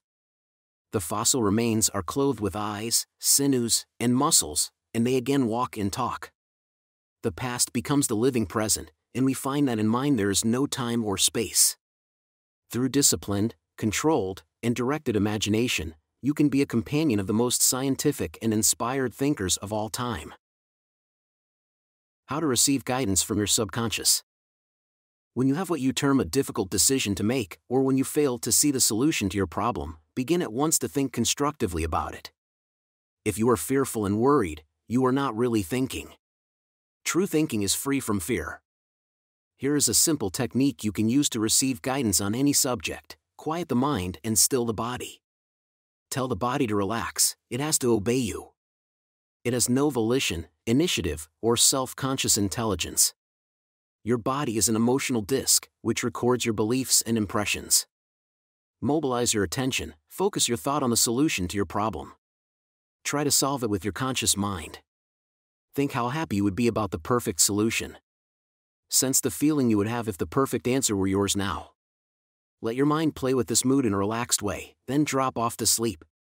When you awaken, and you do not have the answer, get busy about something else. Probably, when you are preoccupied with something else, the answer will come into your mind like toast pops out of a toaster. In receiving guidance from the subconscious mind, the simple way is the best. This is an illustration. I once lost a valuable ring, which was an heirloom. I looked everywhere for it and could not locate it. At night I talked to the subconscious in the same manner that I would talk to anyone. I said to it prior to dropping off to sleep, You know all things, you know where that ring is, and you now reveal to me where it is. In the morning I awoke suddenly with the words ringing in my ear Ask Robert. I thought it very strange that I should ask Robert, a young boy about nine years of age, however, I followed the inner voice of intuition. Robert said, Oh, yes, I picked it up in the yard while I was playing with the boys.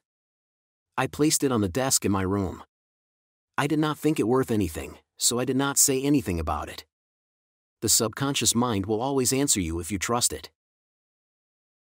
His subconscious revealed the location of his father's will. A young man who attends my lectures had this experience. His father died and apparently left no will. However, this man's sister told him that their father had confided to her that a will had been executed which was fair to all.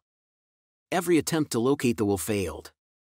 Prior to sleep, he talked to his deeper mind as follows I now turn this request over the subconscious mind. It knows just where that will is, and reveals it to me. Then he condensed his request down to one word answer, repeating it over and over again as a lullaby. He lulled himself to sleep with the word answer. The next morning, this young man had an overpowering hunch to go to a certain bank in Los Angeles where he found a safe deposit vault registered in the name of his father, the contents of which solved all his problems. Your thought, as you go to sleep, arouses the powerful latency, which is within you. For example, let us suppose you are wondering whether to sell your home, buy a certain stock, sever partnership, move to New York or stay in Los Angeles, dissolve the present contract or take a new one. Do this, sit quietly in your armchair or at the desk in your office.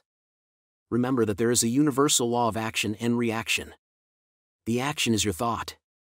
The reaction is the response from your subconscious mind. The subconscious mind is reactive and reflexive, this is its nature. It rebounds, rewards, and repays. It is the law of correspondence. It responds by corresponding. As you contemplate right action, you will automatically experience a reaction or response in yourself, which represents the guidance or answer of your subconscious mind. In seeking guidance, you simply think quietly about right action, which means that you are using the infinite intelligence resident in the subconscious mind to the point where it begins to use you. From there on, your course of action is directed and controlled by the subjective wisdom within you, which is all wise and omnipotent. Your decision will be right. There will only be right action because you are under a subjective compulsion to do the right thing. I use the word compulsion because the law of the subconscious is compulsion. The secret of guidance. The secret of guidance or right action is to mentally devote yourself to the right answer until you find its response in you. The response is a feeling, an inner awareness, and an overpowering hunch whereby you know that you know. You have used the power to the point where it begins to use you. You cannot possibly fail or make one false step while operating under the subjective wisdom within you. You will find that all your ways are pleasantness and all your paths are peace. Highlights to recall Remember that the subconscious mind has determined the success and wonderful achievements of all great scientific workers by giving your conscious attention and devotion to the solution of a perplexing problem, your subconscious mind gathers all the necessary information and presents it full blown to the conscious mind. If you are wondering about the answer to a problem, try to solve it objectively. Get all the information you can from research and also from others. If no answer comes, turn it over to your subconscious mind prior to sleep, and the answer always comes. It never fails. You do not always get the answer overnight keep on turning your request over to your subconscious until the day breaks and the shadows flee away. You delay the answer by thinking it will take a long time or that it is a major problem. Your subconscious has no problem, it knows only the answer. Believe that you have the answer now. Feel the joy of the answer and the way you would feel if you had the perfect answer. Your subconscious will respond to your feeling. Any mental picture, backed by faith and perseverance, will come to pass through the miracle working power of your subconscious. Trust it, believe in its power, and wonders will happen as you pray. Your subconscious is the storehouse of memory, and within your subconscious are recorded all your experiences since childhood. Scientists meditating on ancient scrolls, temples, fossils, etc., are able to reconstruct scenes of the past and make them alive today. Their subconscious mind comes to their aid. Turn over your request for a solution to your subconscious prior to sleep. Trust it and believe in it, and the answer will come. It knows all and sees all, but you must not doubt or question its powers. The action is your thought, and the reaction is the response of your subconscious mind. If your thoughts are wise, your actions and decisions will be wise. Guidance comes as a feeling, an inner awareness, an overpowering hunch whereby you know that you know. It is an inner sense of touch. Follow it. Your subconscious, and the wonders of sleep. You spend about 8 out of every 24 hours, or one third of your entire life, in sleep. This is an inexorable law of life. This also applies to the animal and vegetable kingdoms. Sleep is a divine law, and many answers to our problems come to us when we are sound asleep upon the bed. Many people have advocated the theory that you get tired during the day, that you go to sleep to rest the body, and that a reparative process takes place while you sleep. Nothing rests in sleep. Your heart, lungs, and all your vital organs function while you are asleep. If you eat prior to sleep, the food is digested and assimilated. Also, your skin secretes perspiration, and your nails and hair continue to grow. Your subconscious mind never rests or sleeps. It is always active, controlling all your vital forces the healing process takes place more rapidly while you are asleep as there is no interference from your conscious mind. Remarkable answers are given to you while you are asleep. Why we sleep. Dr. John Bigelow, a famous research authority on sleep, demonstrated that at night while asleep you receive impressions showing that the nerves of the eyes, ears, nose, and taste buds are active during sleep, and also that the nerves of your brain are quite active. He says that the main reason we sleep is because the nobler part of the soul is united by abstraction to our higher nature and becomes a participant in the wisdom and foreknowledge of the gods. Dr. Bigelow states also, the results of my studies have not only strengthened my convictions that the supposed exemption from customary toils and activities was not the final purpose of sleep, but I've also made clearer to my mind the conviction that no part of a man's life deserves to be considered more indispensable to its symmetrical and perfect spiritual development than the while he is separated from the phenomenal world in sleep. Prayer, a form of sleep.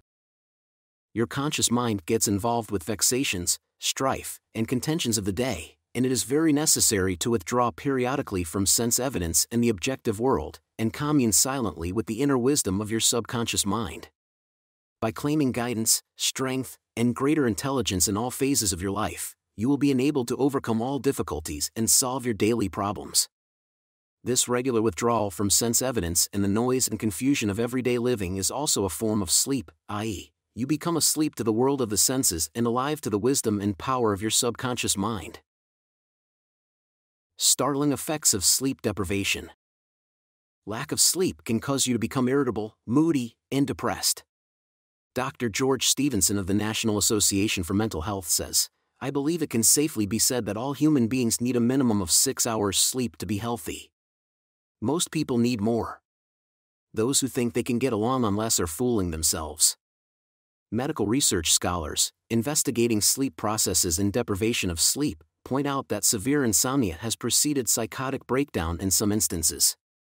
Remember, you are spiritually recharged during sleep, and adequate sleep is essential to produce joy and vitality in life. You need more sleep. Robert O'Brien, in an article, Maybe You Need More Sleep, in an issue of the Reader's Digest, reports the following experiment on sleep. For the last three years, experiments have been in progress at Walter Reed Army Institute of Research in Washington, D.C. Subjects, more than 100 military and civilian volunteers, have been kept awake for as long as four days. Thousands of tests have measured the effects on their behavior and personality.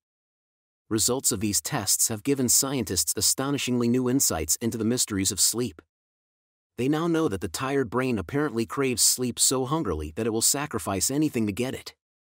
After only a few hours of sleep loss, fleeting stolen naps called lapses, or microsleep, occurred at the rate of 3 or 4 an hour. As in real sleep, eyelids drooped, heartbeat slowed. Each lapse lasted just a fraction of a second. Sometimes the lapses were periods of blankness, sometimes they were filled with images, wisps of dreams. As hours of sleep loss mounted, the lapses took place more often and lasted longer, perhaps two or three seconds. Even if the subjects had been piloting an airliner in a thunderstorm, they still couldn't have resisted microsleeps for those few priceless seconds. And it can happen to you as many who have fallen asleep at the wheel of a car can testify. Another startling effect of sleep deprivation was its attack on human memory and perception. Many sleep deprived subjects were unable to retain information long enough to relate it to the task they were supposed to perform.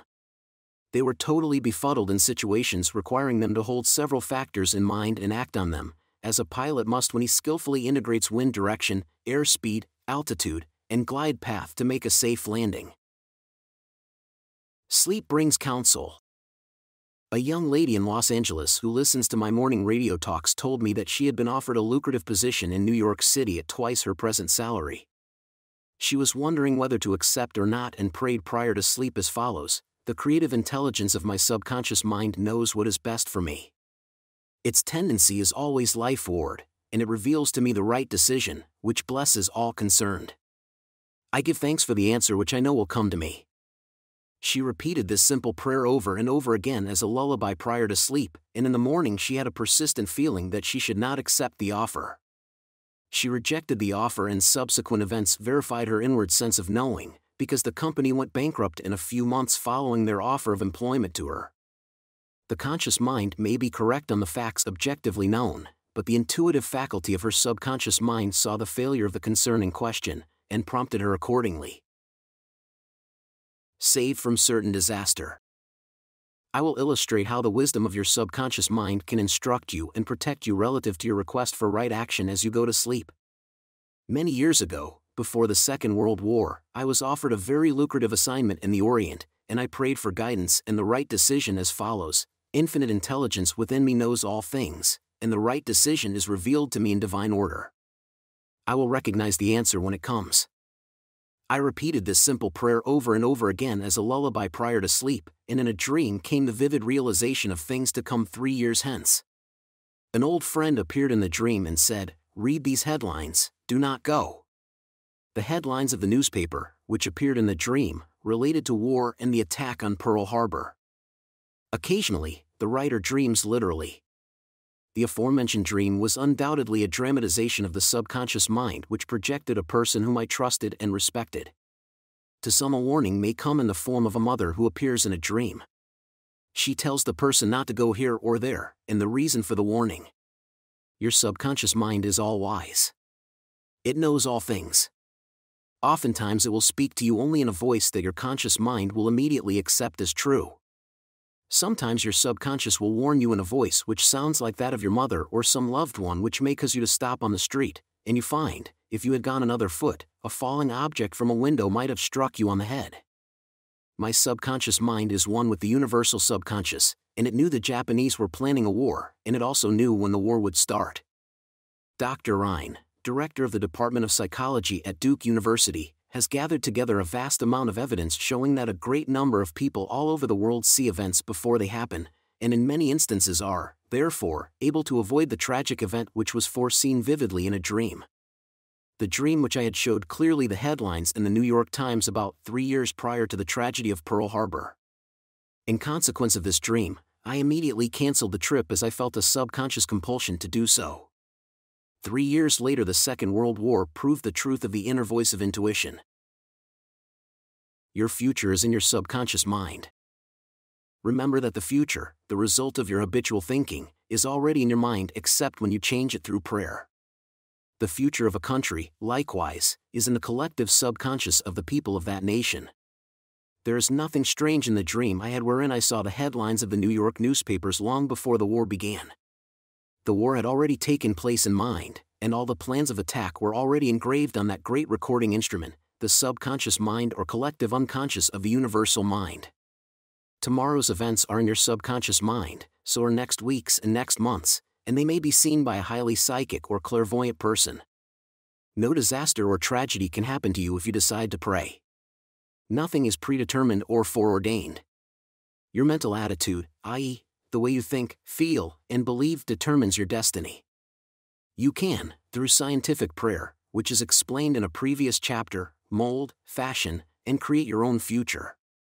Whatsoever a man soweth, that shall he also reap. A cat nap nets him $15,000. One of my students mailed me a newspaper clipping three or four years ago about a man called Ray Hammerstrom, a roller at the steel works in Pittsburgh operated by Jones and Laughlin Steel Corporation. He received $15,000 for his dream. According to the article, the engineers could not fix a faulty switch in a newly installed bar mill which controlled the delivery of straight bars to the cooling beds.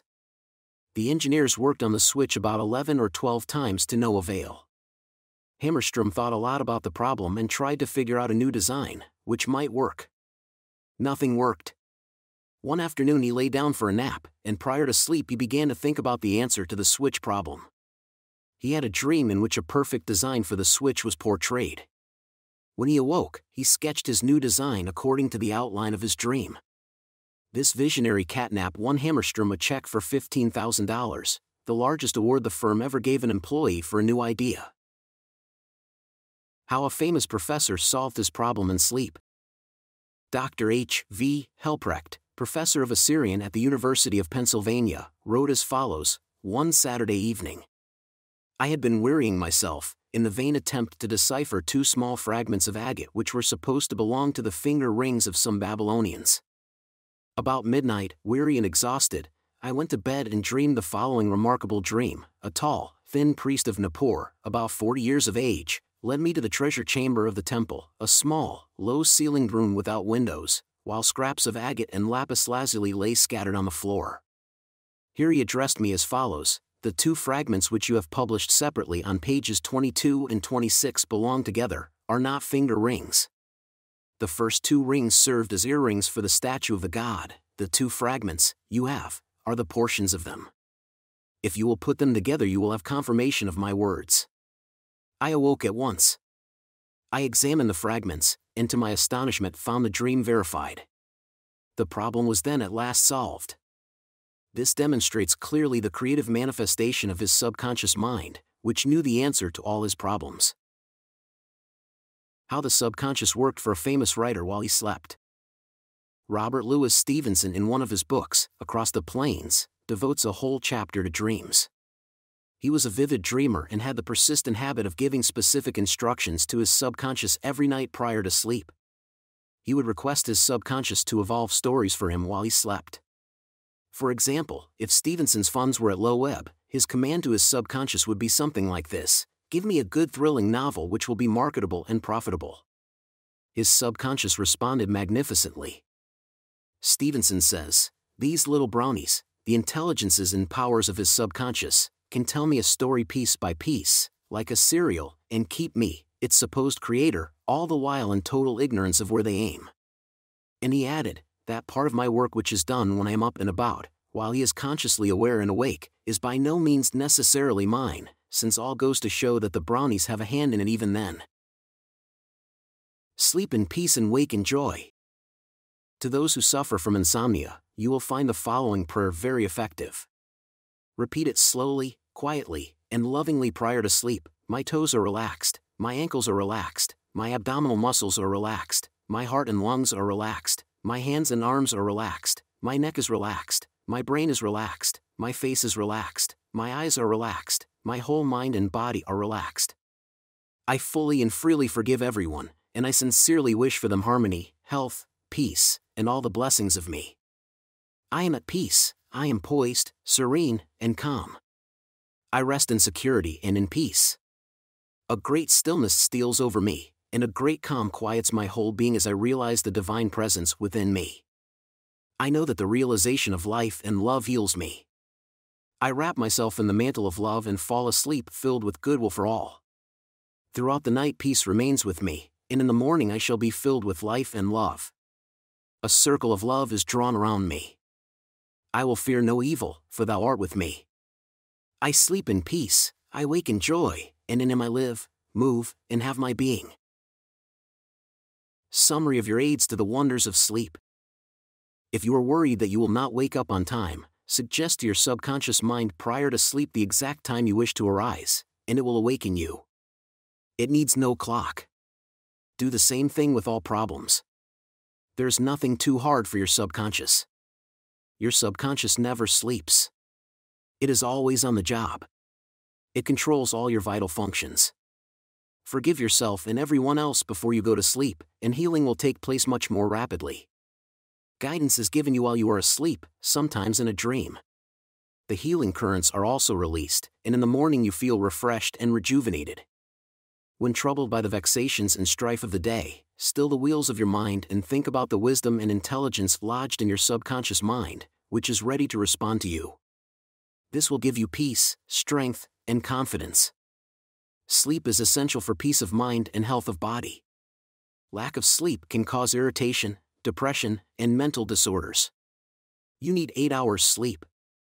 Medical research scholars point out that insomnia precedes psychotic breakdowns. You are spiritually recharged during sleep. Adequate sleep is essential for joy and vitality in life. Your tired brain craves sleep so hungrily that it will sacrifice anything to get it. Many who have fallen asleep at the wheel of an automobile can testify to this.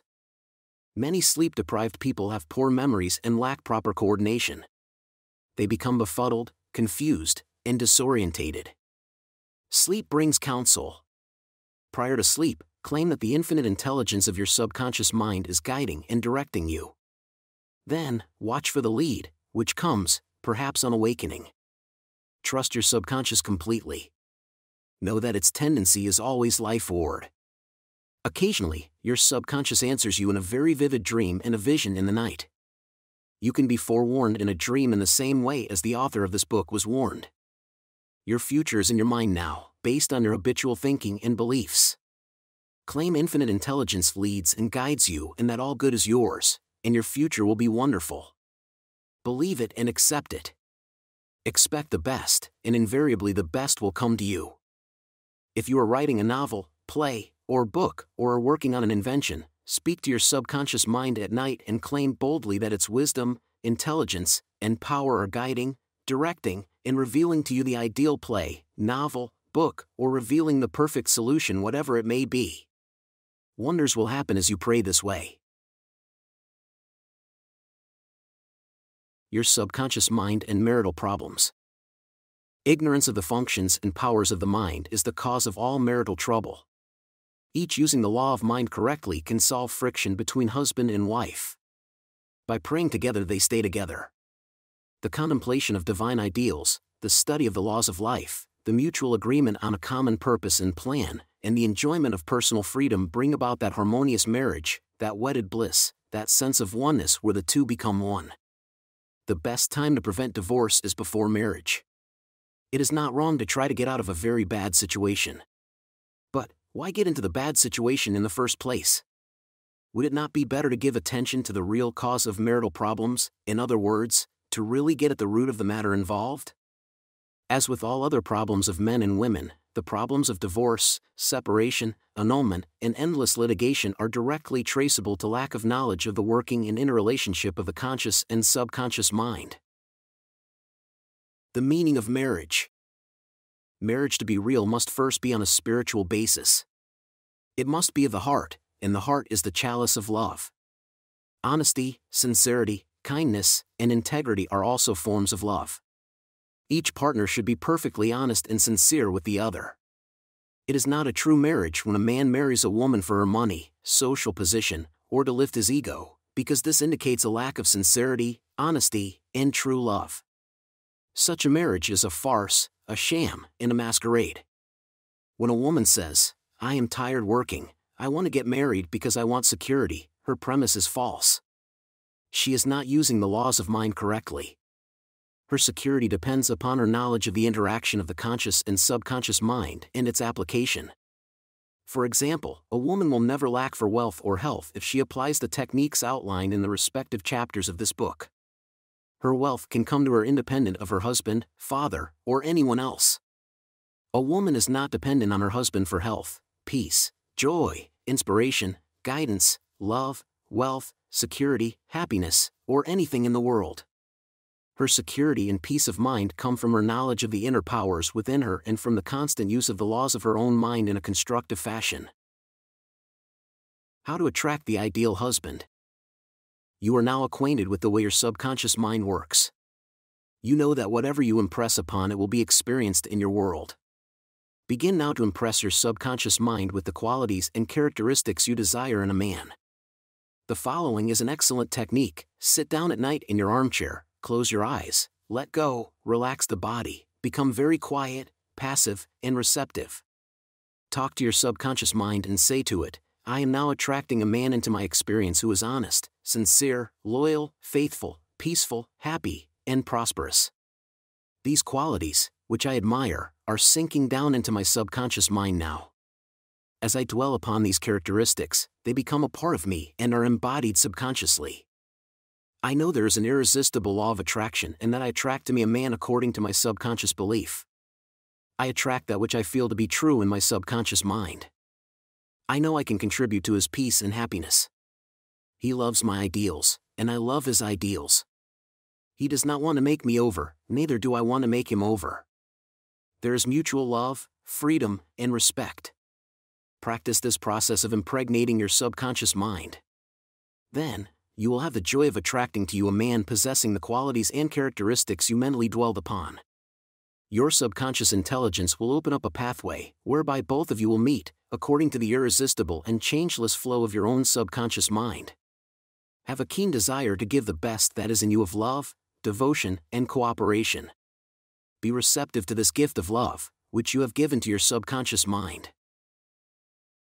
How to attract the ideal wife. Affirm as follows I now attract the right woman who is in complete accord with me. This is a spiritual union because it is divine love functioning through the personality of someone with whom I blend perfectly. I know I can give to this woman love, light, peace, and joy. I feel and believe I can make this woman's life full, complete, and wonderful.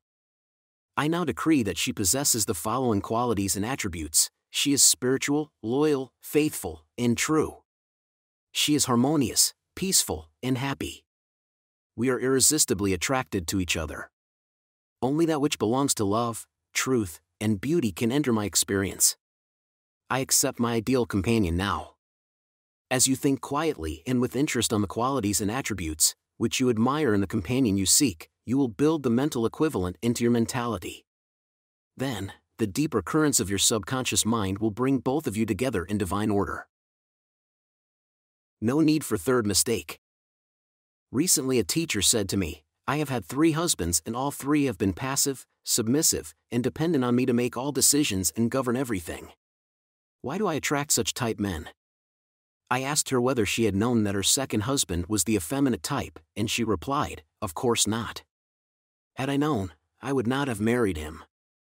Apparently, she had not learned anything from the first mistake. The trouble was with her personality makeup. She was very masculine, domineering, and unconsciously wanted someone who would be submissive and passive so that she could play the dominant role. All this was unconscious motivation, and her subconscious picture attracted to her what she subjectively wanted. She had to learn to break the pattern by adopting the right prayer process. How she broke the negative pattern. The above mentioned woman learned a simple truth. When you believe you can have the type of man you idealize, it is done unto you, as you believe. The following is the specific prayer she used to break the old subconscious pattern and attract her the ideal mate. I am building into my mentality the type of man I deeply desire. The man I attract for a husband is strong, powerful, loving, very masculine, successful, honest, loyal, and faithful. He finds love and happiness with me. I love to follow where he leads. I know he wants me, and I want him. I am honest, sincere, loving, and kind. I have wonderful gifts to offer him. They are goodwill, a joyous heart, and a healthy body. He offers me the same. It is mutual. I give and I receive. Divine intelligence knows where this man is, and the deeper wisdom of my subconscious mind is now bringing both of us together in its own way, and we recognize each other immediately. I release this request to my subconscious mind, which knows how to bring my request to pass. I give thanks for the perfect answer. She prayed in the above manner night and morning, affirming these truths and knowing that through frequent occupation of the mind she would reach the mental equivalent of that which she sought. The answer to her prayer. Several months went by. She had a great number of dates and social engagements, none of which was agreeable to her. When she was about to question, waver, doubt, and vacillate, she reminded herself that the infinite intelligence was bringing it to pass in its own way and that there was nothing to be concerned about her final decree in her divorce proceedings was granted, which brought her a great sense of release and mental freedom. Shortly afterward, she went to work as a receptionist in a doctor's office. She told me that the minute she saw the physician, she knew he was the man she was praying about. Apparently, he knew it, too, because he proposed to her the first week she was in the office, and their subsequent marriage was ideally happy. This physician was not the passive or submissive type, but was a real man, a former football player, an outstanding athlete, and was a deeply spiritual man though he was completely devoid of any sectarian or denominational affiliation. She got what she prayed for because she claimed it mentally until she reached the point of saturation. In other words, she mentally and emotionally united with her idea, and it became a part of her in the same way that an apple becomes a part of her bloodstream. Should I get a divorce?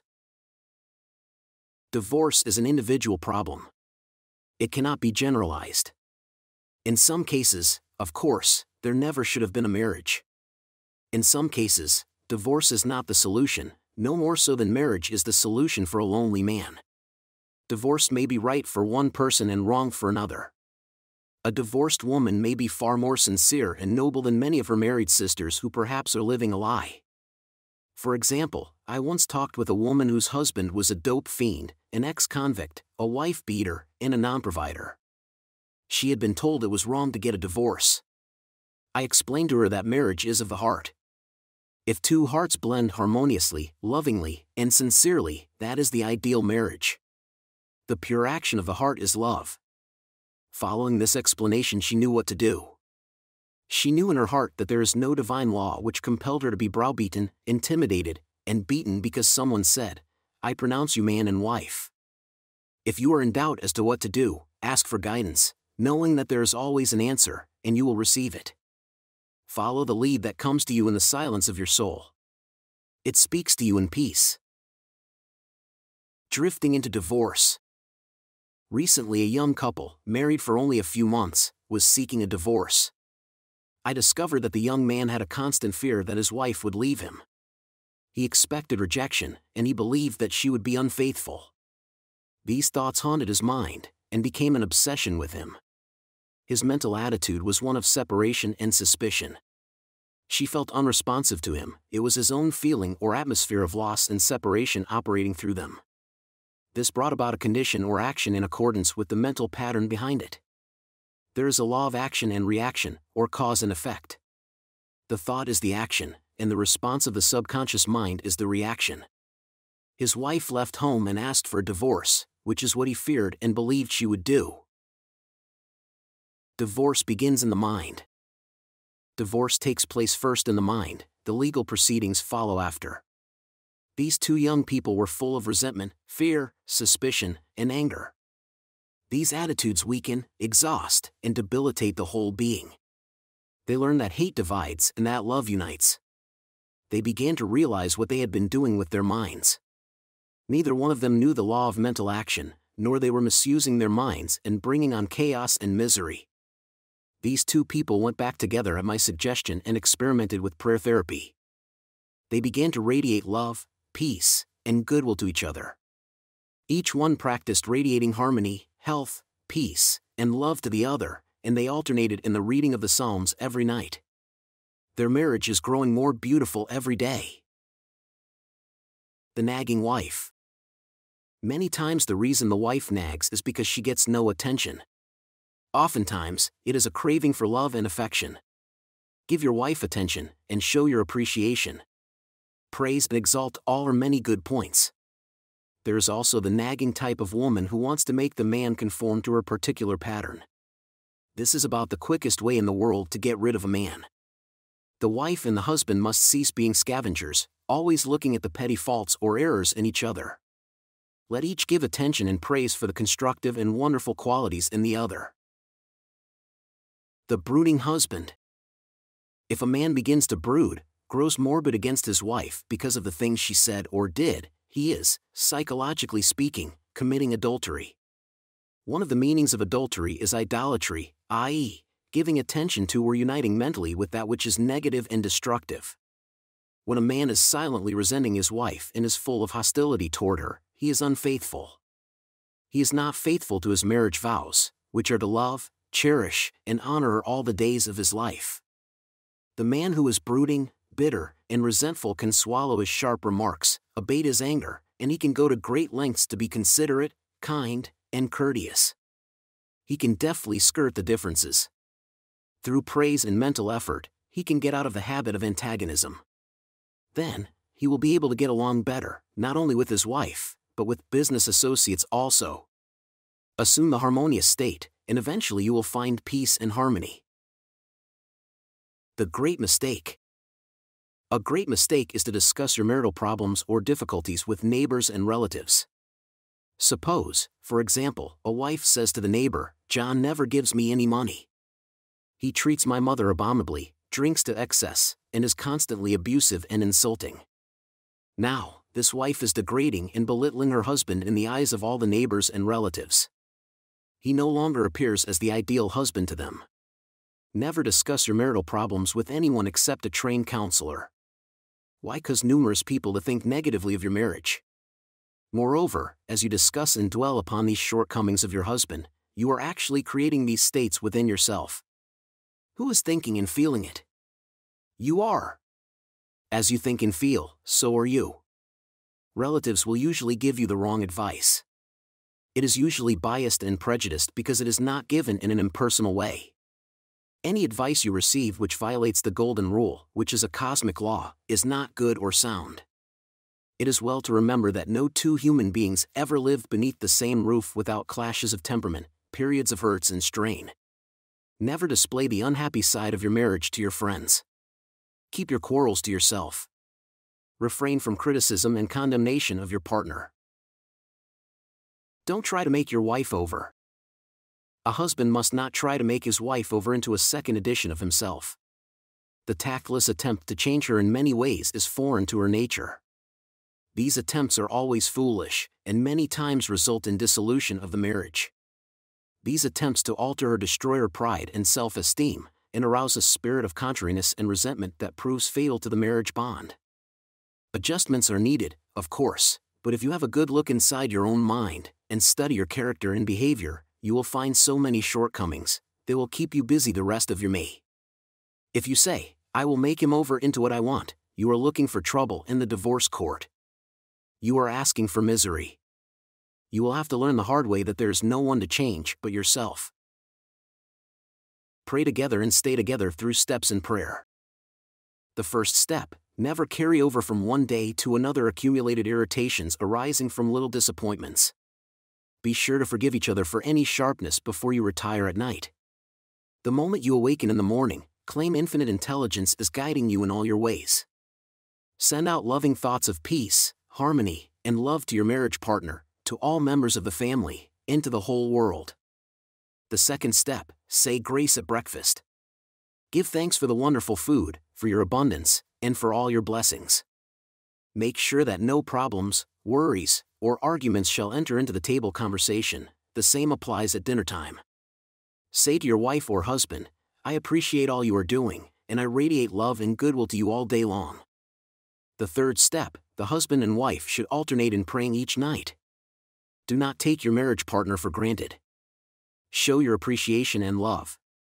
Think appreciation and goodwill rather than condemnation, criticism, and nagging. The way to build a peaceful home and a happy marriage is to use a foundation of love, beauty, harmony, mutual respect, faith in God, and all things good. Read the 23rd, 27th, and 91st Psalms, the 11th chapter of Hebrews, the 13th chapter of 1 Corinthians, and other great texts of the Bible before going to sleep. As you practice these truths, your marriage will grow more and more blessed through the years. Review your actions. Ignorance of mental and spiritual laws is the cause of all marital unhappiness. By praying scientifically together, you stay together. The best time to prevent divorce is before marriage. If you learn how to pray in the right way, you will attract the right mate for you. Marriage is the union of a man and woman who are bound together by love. Their hearts beat as one, and they move onward, upward, and Godward. Marriage does not bequeath happiness people find happiness by dwelling on the eternal truths of God and the spiritual values of life. Then, the man and woman can contribute to each other's happiness and joy. You attract the right mate by dwelling on the qualities and characteristics you admire in a woman or a man, and then your subconscious mind will bring you together in divine order. You must build into your mentality the mental equivalent of what you want in a marriage partner.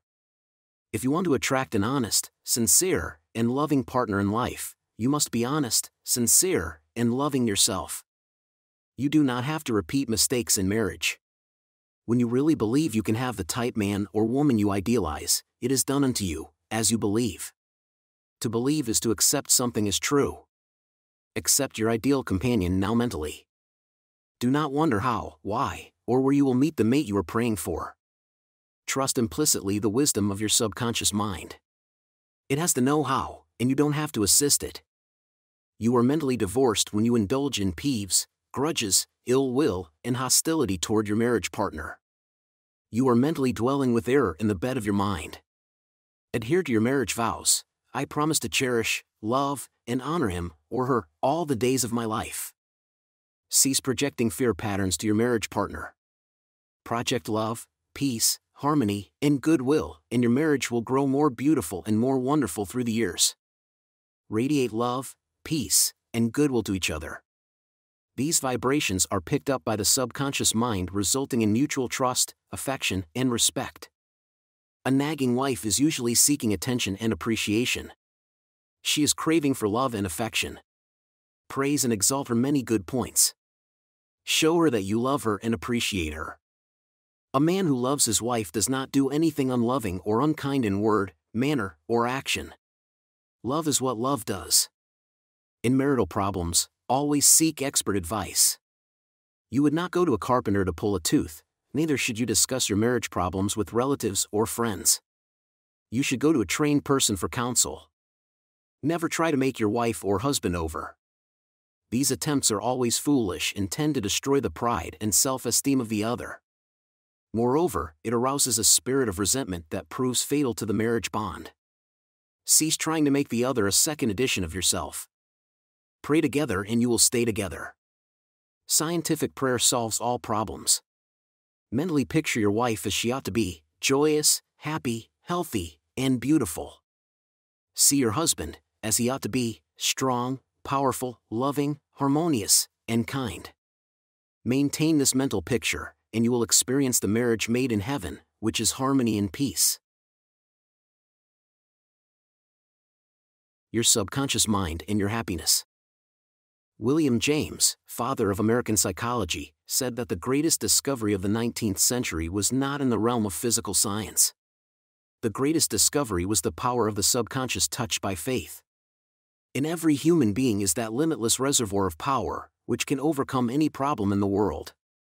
True and lasting happiness will come into your life the day you get the clear realization that you can overcome any weakness, the day you realize that your subconscious can solve your problems, heal your body, and prosper you beyond your fondest dream. You might have felt very happy when your child was born, when you got married, when you graduated from college, or when you won a great victory or a prize. You might have been very happy when you became engaged to the loveliest girl or the most handsome man. You could go on and list innumerable experiences, which have made you happy.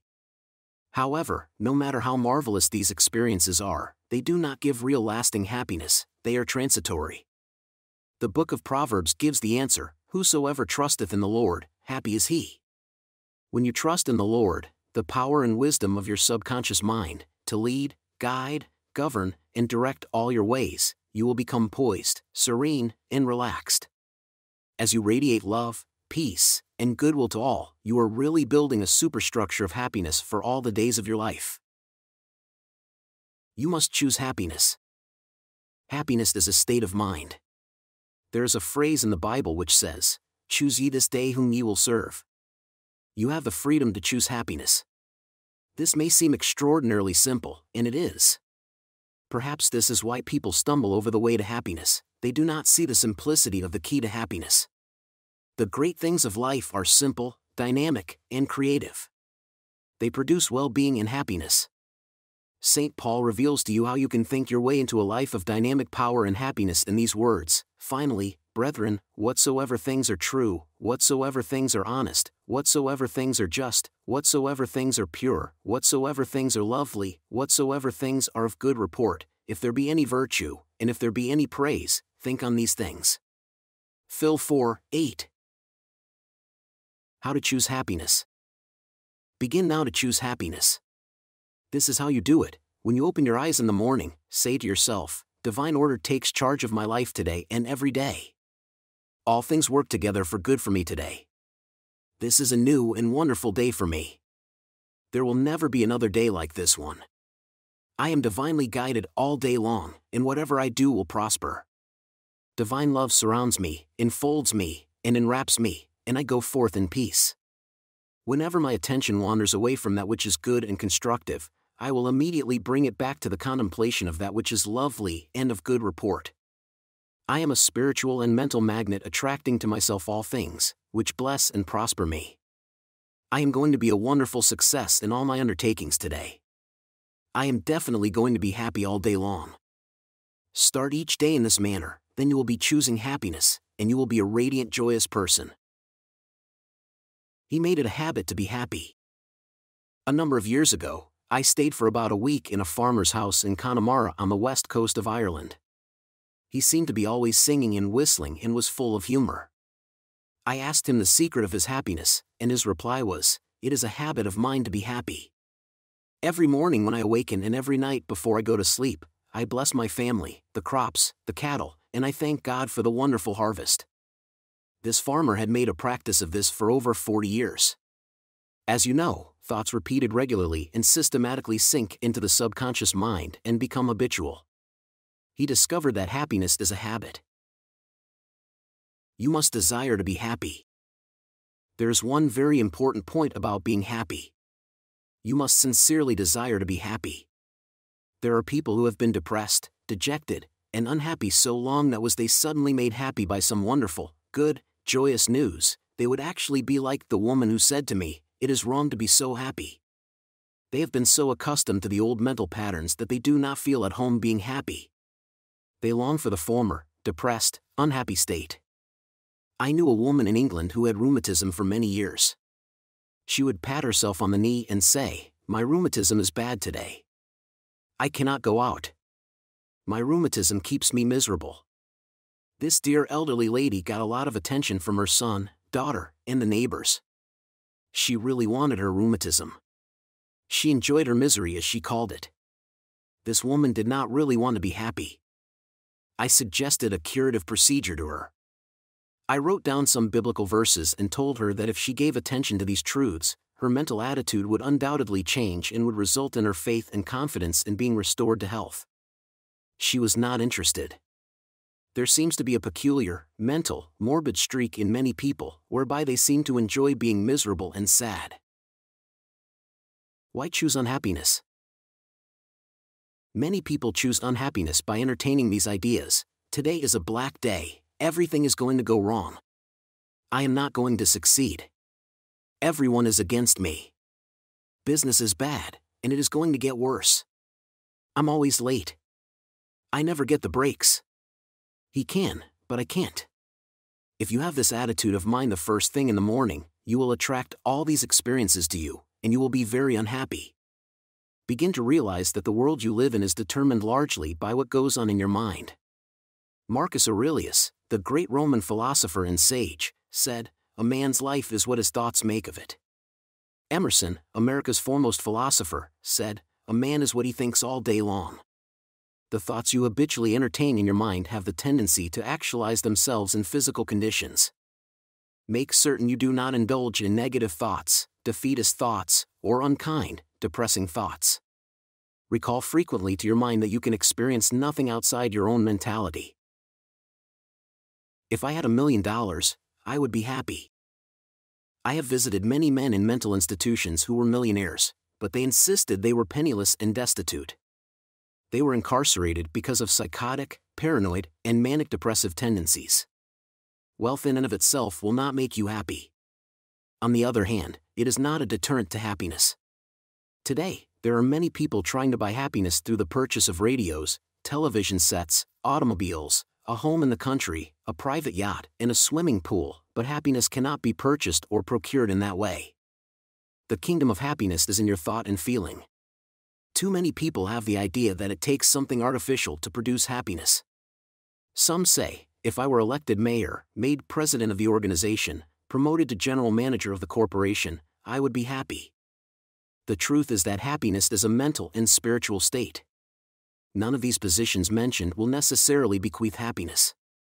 Your strength, joy, and happiness consist in finding out the law of divine order and right action lodged in your subconscious mind and by applying these principles in all phases of your life. He found happiness to be the harvest of a quiet mind. Lecturing in San Francisco some years ago, I interviewed a man who was very unhappy and dejected over the way his business was going. He was the general manager his heart was filled with resentment toward the vice president and the president of the organization. He claimed that they opposed him. Because of this internal strife, business was declining, he was receiving no dividends or stock bonuses. This is how he solved his business problem. The first thing in the morning he affirmed quietly as follows All those working in our corporation are honest, sincere, cooperative, faithful, and full of goodwill to all they are mental and spiritual links in the chain of this corporation's growth, welfare, and prosperity. I radiate love, peace, and goodwill in my thoughts, words, and deeds to my two associates and to all those in the company. The president and the vice president of our company are divinely guided in all their undertakings.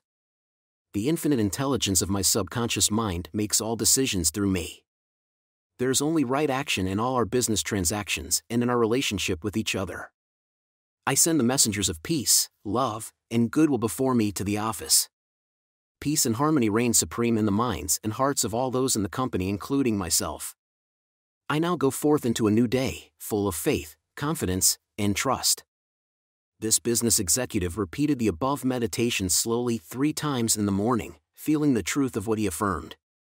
When fearful or angry thoughts came into his mind during the day, he would say to himself, Peace, harmony, and poise govern my mind at all times. As he continued disciplining his mind in this manner, all the harmful thoughts ceased to come, and peace came into his mind. He reaped the harvest. Subsequently, he wrote me to the effect that at the end of about two weeks of reordering his mind, the president and the vice president called him into the office, praised his operations and his new constructive ideas, and remarked how fortunate they were in having him as general manager. He was very happy in discovering that man finds happiness within himself the block or stump is not really there. I read a newspaper article some years ago, which told about a horse that had shied when he came to a stump on the road. Subsequently, every time the horse came to that same stump, he shied. The farmer dug the stump out, burned it, and leveled the old road. Yet, for 25 years, every time the horse passed the place where the former stump was, he shied. The horse was shying at the memory of a stump. There is no block to your happiness save in your own thought life and mental imagery. Is fear or worry holding you back? Fear is a thought in your mind. You can dig it up this very moment by supplanting it with faith and success, achievement, and victory over all problems. I knew a man who failed in business. He said to me, I made mistakes. I've learned a lot. I am going back into business, and I will be a tremendous success he faced up to that stump in his mind. He did not whine or complain, but he tore up the stump of failure, and through believing in his inner powers to back him up, he banished all fear thoughts and old depressions. Believe in yourself, and you will succeed and be happy. The happiest people. The happiest man is he who constantly brings forth and practices what is best in him. Happiness and virtue complement each other. The best are not only the happiest, but the happiest are usually the best in the art of living life successfully. God is the highest and best in you. Express more of God's love, light, truth, and beauty, and you will become one of the happiest persons in the world today. Epictetus, the Greek Stoic philosopher, said, There is but one way to tranquility of mind and happiness, let this, therefore, be always ready at hand with thee, both when thou wakest early in the morning, and all the day long, and when thou goest late to sleep, to account no external things thine own, but commit all these to God. Summary of Steps to Happiness William James said that the greatest discovery of the 19th century was the power of the subconscious mind touched by faith. There is tremendous power within you. Happiness will come to you when you acquire a sublime confidence in this power. Then, you will make your dreams come true you can rise victorious over any defeat and realize the cherished desires of your heart through the marvelous power of your subconscious mind.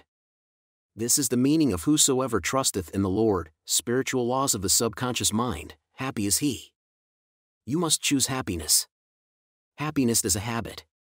It is a good habit to ponder often on whatsoever things are true, whatsoever things are honest, whatsoever things are just, whatsoever things are pure, whatsoever things are lovely, whatsoever things are of good report, if there be any virtue, and if there be any praise, think on these things. Phil 4 8. When you open your eyes in the morning, say to yourself, I choose happiness today. I choose success today. I choose right action today. I choose love and goodwill for all today. I choose peace today. Pour life, love, and interest into this affirmation, and you have chosen happiness. Give thanks for all your blessings several times a day. Furthermore, pray for the peace, happiness, and prosperity of all members of your family, your associates, and all people everywhere. You must sincerely desire to be happy. Nothing is accomplished without desire. Desire is a wish with wings of imagination and faith. Imagine the fulfillment of your desire, and feel its reality, and it will come to pass. Happiness comes in answered prayer. By constantly dwelling on thoughts of fear, worry, anger, hate, and failure, you will become very depressed and unhappy. Remember, your life is what your thoughts make of it. You cannot buy happiness with all the money in the world. Some millionaires are very happy, some are very unhappy. Many people with very little worldly goods are very happy, and some are very unhappy. Some married people are happy, and some very unhappy. Some single people are happy, and some are very unhappy. The kingdom of happiness is in your thought and feeling. Happiness is the harvest of a quiet mind. Anchor your thoughts on peace, poise, security, and divine guidance, and your mind will be productive of happiness. There is no block to your happiness. External things are not causative, these are effects, not cause. Take your cue from the only creative principle within you. Your thought is cause, and a new cause produces a new effect. Choose happiness. The happiest man is he who brings forth the highest and the best in him. God is the highest and the best in him, for the kingdom of God is within. Your subconscious mind and harmonious human relations. In studying this book, you learn that your subconscious mind is a recording machine, which faithfully reproduces whatever you impress upon it. This is one of the reasons for the application of the Golden Rule in human relations. Matt 7:12 says, "All things whatsoever you would that men should do unto you, do ye even so to them." This quotation has outer and inner meanings. You are interested in its inner meaning from the standpoint of your subconscious mind, which is, as you would that men should think about you, think you about them in like manner. As you would that men should feel about you, feel you also about them in like manner. As you would want men to act toward you, act you toward them in like manner. For example, you may be polite and courteous to someone in your office, but when his back is turned, you are very critical and resentful toward him in your mind. Such negative thoughts are highly destructive to you. It is like taking poison. You are actually taking mental poisons, which rob you of vitality, enthusiasm, strength, guidance, and goodwill. These negative thoughts and emotions sink down into your subconscious and cause all kinds of difficulties and maladies in your life. The master key to happy relationships with others. Judge not, that ye be not judged. For with what judgment ye judge, ye shall be judged, and with what measure ye meet, it shall be measured to you again. Matthew 7 1 2. A study of these verses and the application of the inner truths therein contained represent the real key to harmonious relations.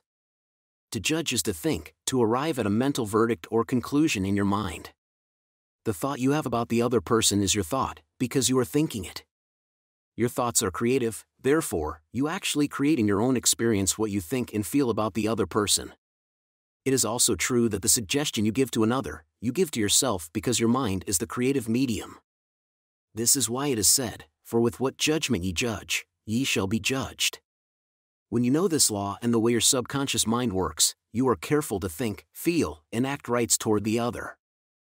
These verses teach you about the emancipation of man and reveal to you the solution to your individual problems. And with what measure ye meet, it shall be measured to you again. The good you do for others comes back to you in like measure, and the evil you do returns to you by the law of your own mind. If a man cheats and deceives another, he is actually cheating and deceiving himself. His sense of guilt and mood of loss inevitably will attract loss to him in some way, at some time.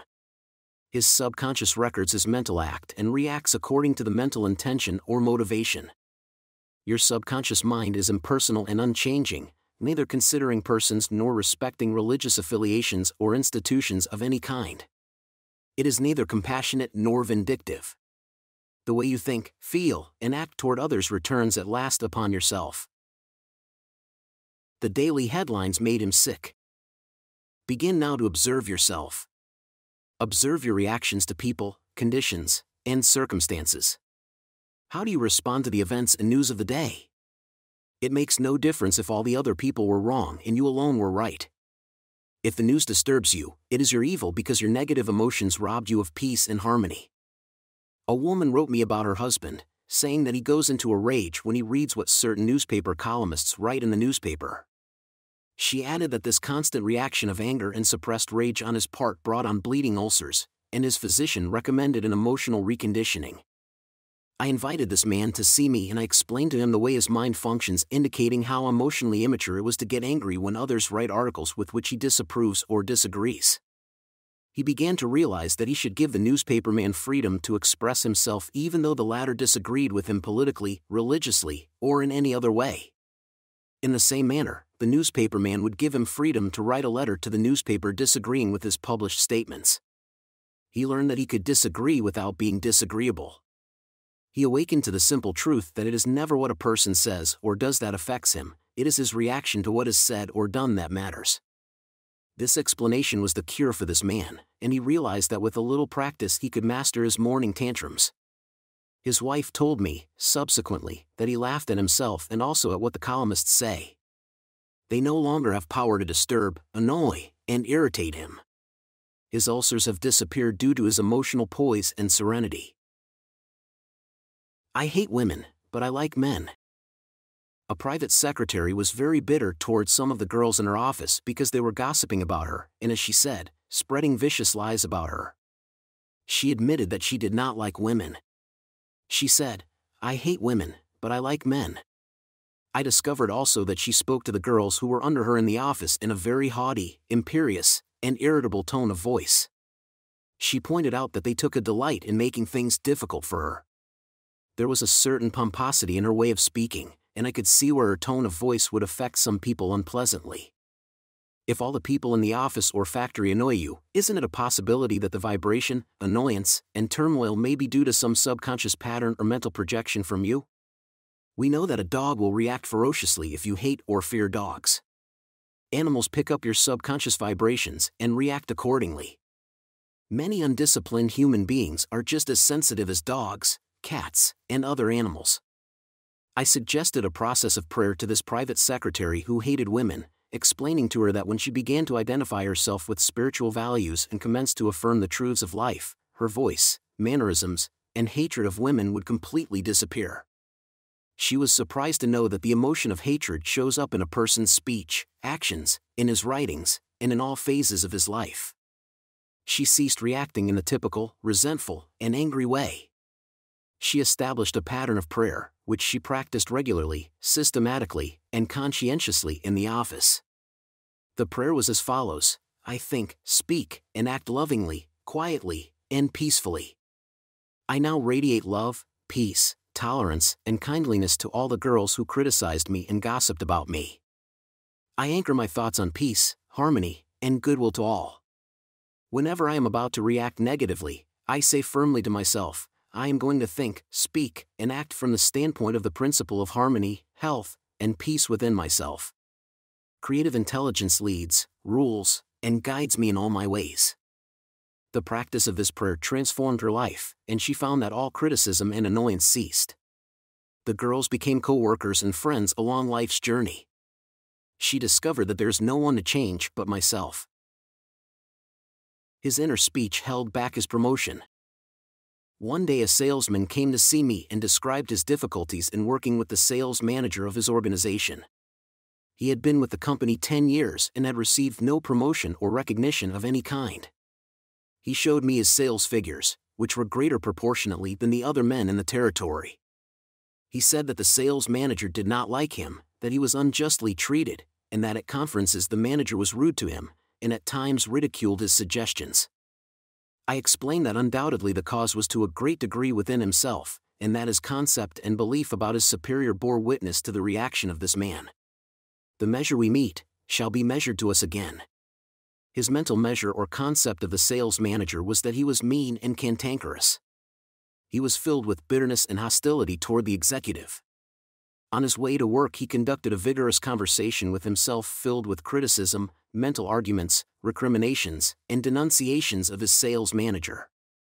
What he gave out mentally, he was inevitably bound to get back.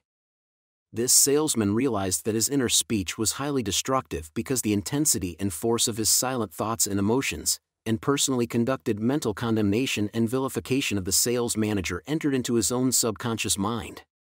This brought about the negative response from his boss as well as creating many other personal, physical, and emotional disorders. He began to pray frequently as follows I am the only thinker in my universe. I am responsible for what I think about my boss.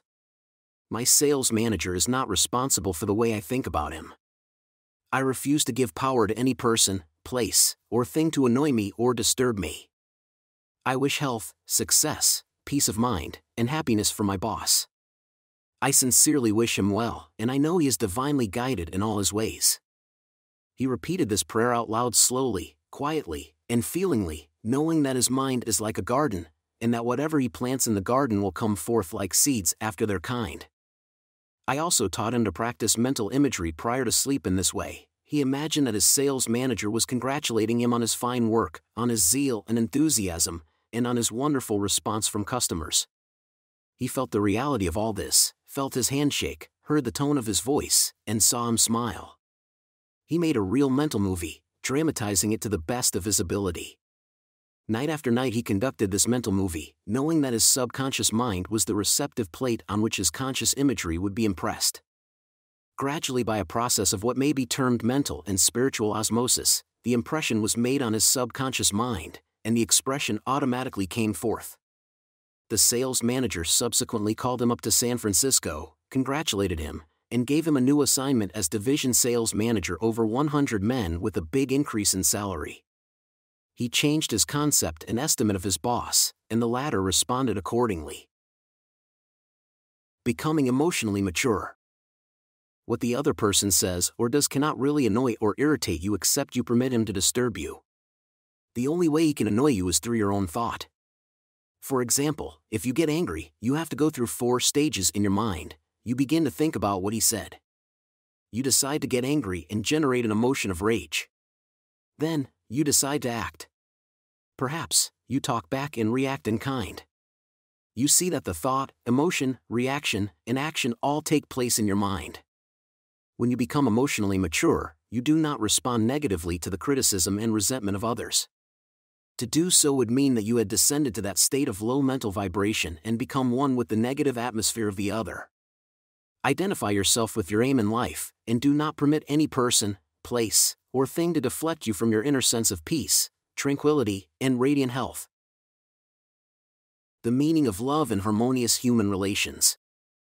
Sigmund Freud, the Austrian founder of psychoanalysis, said that unless the personality has love, it sickens and dies. Love includes understanding, goodwill, and respect for the divinity in the other person. The more love and good will you emanate and exude, the more comes back to you.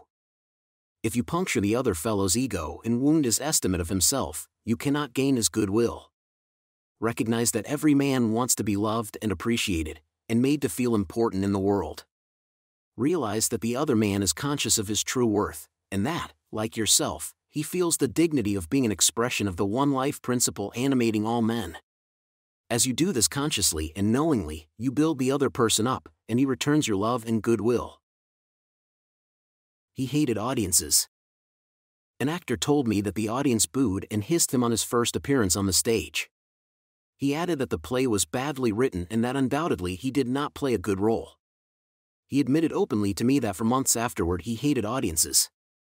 He called them dopes, dummies, stupid, ignorant, gullible, etc. He quit the stage in disgust and went to work in a drugstore for a year. One day a friend invited him to hear a lecture in Town Hall, New York City, on how to get along with ourselves. This lecture changed his life.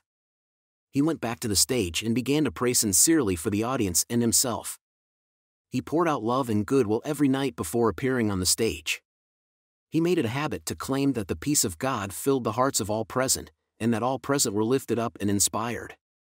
During each performance, he sent out love vibrations to the audience.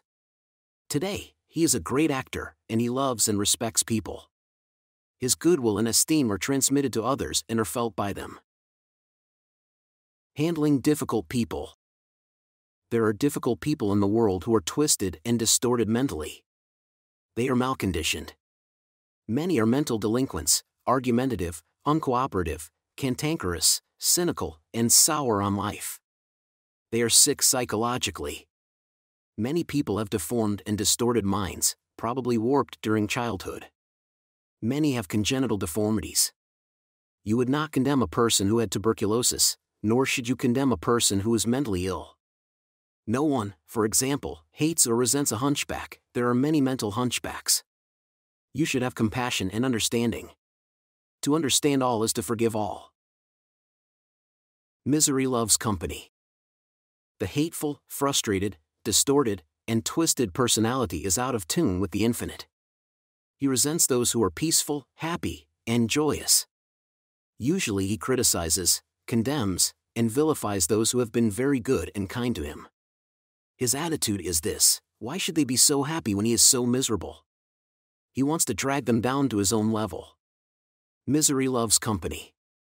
When you understand this, you remain unmoved, calm, and dispassionate. The practice of empathy in human relations. A girl visited me recently stating that she hated another girl in her office. She gave as her reason that the other girl was prettier, happier, and wealthier than she, and, in addition, was engaged to the boss of the company where they worked.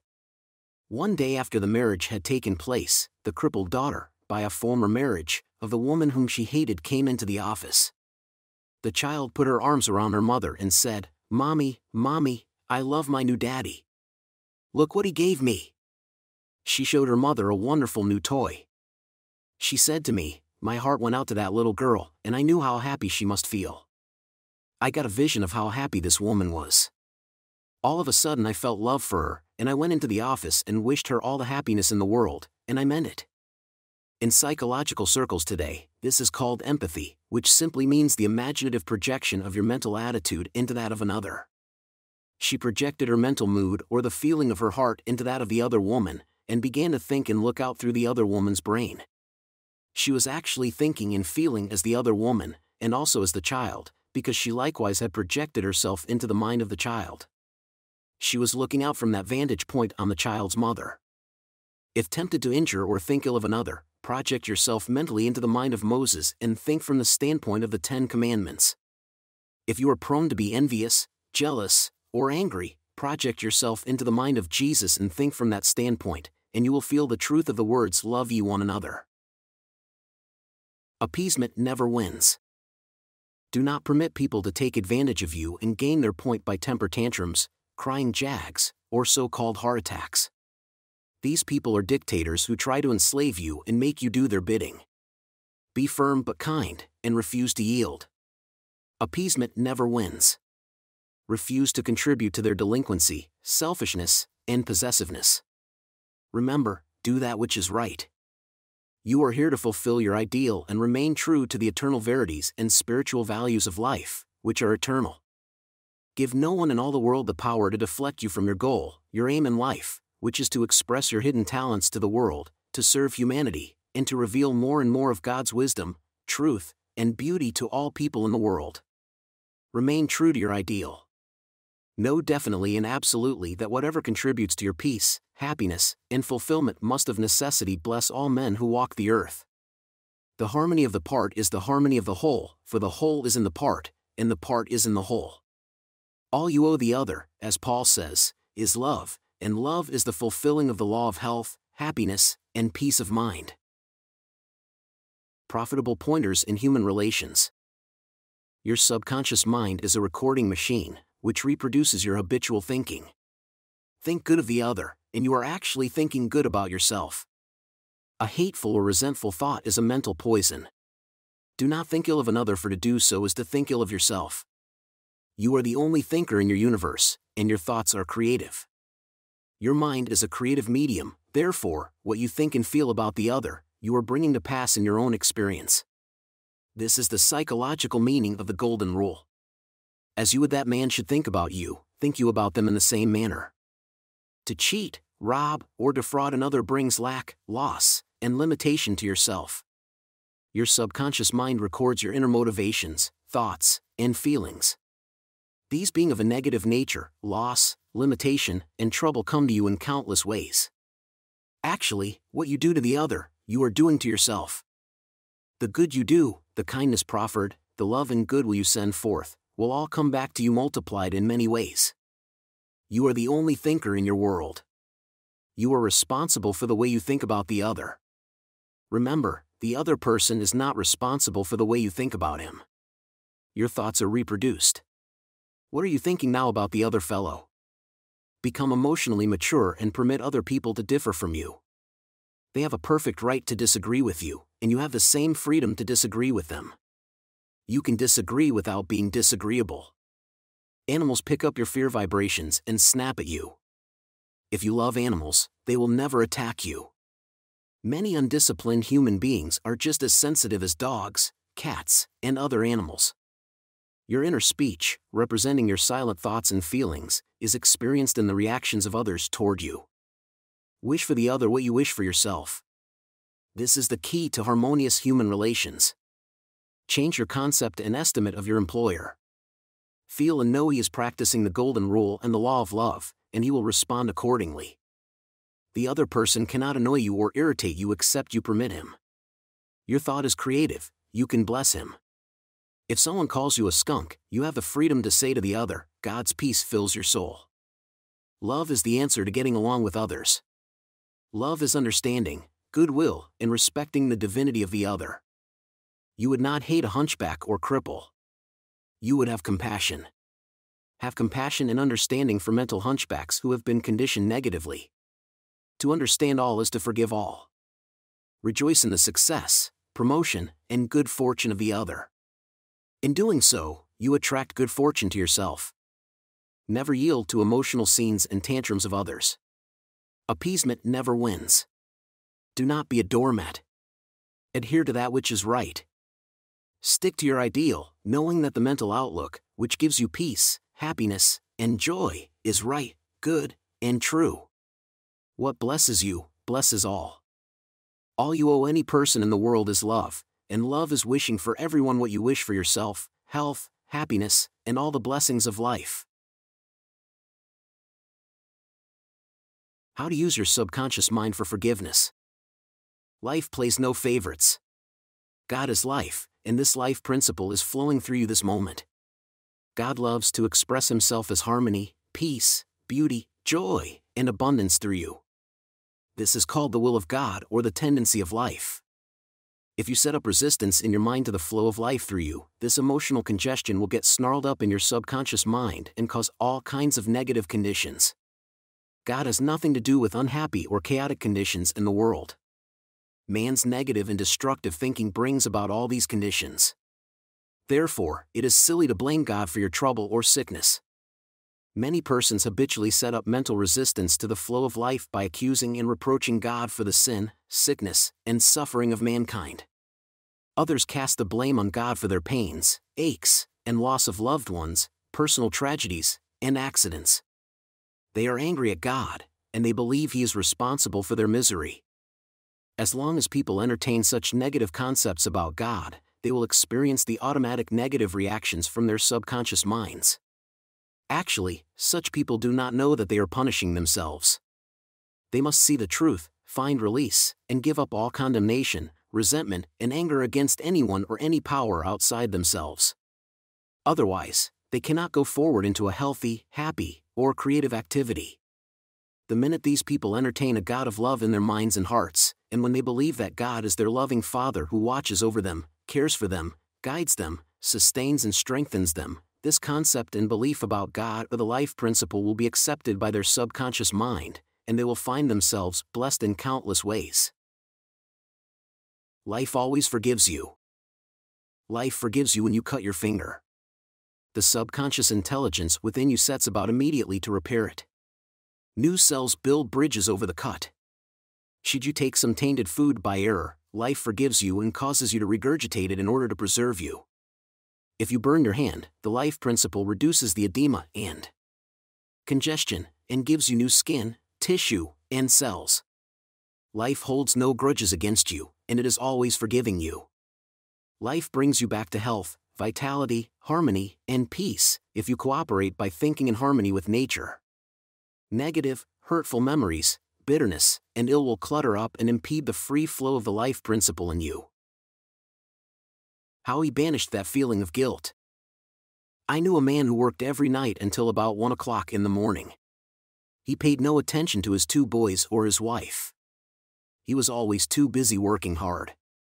He thought people should pat him on the back because he was working so arduously and persistently past midnight every night. He had a blood pressure of over 200 and was full of guilt. Unconsciously, he proceeded to punish himself by hard work and he completely ignored his children. A normal man does not do that. He is interested in his boys and in their development. He does not shut his wife out of his world. I explained to him why he was working so arduously there is something eating you inside, otherwise, you would not act this way. You are punishing yourself, and you have to learn to forgive yourself. He did have a deep sense of guilt. It was toward a brother. I explained to him that God was not punishing him, but that he was punishing himself.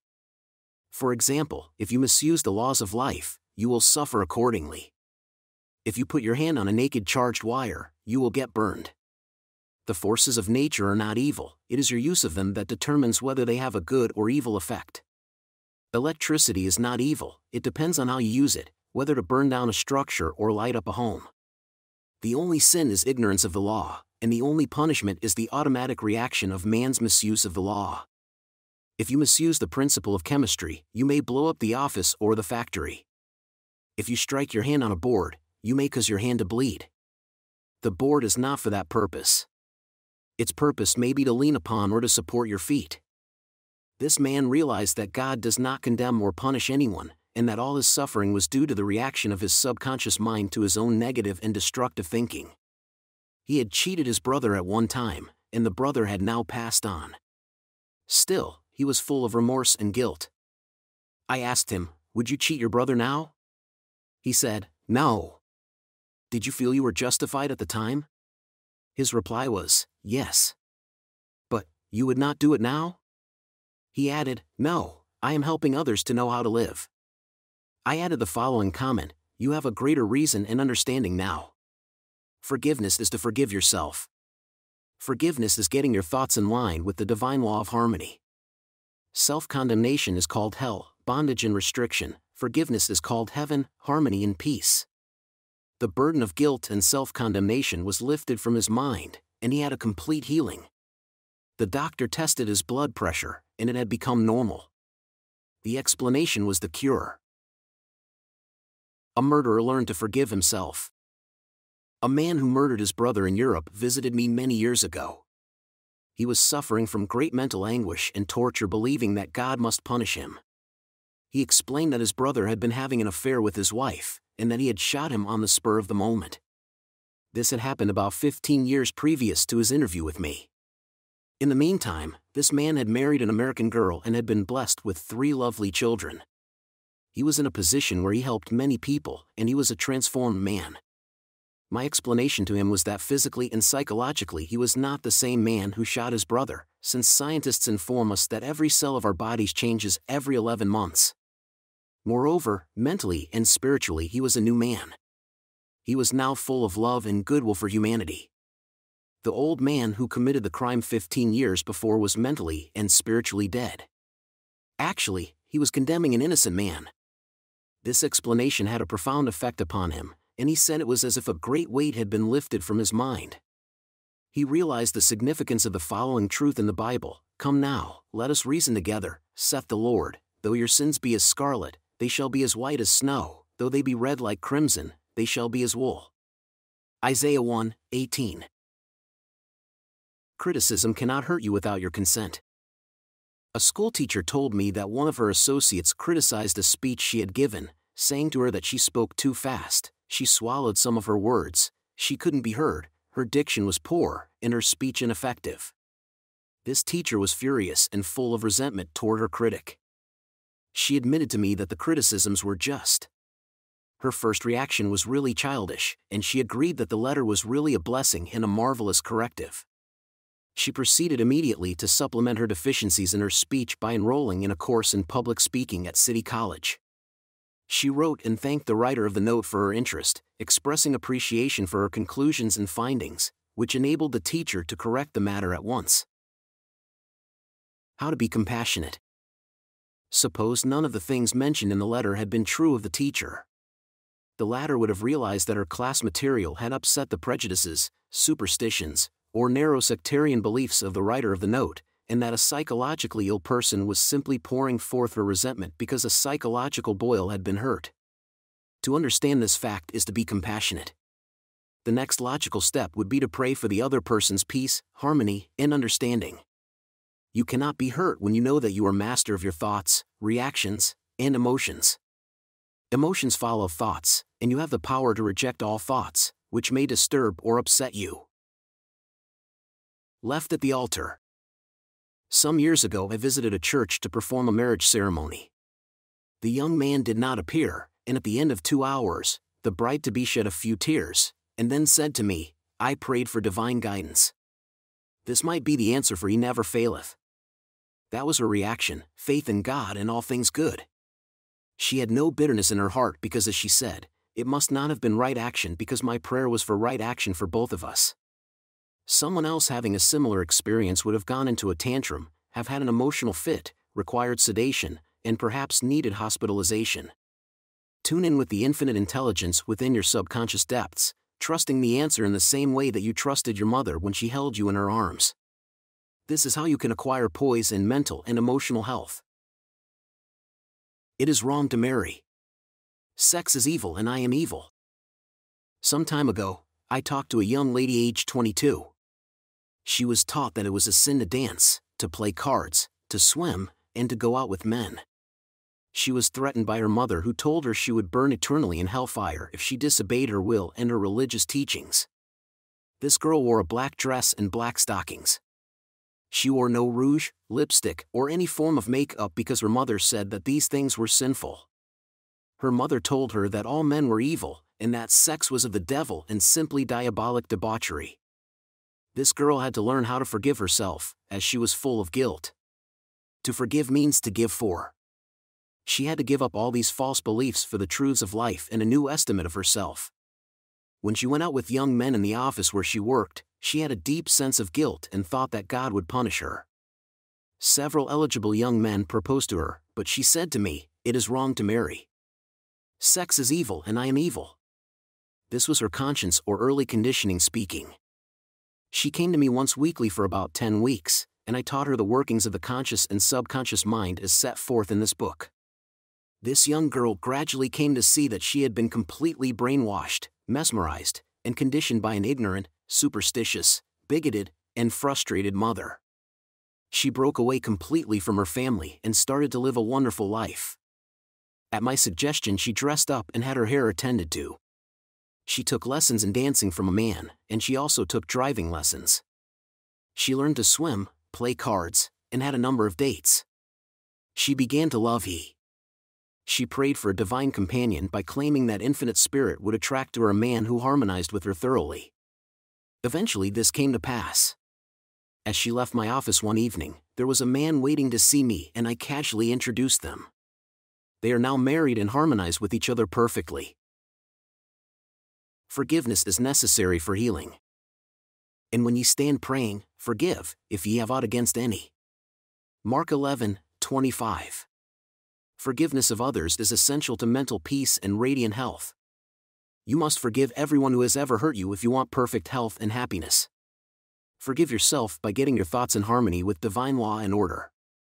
You cannot really forgive yourself completely until you have forgiven others first. To refuse to forgive yourself is nothing more or less than spiritual pride or ignorance. In the psychosomatic field of medicine today, it is being constantly stressed that resentment, condemnation of others, remorse, and hostility are behind a host of maladies ranging from arthritis to cardiac disease. They point out that these sick people, who were hurt, mistreated, deceived, or injured, were full of resentment and hatred for those who hurt them. This caused inflamed and festering wounds in their subconscious minds. There is only one remedy.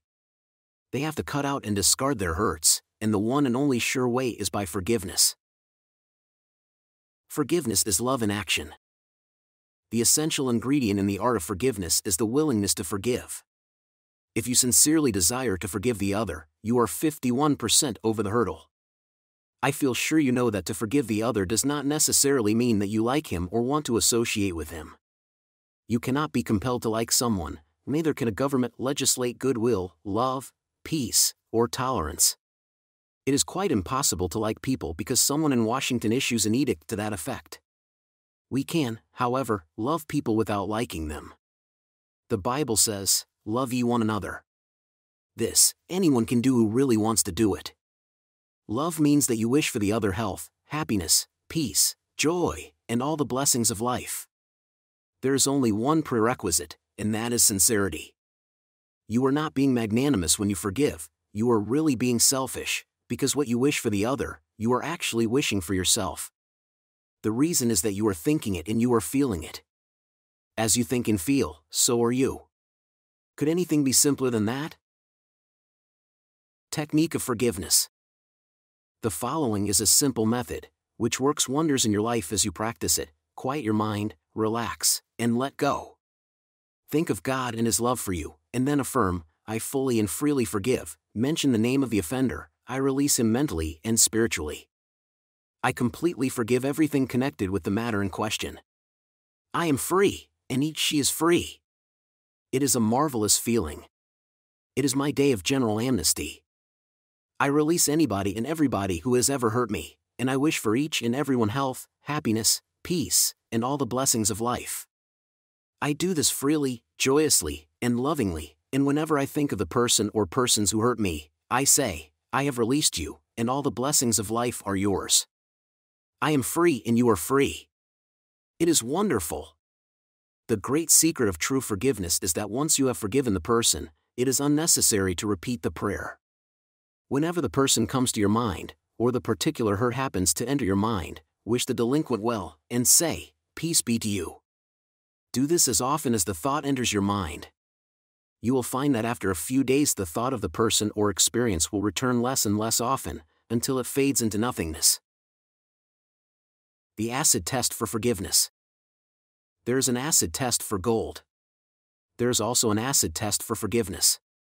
If I should tell you something wonderful about someone who has wronged you, cheated you, or defrauded you, and you sizzled at hearing the good news about this person, the roots of hatred would still be in your subconscious mind, playing havoc with you. Let us suppose you had a painful abscess on your jaw a year ago, and you told me about it.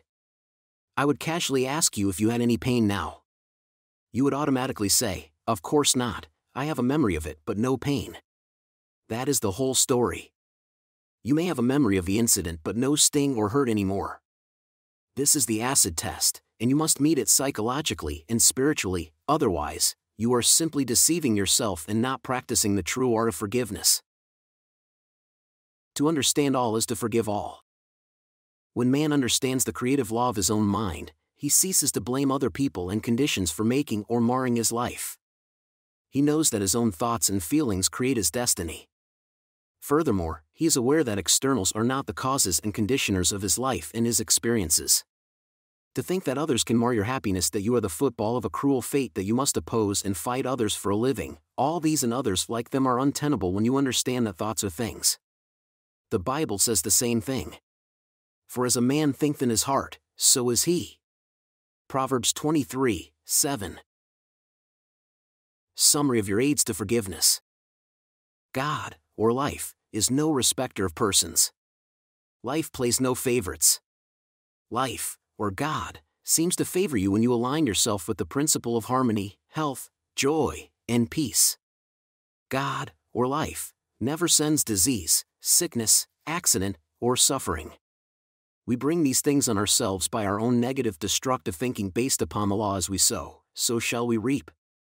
Your concept of God is the most important thing in your life. If you really believe in a God of love, your subconscious mind will respond in countless blessings to you. Believe in a God of love. Life, or God, holds no grudge against you. Life never condemns you. Life heals a severe cut on your hand. Life forgives you if you burn your finger it reduces the edema and restores the part to wholeness and perfection. Your guilt complex is a false concept of God and life. God, or life, does not punish or judge you. You do this to yourself by your false beliefs, negative thinking, and self condemnation. God, or life, does not condemn or punish you. The forces of nature are not evil. The effect of their use depends on how you use the power within you. You can use electricity to kill someone or to light the house. You can use water to drown a child, or quench his thirst. Good and evil come right back to the thought and purpose in man's own mind. God, or life, never punishes. Man punishes himself by his false concepts of God, life, and the universe. His thoughts are creative, and he creates his own misery. If another criticizes you, and these faults are within you, rejoice, give thanks, and appreciate the comments. This gives you the opportunity to correct the particular fault. You cannot be hurt by criticism when you know that you are master of your thoughts, reactions, and emotions. This gives you the opportunity to pray and bless the other, thereby blessing yourself. When you pray for guidance and right action, take what comes. Realize it is good and very good. Then there is no cause for self pity, criticism, or hatred. There's nothing good or bad, but thinking makes it so. There is no evil in sex, the desire for food, wealth, or true expression. It depends on how you use these urges, desires, or aspirations. Your desire for food can be met without killing someone for a loaf of bread. Resentment, hatred, ill will, and hostility are behind a host of maladies. Forgive yourself and everybody else by pouring out love, life, joy, and goodwill to all those who have hurt you. Continue until such time as you meet them in your mind and you are at peace with them.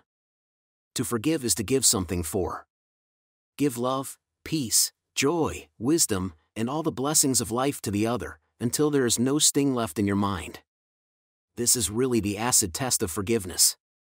Let us suppose you had an abscess in your jaw about a year ago. It was very painful. Ask yourself if it is painful now. The answer is in the negative. Likewise, if someone has hurt you, lied about and vilified you, and said all manner of evil about you, is your thought of that person negative? Do you sizzle when he or she comes into your mind? If so, the roots of hatred are still there, playing havoc with you and your good. The only way is to wither them with love by wishing for the person all the blessings of life, until you can meet the person in your mind, and you can sincerely react with a benediction of peace and goodwill. This is the meaning of forgive until 70 times 7. How your subconscious removes mental blocks the solution lies within the problem. The answer is in every question. If you are presented with a difficult situation and you cannot see your way clear, the best procedure is to assume that infinite intelligence within your subconscious mind knows all and sees all, has the answer, and is revealing it to you now. Your new mental attitude that the creative intelligence is bringing about a happy solution will enable you to find the answer. Rest assured that such an attitude of mind would bring order, peace, and meaning to all your undertakings. How to break or build a habit. You are a creature of habit. Habit is the function of your subconscious mind. You learn to swim, ride a bicycle, dance, and drive a car by consciously doing these things over and over again until they establish tracks in your subconscious mind. Then, the automatic habit action of your subconscious mind took over. This is sometimes called second nature, which is a reaction of your subconscious mind to your thinking and acting you are free to choose a good habit or a bad habit. If you repeat a negative thought or act over a period of time, you will be under the compulsion of a habit. The law of your subconscious is compulsion. How he broke a bad habit. Mr. Jones said to me, An uncontrollable urge to drink seizes me, and I remain drunk for two weeks at a time. I can't give up this terrible habit. Time and time again, these experiences had occurred to this unfortunate man he had grown into the habit of drinking to excess. Although he had started drinking of his own initiative, he also began to realize that he could change the habit and establish a new one. He said that while through his willpower he was able to suppress his desires temporarily, his continued efforts to suppress the many urges only made matters worse. His repeated failures convinced him that he was hopeless and powerless to control his urge or obsession. This idea of being powerless operated as a powerful suggestion to his subconscious mind and aggravated his weakness, making his life a succession of failures. I taught him to harmonize the functions of the conscious and subconscious mind. When these two cooperate, the idea or desire implanted in the subconscious mind is realized. His reasoning mind agreed that if the old habit path or track had carried him into trouble, he could consciously form a new path to freedom, sobriety, and peace of mind. He knew that his destructive habit was automatic, but since it was acquired through his conscious choice, he realized that if he had been conditioned negatively, he also could be conditioned positively. As a result, he ceased thinking of the fact that he was powerless to overcome the habit. Moreover, he understood clearly that there was no obstacle to his healing other than his own thought. Therefore, there was no occasion for great mental effort or mental coercion. The power of his mental picture this man acquired a practice of relaxing his body and getting into a relaxed, drowsy, meditative state. Then he filled his mind with the picture of the desired end, knowing his subconscious mind could bring it about the easiest way. He imagined his daughter congratulating him on his freedom and saying to him, Daddy, it's wonderful to have you home. He had lost his family through drink. He was not allowed to visit them, and his wife would not speak to him. Regularly, systematically, he used to sit down and meditate in the way outlined. When his attention wandered, he made it a habit to immediately recall the mental picture of his daughter with her smile and the scene of his home enlivened by her cheerful voice. All this brought about a reconditioning of his mind. It was a gradual process. He kept it up. He persevered knowing that sooner or later he would establish a new habit pattern in his subconscious mind. I told him that he could liken his conscious mind to a camera, that his subconscious mind was the sensitive plate on which he registered and impressed the picture. This made a profound impression on him, and his whole aim was to firmly impress the picture on his mind and develop it there.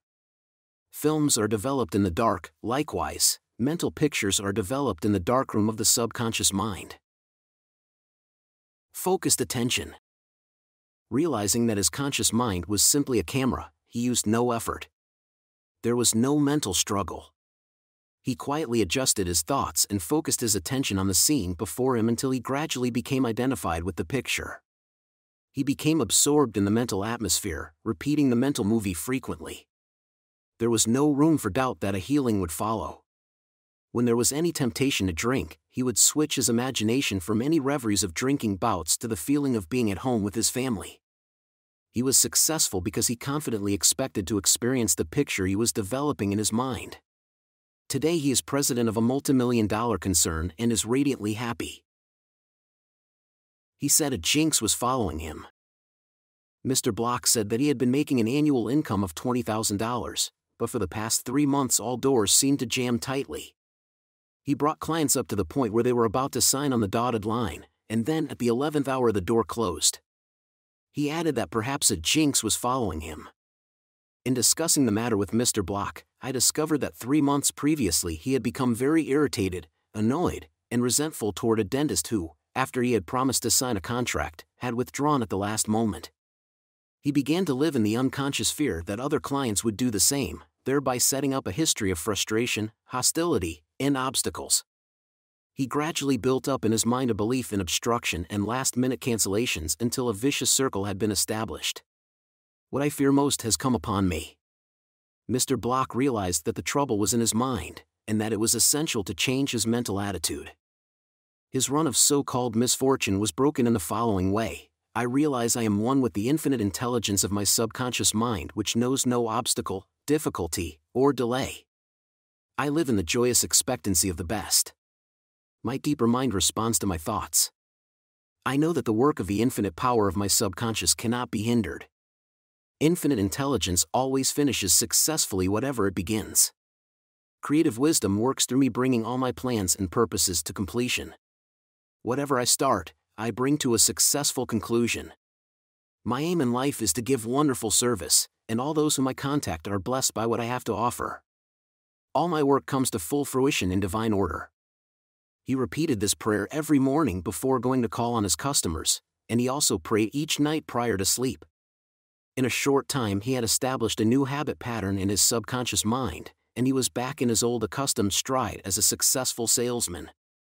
How much do you want what you want? A young man asked Socrates how he could get wisdom. Socrates replied, Come with me. He took the lad to a river, pushed the boy's head under the water, held it there until the boy was gasping for air, then relaxed and released his head. When the boy regained his composure, he asked him, what did you desire most when you were underwater? I wanted air, said the boy. Socrates said to him, When you want wisdom as much as you wanted air when you were immersed in the water, you will receive it. Likewise, when you really have an intense desire to overcome any block in your life, and you come to a clear cut decision that there is a way out, and that is the course you wish to follow, then victory and triumph are assured. If you really want peace of mind and inner calm, you will get it regardless of how unjustly you have been treated, or how unfair the boss has been, or what a mean scoundrel someone has proved to be, all this makes no difference to you when you awaken to your mental and spiritual powers. You know what you want, and you will definitely refuse to let the thieves, thoughts, of hatred, anger, hostility, and ill will rob you of peace, harmony, health, and happiness. You cease to become upset by people, conditions, news, and events by identifying your thoughts immediately with your aim in life. Your aim is peace, health, inspiration, harmony, and abundance. Feel a river of peace flowing through you now. Your thought is the immaterial and invisible power, and you choose to let it bless, inspire, and give you peace. Why he could not be healed. This is a case history of a married man with four children who was supporting and secretly living with another woman during his business trips. He was ill, nervous, irritable, and cantankerous, and he could not sleep without drugs. The doctor's medicine failed to bring down his high blood pressure of over 200. He had pains in numerous organs of his body, which doctors could not diagnose or relieve. To make matters worse, he was drinking heavily. The cause of all this was a deep unconscious sense of guilt. He had violated the marriage vows, and this troubled him. The religious creed he was brought up on was deeply lodged in his subconscious mind, and he drank excessively to heal the wound of guilt. Some invalids take morphine and codeine for severe pains, he was taking alcohol for the pain or wound in his mind. It was the old story of adding fuel to the fire. The explanation and the cure he listened to the explanation of how his mind worked. He faced his problem, looked at it, and gave up his dual role. He knew that his drinking was an unconscious attempt to escape. The hidden cause lodged in his subconscious mind had to be eradicated, then the healing would follow. He began to impress his subconscious mind three or four times a day by using the following prayer My mind is full of peace, poise, balance, and equilibrium the infinite lies stretched in smiling repose within me. I am not afraid of anything in the past, the present, or the future. The infinite intelligence of my subconscious mind leads, guides, and directs me in all ways. I now meet every situation with faith, poise, calmness, and confidence. I am now completely free from the habit. My mind is full of inner peace, freedom, and joy. I forgive myself, then I am forgiven peace, sobriety, and confidence reign supreme in my mind. He repeated this prayer frequently as outlined, being fully aware of what he was doing and why he was doing it. Knowing what he was doing gave him the necessary faith and confidence. I explained to him that as he spoke these statements out loud, slowly, lovingly, and meaningfully, they would gradually sink down into his subconscious mind. Like seeds, they would grow after their kind. These truths, on which he concentrated, went in through his eyes, his ears heard the sound, and the healing vibrations of these words reached his subconscious mind and obliterated all the negative mental patterns which caused all the trouble. Light dispels darkness. The constructive thought destroys the negative thought. He became a transformed man within a month. Refusing to admit it. If you are an alcoholic or drug addict, admit it. Do not dodge the issue. Many people remain alcoholics because they refuse to admit it. Your disease is instability, an inner fear. You are refusing to face life, and so you try to escape your responsibilities through the bottle. As an alcoholic, you have no free will, although you think you have, and you may even boast about your willpower. If you are a habitual drunkard and say bravely, I will not touch it anymore, you have no power to make this assertion come true, because you do not know where to locate the power you are living in a psychological prison of your own making, and you are bound by your beliefs, opinions, training, and environmental influences. Like most people, you are a creature of habit. You are conditioned to react the way you do. Building in the idea of freedom. You can build the idea of freedom and peace of mind into your mentality so that it reaches your subconscious depths. The latter, being all powerful, will free you from all desire for alcohol. Then, you will have the new understanding of how your mind works, and you can truly back up your statement and prove the truth to yourself. 51% healed. If you have a keen desire to free yourself from any destructive habit, you are 51% healed already. When you have a greater desire to give up the bad habit than to continue it, you will not experience too much difficulty in gaining complete freedom. Whatever thought you anchor the mind upon, the latter magnifies. If you engage the mind on the concept of freedom, freedom from the habit, and peace of mind, and if you keep it focused on this new direction of attention, you generate feelings and emotions, which gradually emotionalize the concept of freedom and peace. Whatever idea you emotionalize is accepted by your subconscious and brought to pass. The law of substitution. Realize that something good can come out of your suffering. You have not suffered in vain. However, it is foolish to continue to suffer. If you continue as an alcoholic, it will bring about mental and physical deterioration and decay. Realize that the power in your subconscious is backing you up. Even though you may be seized with melancholia, you should begin to imagine the joy of freedom that is in store for you. This is the law of substitution. Your imagination took you to the bottle, let it take you now to freedom and peace of mind. You will suffer a little bit, but it is for a constructive purpose. You will bear it like a mother in the pangs of childbirth, and you will, likewise, bring forth a child of the mind. Your subconscious will give birth to sobriety. Cause of alcoholism. The real cause of alcoholism is negative and destructive thinking, for as a man thinketh, so is he. The alcoholic has a deep sense of inferiority, inadequacy, defeat, and frustration, usually accompanied by a deep inner hostility. He has countless alibis as to his reason for drinking, but the sole reason is in his thought life. 3 Magic Steps The first step get still, quiet the wheels of the mind. Enter into a sleepy, drowsy state. In this relaxed, peaceful, receptive state, you are preparing for the second step. The second step take a brief phrase, which can readily be graven on the memory, and repeat it over and over as a lullaby. Use the phrase, sobriety and peace of mind are mine now, and I give thanks. To prevent the mind from wandering, repeat it aloud or sketch its pronunciation with the lips and tongue as you say it mentally. This helps its entry into the subconscious mind. Do this for five minutes or more. You will find a deep emotional response. The third step, just before going to sleep, practice what Johann von Goethe, German author, used to do. Imagine a friend, a loved one in front of you. Your eyes are closed, you are relaxed and at peace. The loved one or friend is subjectively present and is saying to you, Congratulations. You see the smile, you hear the voice. You mentally touch the hand, it is all real and vivid. The word congratulations imply complete freedom. Hear it over and over again until you get the subconscious reaction, which satisfies. Keep on keeping on. When fear knocks at the door of your mind, or when worry, anxiety, and doubt cross your mind, behold your vision, your goal. Think of the infinite power within your subconscious mind, which you can generate by your thinking and imagining, and this will give you confidence, power, and courage. Keep on, persevere, until the day breaks, and the shadows flee away. Review your thought power. The solution lies within the problem. The answer is in every question, Infinite intelligence responds to you as you call upon it with faith and confidence. Habit is the function of your subconscious mind. There is no greater evidence of the marvelous power of your subconscious than the force and sway habit holds in your life.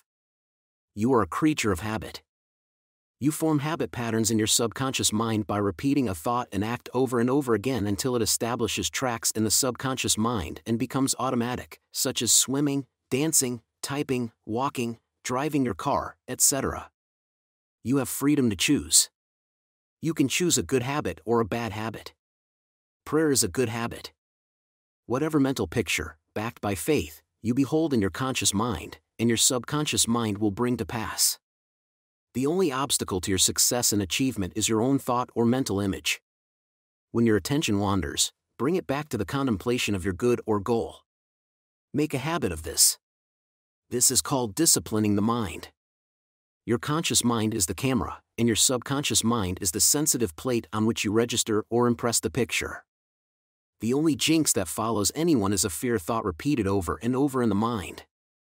Break the jinx by knowing that whatever you start you will bring to a conclusion in divine order. Picture the happy ending and sustain it with confidence. To form a new habit, you must be convinced that it is desirable. When your desire to give up the bad habit is greater than your desire to continue, you are 51% healed already. The statements of others cannot hurt you except through your own thoughts and mental participation. Identify yourself with your aim, which is peace, harmony, and joy. You are the only thinker in your universe. Excessive drinking is an unconscious desire to escape. The cause of alcoholism is negative and destructive thinking. The cure is to think of freedom, sobriety, and perfection, and to feel the thrill of accomplishment. Many people remain alcoholics because they refuse to admit it. The law of your subconscious mind, which held you in bondage and inhibited your freedom of action, will give you freedom and happiness. It depends on how you use it. Your imagination took you to the bottle, let it take you to freedom by imagining you are free. The real cause of alcoholism is negative and destructive thinking. As a man thinketh in his heart, subconscious mind, so is he. When fear knocks at the door of your mind, let faith in God and all things good open the door. How to use your subconscious mind to remove fear. One of our students told me that he was invited to speak at a banquet. He said he was panic stricken at the thought of speaking before a thousand people. He overcame his fear this way. For several nights, he sat down in an armchair for about five minutes and said to himself slowly, quietly, and positively, I am going to master this fear. I am overcoming it now. I speak with poise and confidence. I am relaxed and at ease. He operated a definite law of mind and overcame his fear. The subconscious mind is amenable to suggestion and is controlled by suggestion.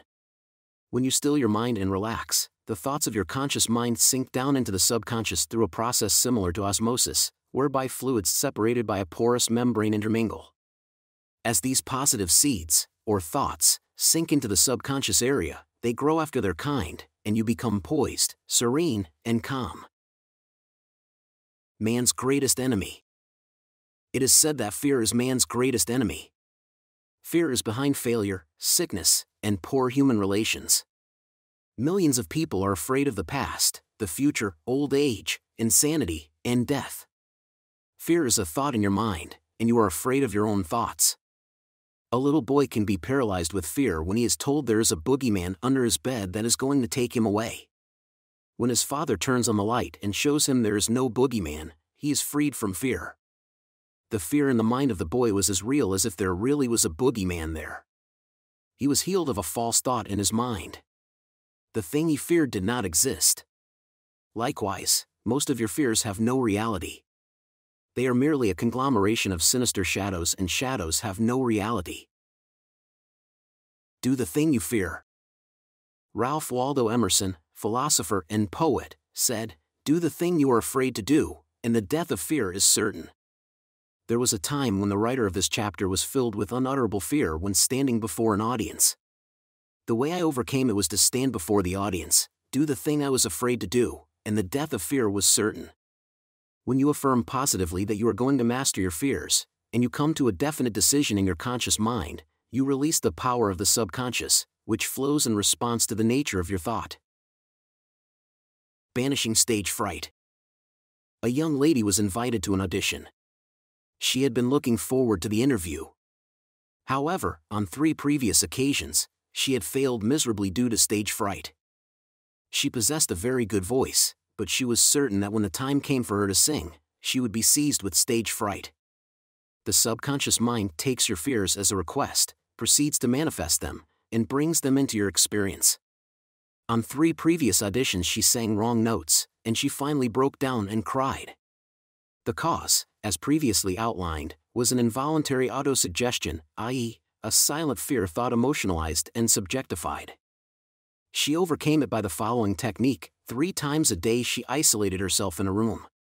She sat down comfortably in an armchair, relaxed her body, and closed her eyes. She stilled her mind and body to the best of her ability. Physical inertia favors passivity and renders the mind more receptive to suggestion. She counteracted the fear suggestion by its converse, saying to herself, I sing beautifully. I am poised, serene, confident, and calm. She repeated the words slowly, quietly, and with feeling from five to ten times at each sitting. She had three such sittings every day and one immediately prior to sleep at night.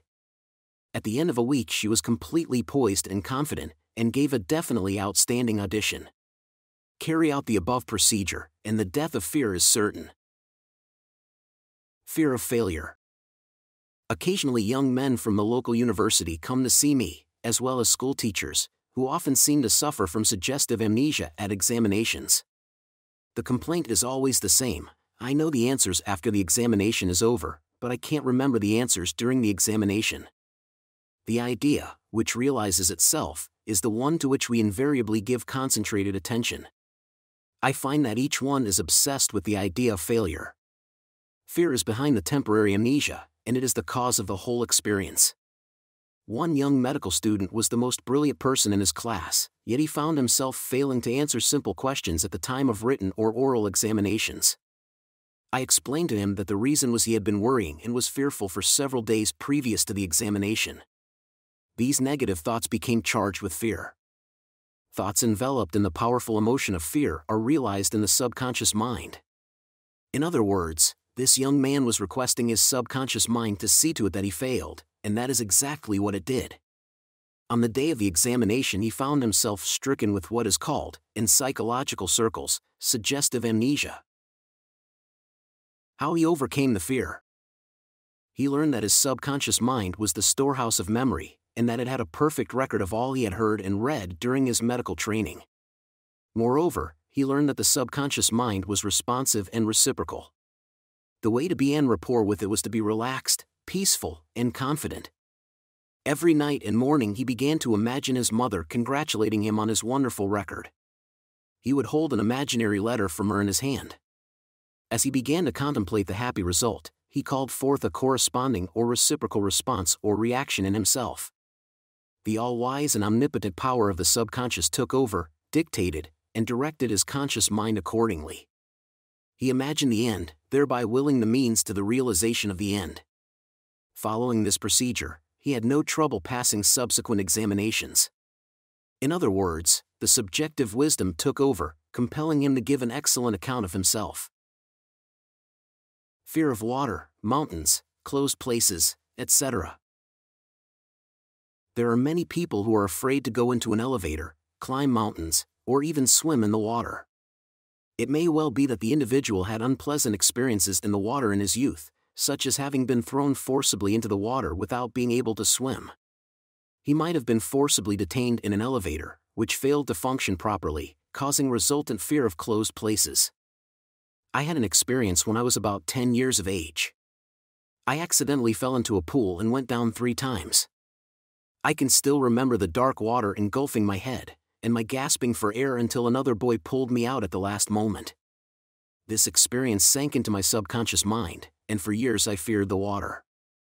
An elderly psychologist said to me, Go down to the swimming pool, look at the water, and say out loud in strong tones, I am going to master you. I can dominate you. Then go into the water, take lessons, and overcome it. This I did, and I mastered the water. Do not permit water to master you. Remember, you are the master of the water. When I assumed a new attitude of mind, the omnipotent power of the subconscious responded, giving me strength, faith, and confidence, and enabling me to overcome my fear. Master technique for overcoming any particular fear. The following is a process and technique for overcoming fear, which I teach from the platform. It works like a charm. Try it! Suppose you are afraid of the water, a mountain, an interview, an audition, or you fear closed places. If you are afraid of swimming, begin now to sit still for 5 or 10 minutes 3 or 4 times a day, and imagine you are swimming. Actually, you are swimming in your mind. It is a subjective experience. Mentally, you have projected yourself into the water. You feel the chill of the water and the movement of your arms and legs. It is all real, vivid, and a joyous activity of the mind. It is not idle daydreaming, for you know that what you are experiencing in your imagination will be developed in your subconscious mind. Then you will be compelled to express the image and likeness of the picture you impressed on your deeper mind. This is the law of the subconscious. You could apply the same technique if you are afraid of mountains or high places. Imagine you are climbing the mountain, feel the reality of it all, enjoy the scenery, knowing that as you continue to do this mentally, you will do it physically with ease and comfort. He blessed the elevator. I knew an executive of a large corporation who was terrified to ride in an elevator. He would walk up five flights of stairs to his office every morning. He said that he began to bless the elevator every night and several times a day. He finally overcame his fear. This was how he blessed the elevator. The elevator in our building is a wonderful idea. It came out of a universal mind. It is a boon and a blessing to all our employees. It gives wonderful service. It operates in divine order. I ride in it in peace and joy. I remain silent now while the currents of life, love, and understanding flow through the patterns of my thought. In my imagination, I am now in the elevator, and I step out into my office. The elevator is full of our employees. I talk to them, and they are friendly, joyous, and free. It is a wonderful experience of freedom, faith, and confidence. I give thanks. He continued this prayer for about 10 days, and on the 11th day, he walked into the elevator with other members of the organization and felt completely free. Normal and abnormal fear. Man is born only with two fears the fear of falling and the fear of noise. These are an alarm system given you by nature as a means of self preservation. Normal fear is good. You hear an automobile coming down the road, and you step aside to survive. The momentary fear of being run over is overcome by your action. All other fears were given to you by parents, relatives, teachers, and all those who influenced your early years. Abnormal fear. Abnormal fear takes place when man lets his imagination run riot. I knew a woman who was invited to go on a trip around the world by plane. She began to cut out of the newspapers all reports of airplane catastrophes. She pictured herself going down in the ocean, being drowned, etc. This is abnormal fear had she persisted in this, she would undoubtedly have attracted what she feared most. Another example of abnormal fear is that of a businessman in New York, who was very prosperous and successful. He had his own private mental motion picture of which he was the director. He would run this mental movie of failure, bankruptcy, empty shelves, and no bank balance until he sank into a deep depression. He refused to stop this morbid imagery and kept reminding his wife that this can't last, there will be a recession, I feel sure we will go bankrupt, etc. His wife told me that he finally did go into bankruptcy, and all the things he imagined and feared came to pass. The things he feared did not exist, but he brought them to pass by constantly fearing, believing, and expecting financial disaster. Job said, The thing I feared has come upon me. There are people who are afraid that something terrible will happen to their children, and that some dread catastrophe will befall them when they read about an epidemic or rare disease, they live in fear that they will catch it, and some imagine they have the disease already. All this is abnormal fear. The answer to abnormal fear. Move mentally to the opposite. To stay at the extreme of fear is stagnation plus mental and physical deterioration. When fear arises, there immediately comes with it a desire for something opposite to the thing feared. Place your attention on the thing immediately desired. Get absorbed and engrossed in your desire, knowing that the subjective always overturns the objective. This attitude will give you confidence and lift your spirits. The infinite power of your subconscious mind is moving on your behalf, and it cannot fail. Therefore, peace and assurance are yours. Examine your fears. The president of a large organization told me that when he was a salesman, he used to walk around the block five or six times before he called on a customer the sales manager came along one day and said to him, Don't be afraid of the boogeyman behind the door. There is no boogeyman. It is a false belief. The manager told him that whenever he looked at his own fears, he stared them in the face and stood up to them, looking them straight in the eye. Then they faded and shrank into insignificance. He landed in the jungle. A chaplain told me of his experiences in the Second World War he had to parachute from a damaged plane and land in the jungle. He said he was frightened, but he knew there were two kinds of fear, normal and abnormal, which we have previously pointed out. He decided to do something about the fear immediately, and began to talk to himself, saying, John, you can't surrender to your fear. Your fear is a desire for safety and security, and a way out. He began to claim, infinite intelligence which guides the planets in their courses is now leading and guiding me out of this jungle. He kept saying this out loud to himself for 10 minutes or more. Then, he added, something began to stir inside me. A mood of confidence began to seize me, and I began to walk. After a few days, I miraculously came out of the jungle and was picked up by a rescue plane. His changed mental attitude saved him. His confidence and trust high the subjective wisdom and power within him was the solution to his problem. He said, Had I begun to bemoan my fate and indulge my fears, I would have succumbed to the monster fear, and probably would have died of fear and starvation. He dismissed himself. The general manager of an organization told me that for three years he feared he would lose his position. He was always imagining failure. The thing he feared did not exist, save as a morbid anxious thought in his own mind. His vivid imagination dramatized the loss of his job until he became nervous and neurotic. Finally, he was asked to resign. Actually, he dismissed himself. His constant negative imagery and fear suggestions to his subconscious mind caused the latter to respond and react accordingly. It caused him to make mistakes and foolish decisions, which resulted in his failure as a general manager his dismissal would never have happened. If he had immediately moved to the opposite in his mind. They plotted against him.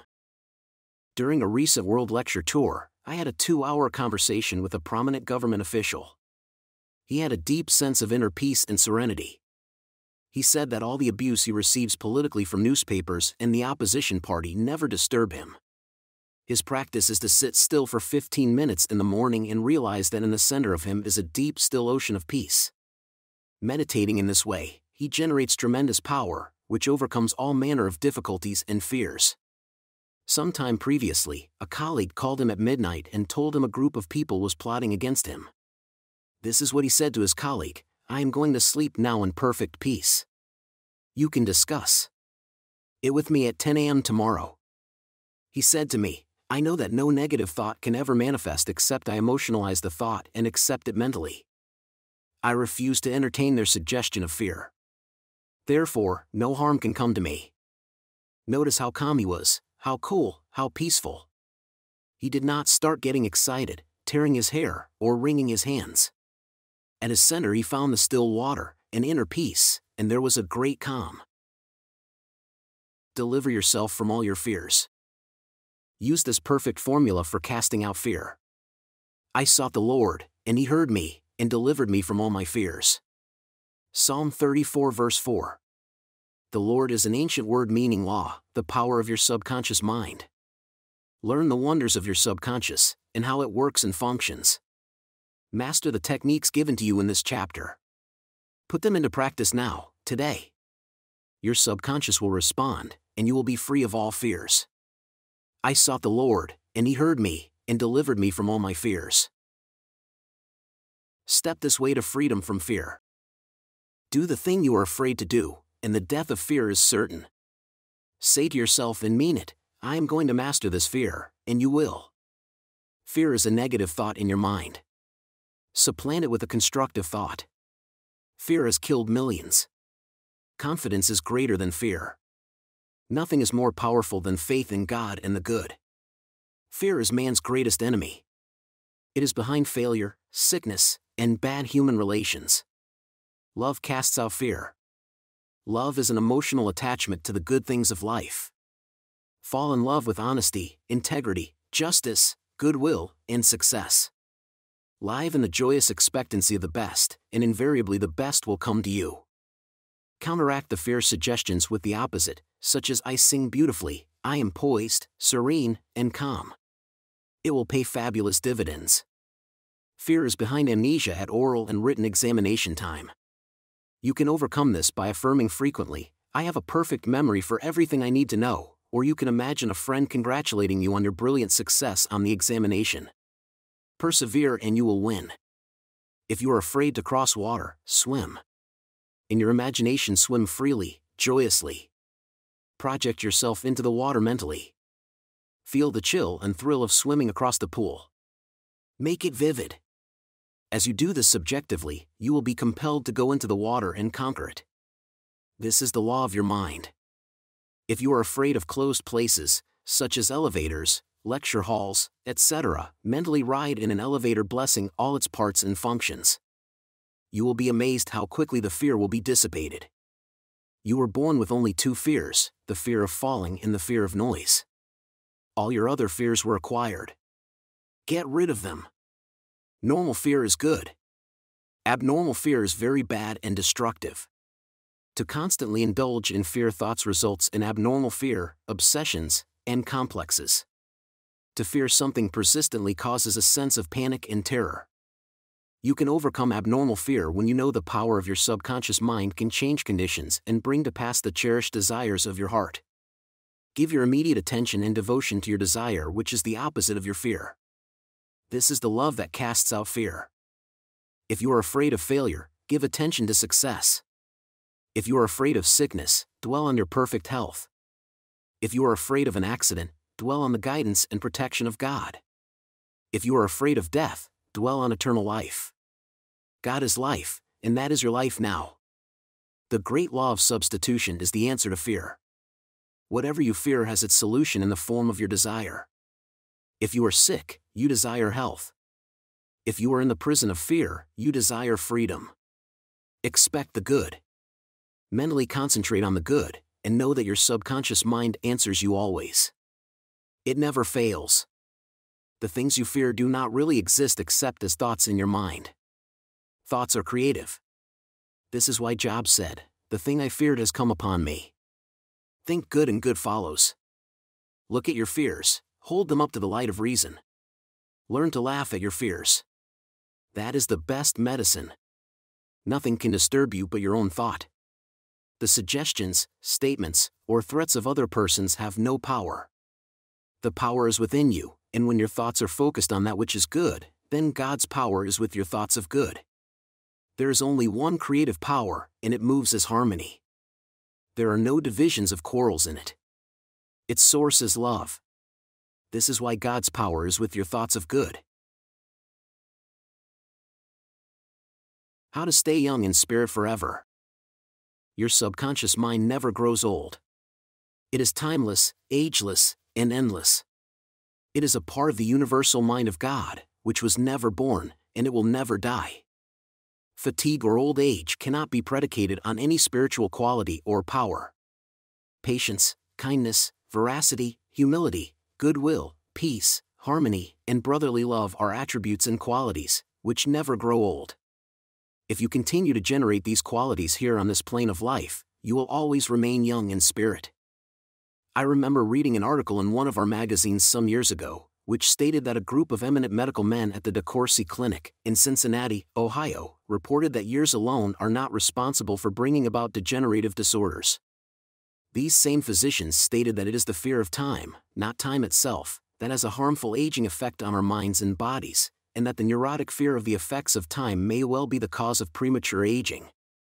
During the many years of my public life, I have had occasion to study the biographies of the famous men and women who have continued their productive activities into the years well beyond the normal span of life.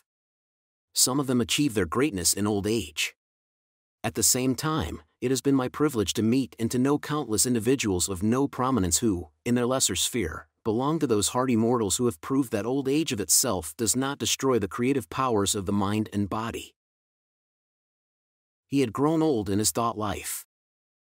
A few years ago, I called on an old friend in London, England. He was over 80 years of age, very ill, and obviously was yielding to his advancing years. Our conversation revealed his physical weakness, his sense of frustration, and a general deterioration almost approaching lifelessness. His cry was that he was useless and that no one wanted him. With an expression of hopelessness, he betrayed his false philosophy we are born, grow up, become old, good for nothing, and that's the end. This mental attitude of futility and worthlessness was the chief reason for his sickness. He was looking forward only to senescence, and after that, nothing. Indeed, he had grown old in his thought life, and his subconscious mind brought about all the evidence of his habitual thinking. Age is the dawn of wisdom. Unfortunately, many people have the same attitude as this unhappy man. They are afraid of what they term old age, the end, and extinction, which really means that they are afraid of life. Yet, life is endless. Age is not the flight of years, but the dawn of wisdom. Wisdom is an awareness of the tremendous spiritual powers in your subconscious mind and the knowledge of how to apply these powers to lead a full and happy life. Get it out of your head once and for all that 65, 75, or 85 years of age is synonymous with the end for you or anybody else. It can be the beginning of a glorious, fruitful, active, and most productive life pattern, better than you have ever experienced. Believe this, expect it, and your subconscious will bring it to pass. Welcome the change. Old age is not a tragic occurrence. What we call the aging process is really change. It is to be welcomed joyfully and gladly as each phase of human life is a step forward on the path, which has no end. Man has powers, which transcend his bodily powers. He has senses, which transcend his five physical senses. Scientists today are finding positive indisputable evidence that something conscious in man can leave his present body and travel thousands of miles to see, hear, touch, and speak to people even though his physical body never leaves the couch on which it reclines. Man's life is spiritual and eternal. He need never grow old for life, or God cannot grow old the Bible says that God is life. Life is self renewing, eternal, indestructible, and is the reality of all men. Evidence for survival. The evidence gathered by the psychical research societies both in Great Britain and America is overwhelming. You may go into any large metropolitan library and get volumes on the proceedings of the Psychical Research Society based on findings of distinguished scientists on survival following so called death you will find a startling report on scientific experiments establishing the reality of life after death in the case for psychic survival by Hereward Carrington, director of the American Psychical Institute. Life is. A woman asked Thomas Edison, the electrical wizard, Mr. Edison, what is electricity? He replied, Madam, electricity is. Use it. Electricity is a name we give an invisible power which we do not fully comprehend but we learn all we can about the principle of electricity and its uses. We use it in countless ways. The scientist cannot see an electron with his eyes, yet he accepts it as a scientific fact, because it is the only valid conclusion, which coincides with his other experimental evidence. We cannot see life. However, we know we are alive. Life is, and we are here to express it in all its beauty and glory. Mind and spirit do not grow old the Bible says, and this is life eternal, that they might know thee the only true God. John 17, 3. The man who thinks or believes that the earthly cycle of birth, adolescence, youth, maturity, and old age is all there is to life, is indeed to be pitied. Such a man has no anchor, no hope, no vision, and to him life has no meaning. This type of belief brings frustration, stagnation, cynicism, and a sense of hopelessness resulting in neurosis and mental aberrations of all kinds. If you cannot play a fast game of tennis, or swim as fast as your son, or if your body has slowed down, or you walk with a slow step, remember life is always clothing itself anew. What men call death is but a journey to a new city in another dimension of life. I say to men and women in my lectures that they should accept what we call old age gracefully. Age has its own glory, beauty, and wisdom, which belong to it. Peace, love, joy, beauty, happiness, wisdom, goodwill, and understanding are qualities, which never grow old or die. Ralph Waldo Emerson, poet and philosopher, said, We do not count a man's years until he has nothing else to count. Your character, the quality of your mind, your faith, and your convictions are not subject to decay. You are as young as you think you are. I give public lectures in Caxton Hall, London, England, every few years, and following one of these lectures, a surgeon said to me, I am 84 years of age. I operate every morning, visit patients in the afternoons, and I write for medical and other scientific journals in the evening. His attitude was that he was as useful as he believed himself to be, and that he was as young as his thoughts. He said to me, It's true what you said, man is as strong as he thinks he is, and as valuable as he thinks he is. This surgeon has not surrendered to advancing years. He knows that he is immortal. His final comment to me was if I should pass on tomorrow, I would be operating on people in the next dimension, not with a surgeon's scalpel, but with mental and spiritual surgery. Your gray hairs are an asset. Don't ever quit a job and say, I am retired, I am old, I am finished. That would be stagnation, death, and you would be finished. Some men are old at 30, while others are young at 80. the mind is the master weaver, the architect, the designer, and the sculptor. George Bernard Shaw was active at 90, and the artistic quality of his mind had not relaxed from active duty. I meet men and women who tell me that some employers almost slam the door in their faces when they say they are over 40. This attitude on the part of the employers is to be considered cold, callous, evil, and completely void of compassion and understanding. The total emphasis seems to be on youth, i.e., you must be under 35 years of age to receive consideration. The reasoning behind this is certainly very shallow. If the employer would stop and think, he would realize that the man or woman was not selling his age or gray hair, rather, he was willing to give of his talents, his experience, and his wisdom gathered through years of experience in the marketplace of life. Age is an asset. Your age should be a distinct asset to any organization, because of your practice and application through the years of the principles of the Golden Rule and the law of love and goodwill. Your gray hair, if you have any, should stand for greater wisdom, skill, and understanding. Your emotional and spiritual maturity should be a tremendous blessing to any organization. A man should not be asked to resign when he is 65 years of age. That is the time of life when he could be most useful in handling personnel problems, making plans for the future, making decisions, and guiding others in the realm of creative ideas based on his experience and insight into the nature of the business. Be your age. A motion picture writer in Hollywood told me that he had to write scripts, which would cater to the 12 year old mind. This is a tragic state of affairs if the great masses of people are expected to become emotionally and spiritually mature. It means that the emphasis is placed on youth in spite of the fact that youth stands for inexperience, lack of discernment, and hasty judgment. I can keep up with the best of them. I am now thinking of a man 65 years of age who is trying frantically to keep young. He swims with young men every Sunday, goes on long hikes, plays tennis, and boasts of his prowess and physical powers, saying, Look, I can keep up with the best of them. He should remember the great truth as a man thinketh in his heart, so is he. Prof. 23, 7. Diets, exercises, and games of all kinds will not keep this man young. It is necessary for him to observe that he grows old or remains young in accordance with his processes of thinking. Your subconscious mind is conditioned by your thoughts. If your thoughts are constantly on the beautiful, the noble, and the good, you will remain young regardless of the chronological years. Fear of old age. Job said, the thing which I greatly feared has come upon me. There are many people who fear old age and are uncertain about the future, because they anticipate mental and physical deterioration as the years advance. What they think and feel comes to pass. You grow old when you lose interest in life, when you cease to dream, to hunger after new truths, and to search for new worlds to conquer.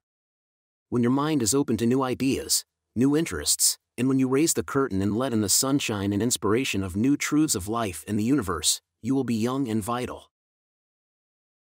You have much to give. If you are 65 or 95 years of age, realize you have much to give. You can help stabilize, advise, and direct the younger generation. You can give the benefit of your knowledge, your experience, and your wisdom.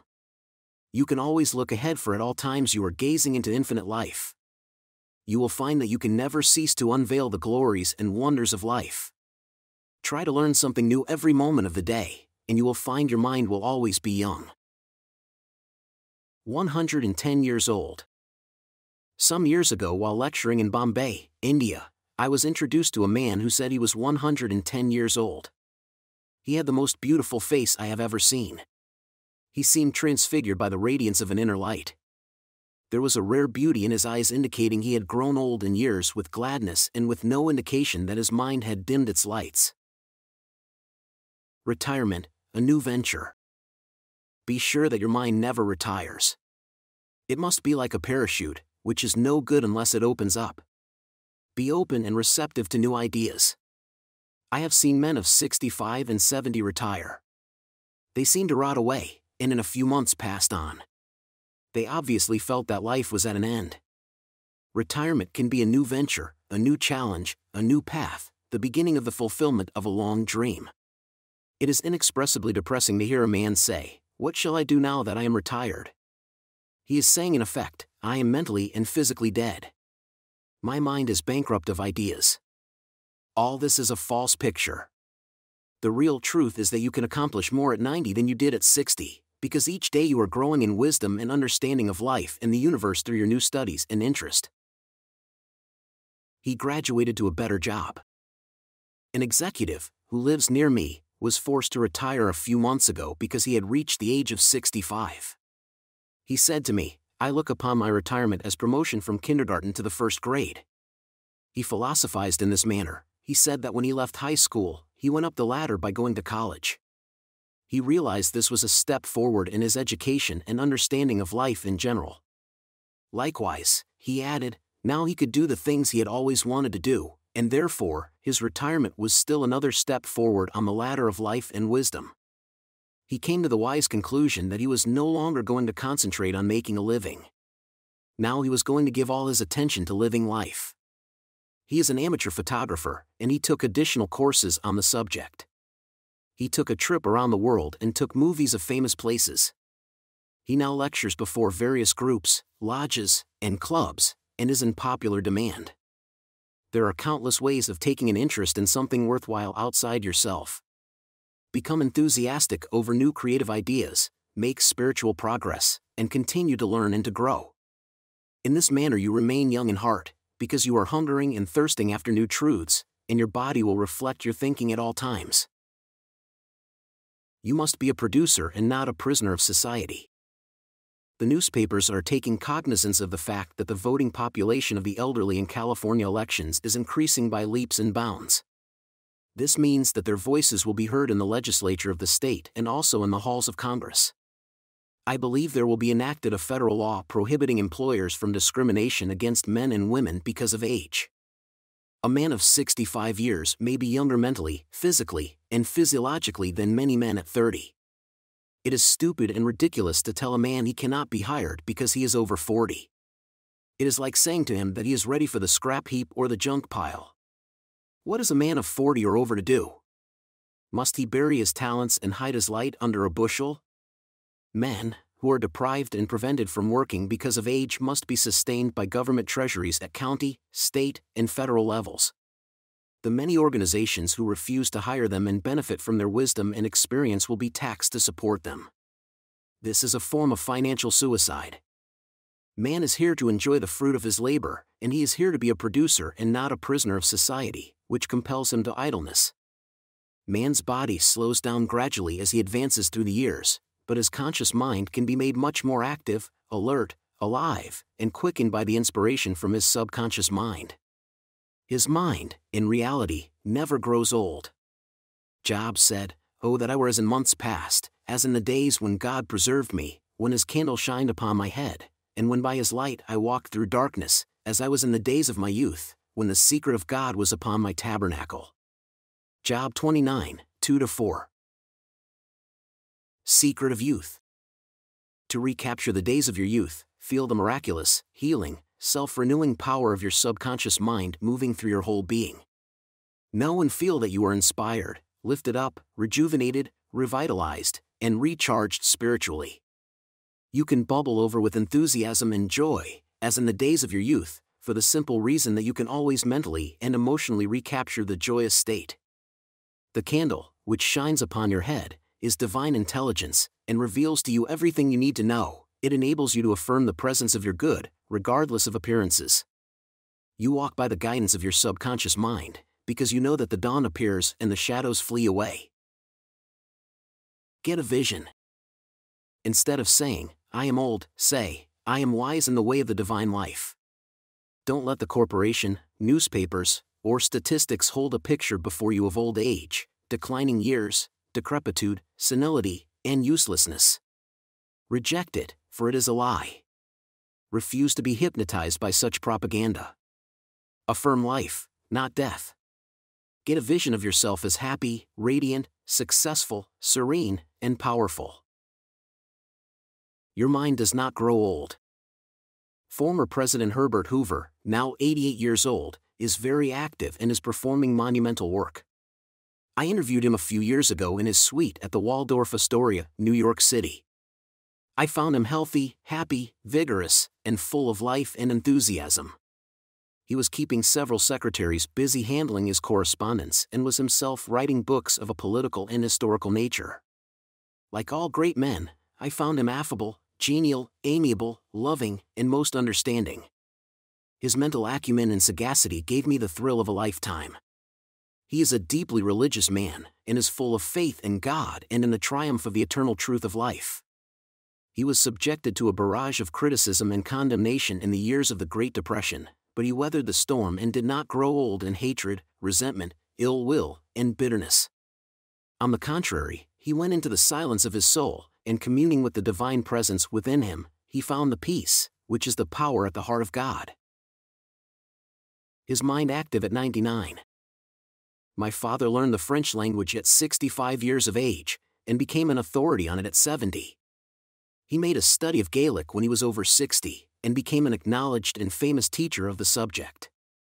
He assisted my sister in a school of higher learning and continued to do so until he passed away at 99. His mind was as clear at 99 as it was when he was 20. Moreover, his handwriting and his reasoning powers had improved with age. Truly, you are as old as you think and feel. We need our senior citizens. Marcus Porcius Cato, the Roman patriot, learned Greek at 80. Madame Ernestine Schumann Heink, the great German American contralto, reached the pinnacle of her musical success after she became a grandmother. It is wonderful to behold the accomplishments of the oldsters. General Douglas MacArthur, Harry S. Truman, General Dwight David Eisenhower, and American financier Bernard Baruch are interesting, active, and contributing their talents and wisdom to the world. The Greek philosopher Socrates learned to play musical instruments when he was 80 years old. Michelangelo was painting his greatest canvases at 80. At 80, Ceos' Simonides won the prize for poetry, Johann von Goethe finished Faust, and Leopold von Ranke commenced his History of the World, which he finished at 92. Alfred Tennyson wrote a magnificent poem, Crossing the Bar, at Isaac Newton was hard at work close to 85. At 88 John Wesley was directing, preaching, and guiding Methodism. We have several men of 95 years who come to my lectures, and they tell me they are in better health now than they were at 20. Let us place our senior citizens in high places and give them every opportunity to bring forth the flowers of paradise. If you are retired, get interested in the laws of life and the wonders of your subconscious mind. Do something you have always wanted to do. Study new subjects and investigate new ideas. Pray as follows As the hart panteth after the water brooks, so panteth my soul after thee, O God. Psalm 42, 1. The fruits of old age. His flesh shall be fresher than a child's, he shall return to the days of his youth. Job 33, 25. Old age really means the contemplation of the truths of God from the highest standpoint. Realize that you are on an endless journey, a series of important steps in the ceaseless, tireless, endless ocean of life. Then, with the psalmist, you will say, they shall still bring forth fruit in old age, they shall be fat and flourishing. Psalm 92, 14. But the fruit of the Spirit is love, joy, peace, patience, gentleness, goodness, faith, meekness, temperance, against such there is no law. Galatians 5, 22 23. You are a son of infinite life, which knows no end, and you are a child of eternity. Profitable pointers patience, kindness, love, goodwill, joy, happiness, wisdom, and understanding are qualities which never grow old. Cultivate them and express them, and remain young in mind and body. Some research physicians say that the neurotic fear of the effects of time may well be the cause of premature aging. Age is not the flight of years, it is the dawn of wisdom in the mind of man. The most productive years of your life can be from 65 to 95 welcome the advancing years. It means you are moving higher on the path of life, which has no end. God is life, and that is your life now. Life is self renewing, eternal, and indestructible, and is the reality of all men. You live forever, because your life is God's life. Evidence of survival after death is overwhelming. Study Proceedings of Psychical Research Society of Great Britain and America in your library. Outstanding scientists base the work on the scientific research for over 75 years. You cannot see your mind, but you know you have a mind. You cannot see spirit, but you know that the spirit of the game, the spirit of the artist, the spirit of the musician, and the spirit of the speaker is real. Likewise, the spirit of goodness, truth, and beauty moving in your mind and heart are real.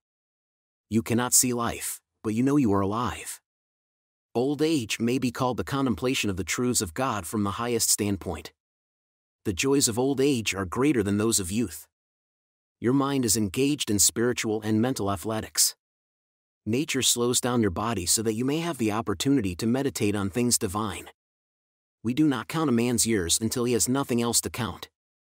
Your faith and convictions are not subject to decay. You are as young as you think you are. You are as strong as you think you are. You are as useful as you think you are. You are as young as your thoughts. Your gray hair is an asset. You are not selling your gray hairs. You are selling your talent, abilities, and wisdom, which you have garnered through the years. Diets and exercises won't keep you young. As a man thinketh, so is he. Fear of old age can bring about physical and mental deterioration. The thing I greatly feared has come upon me. You grow old when you cease to dream, and when you lose interest in life. You grow old if you are irritable, crotchety, petulant, and cantankerous. Fill your mind with the truths of God and radiate the sunshine of His love. This is youth. Look ahead, for at all times you are gazing into infinite life. Your retirement is a new venture. Take up new studies and new interests. You can now do the things you always wanted to do when you were so busy making a living. Give your attention to living life. Become a producer and not a prisoner of society. Don't hide your light under a bushel. The secret of youth is love, joy, inner peace, and laughter. In Him there is fullness of joy. In Him there is no darkness at all. You are needed. Some of the great philosophers, artists, scientists, writers, and others accomplished their greatest work after they were 80 years old. The fruits of old age are love, joy, peace, patience, gentleness, goodness, faith, meekness, and temperance. You are a son of infinite life, which knows no end. You are a child of eternity. You are wonderful.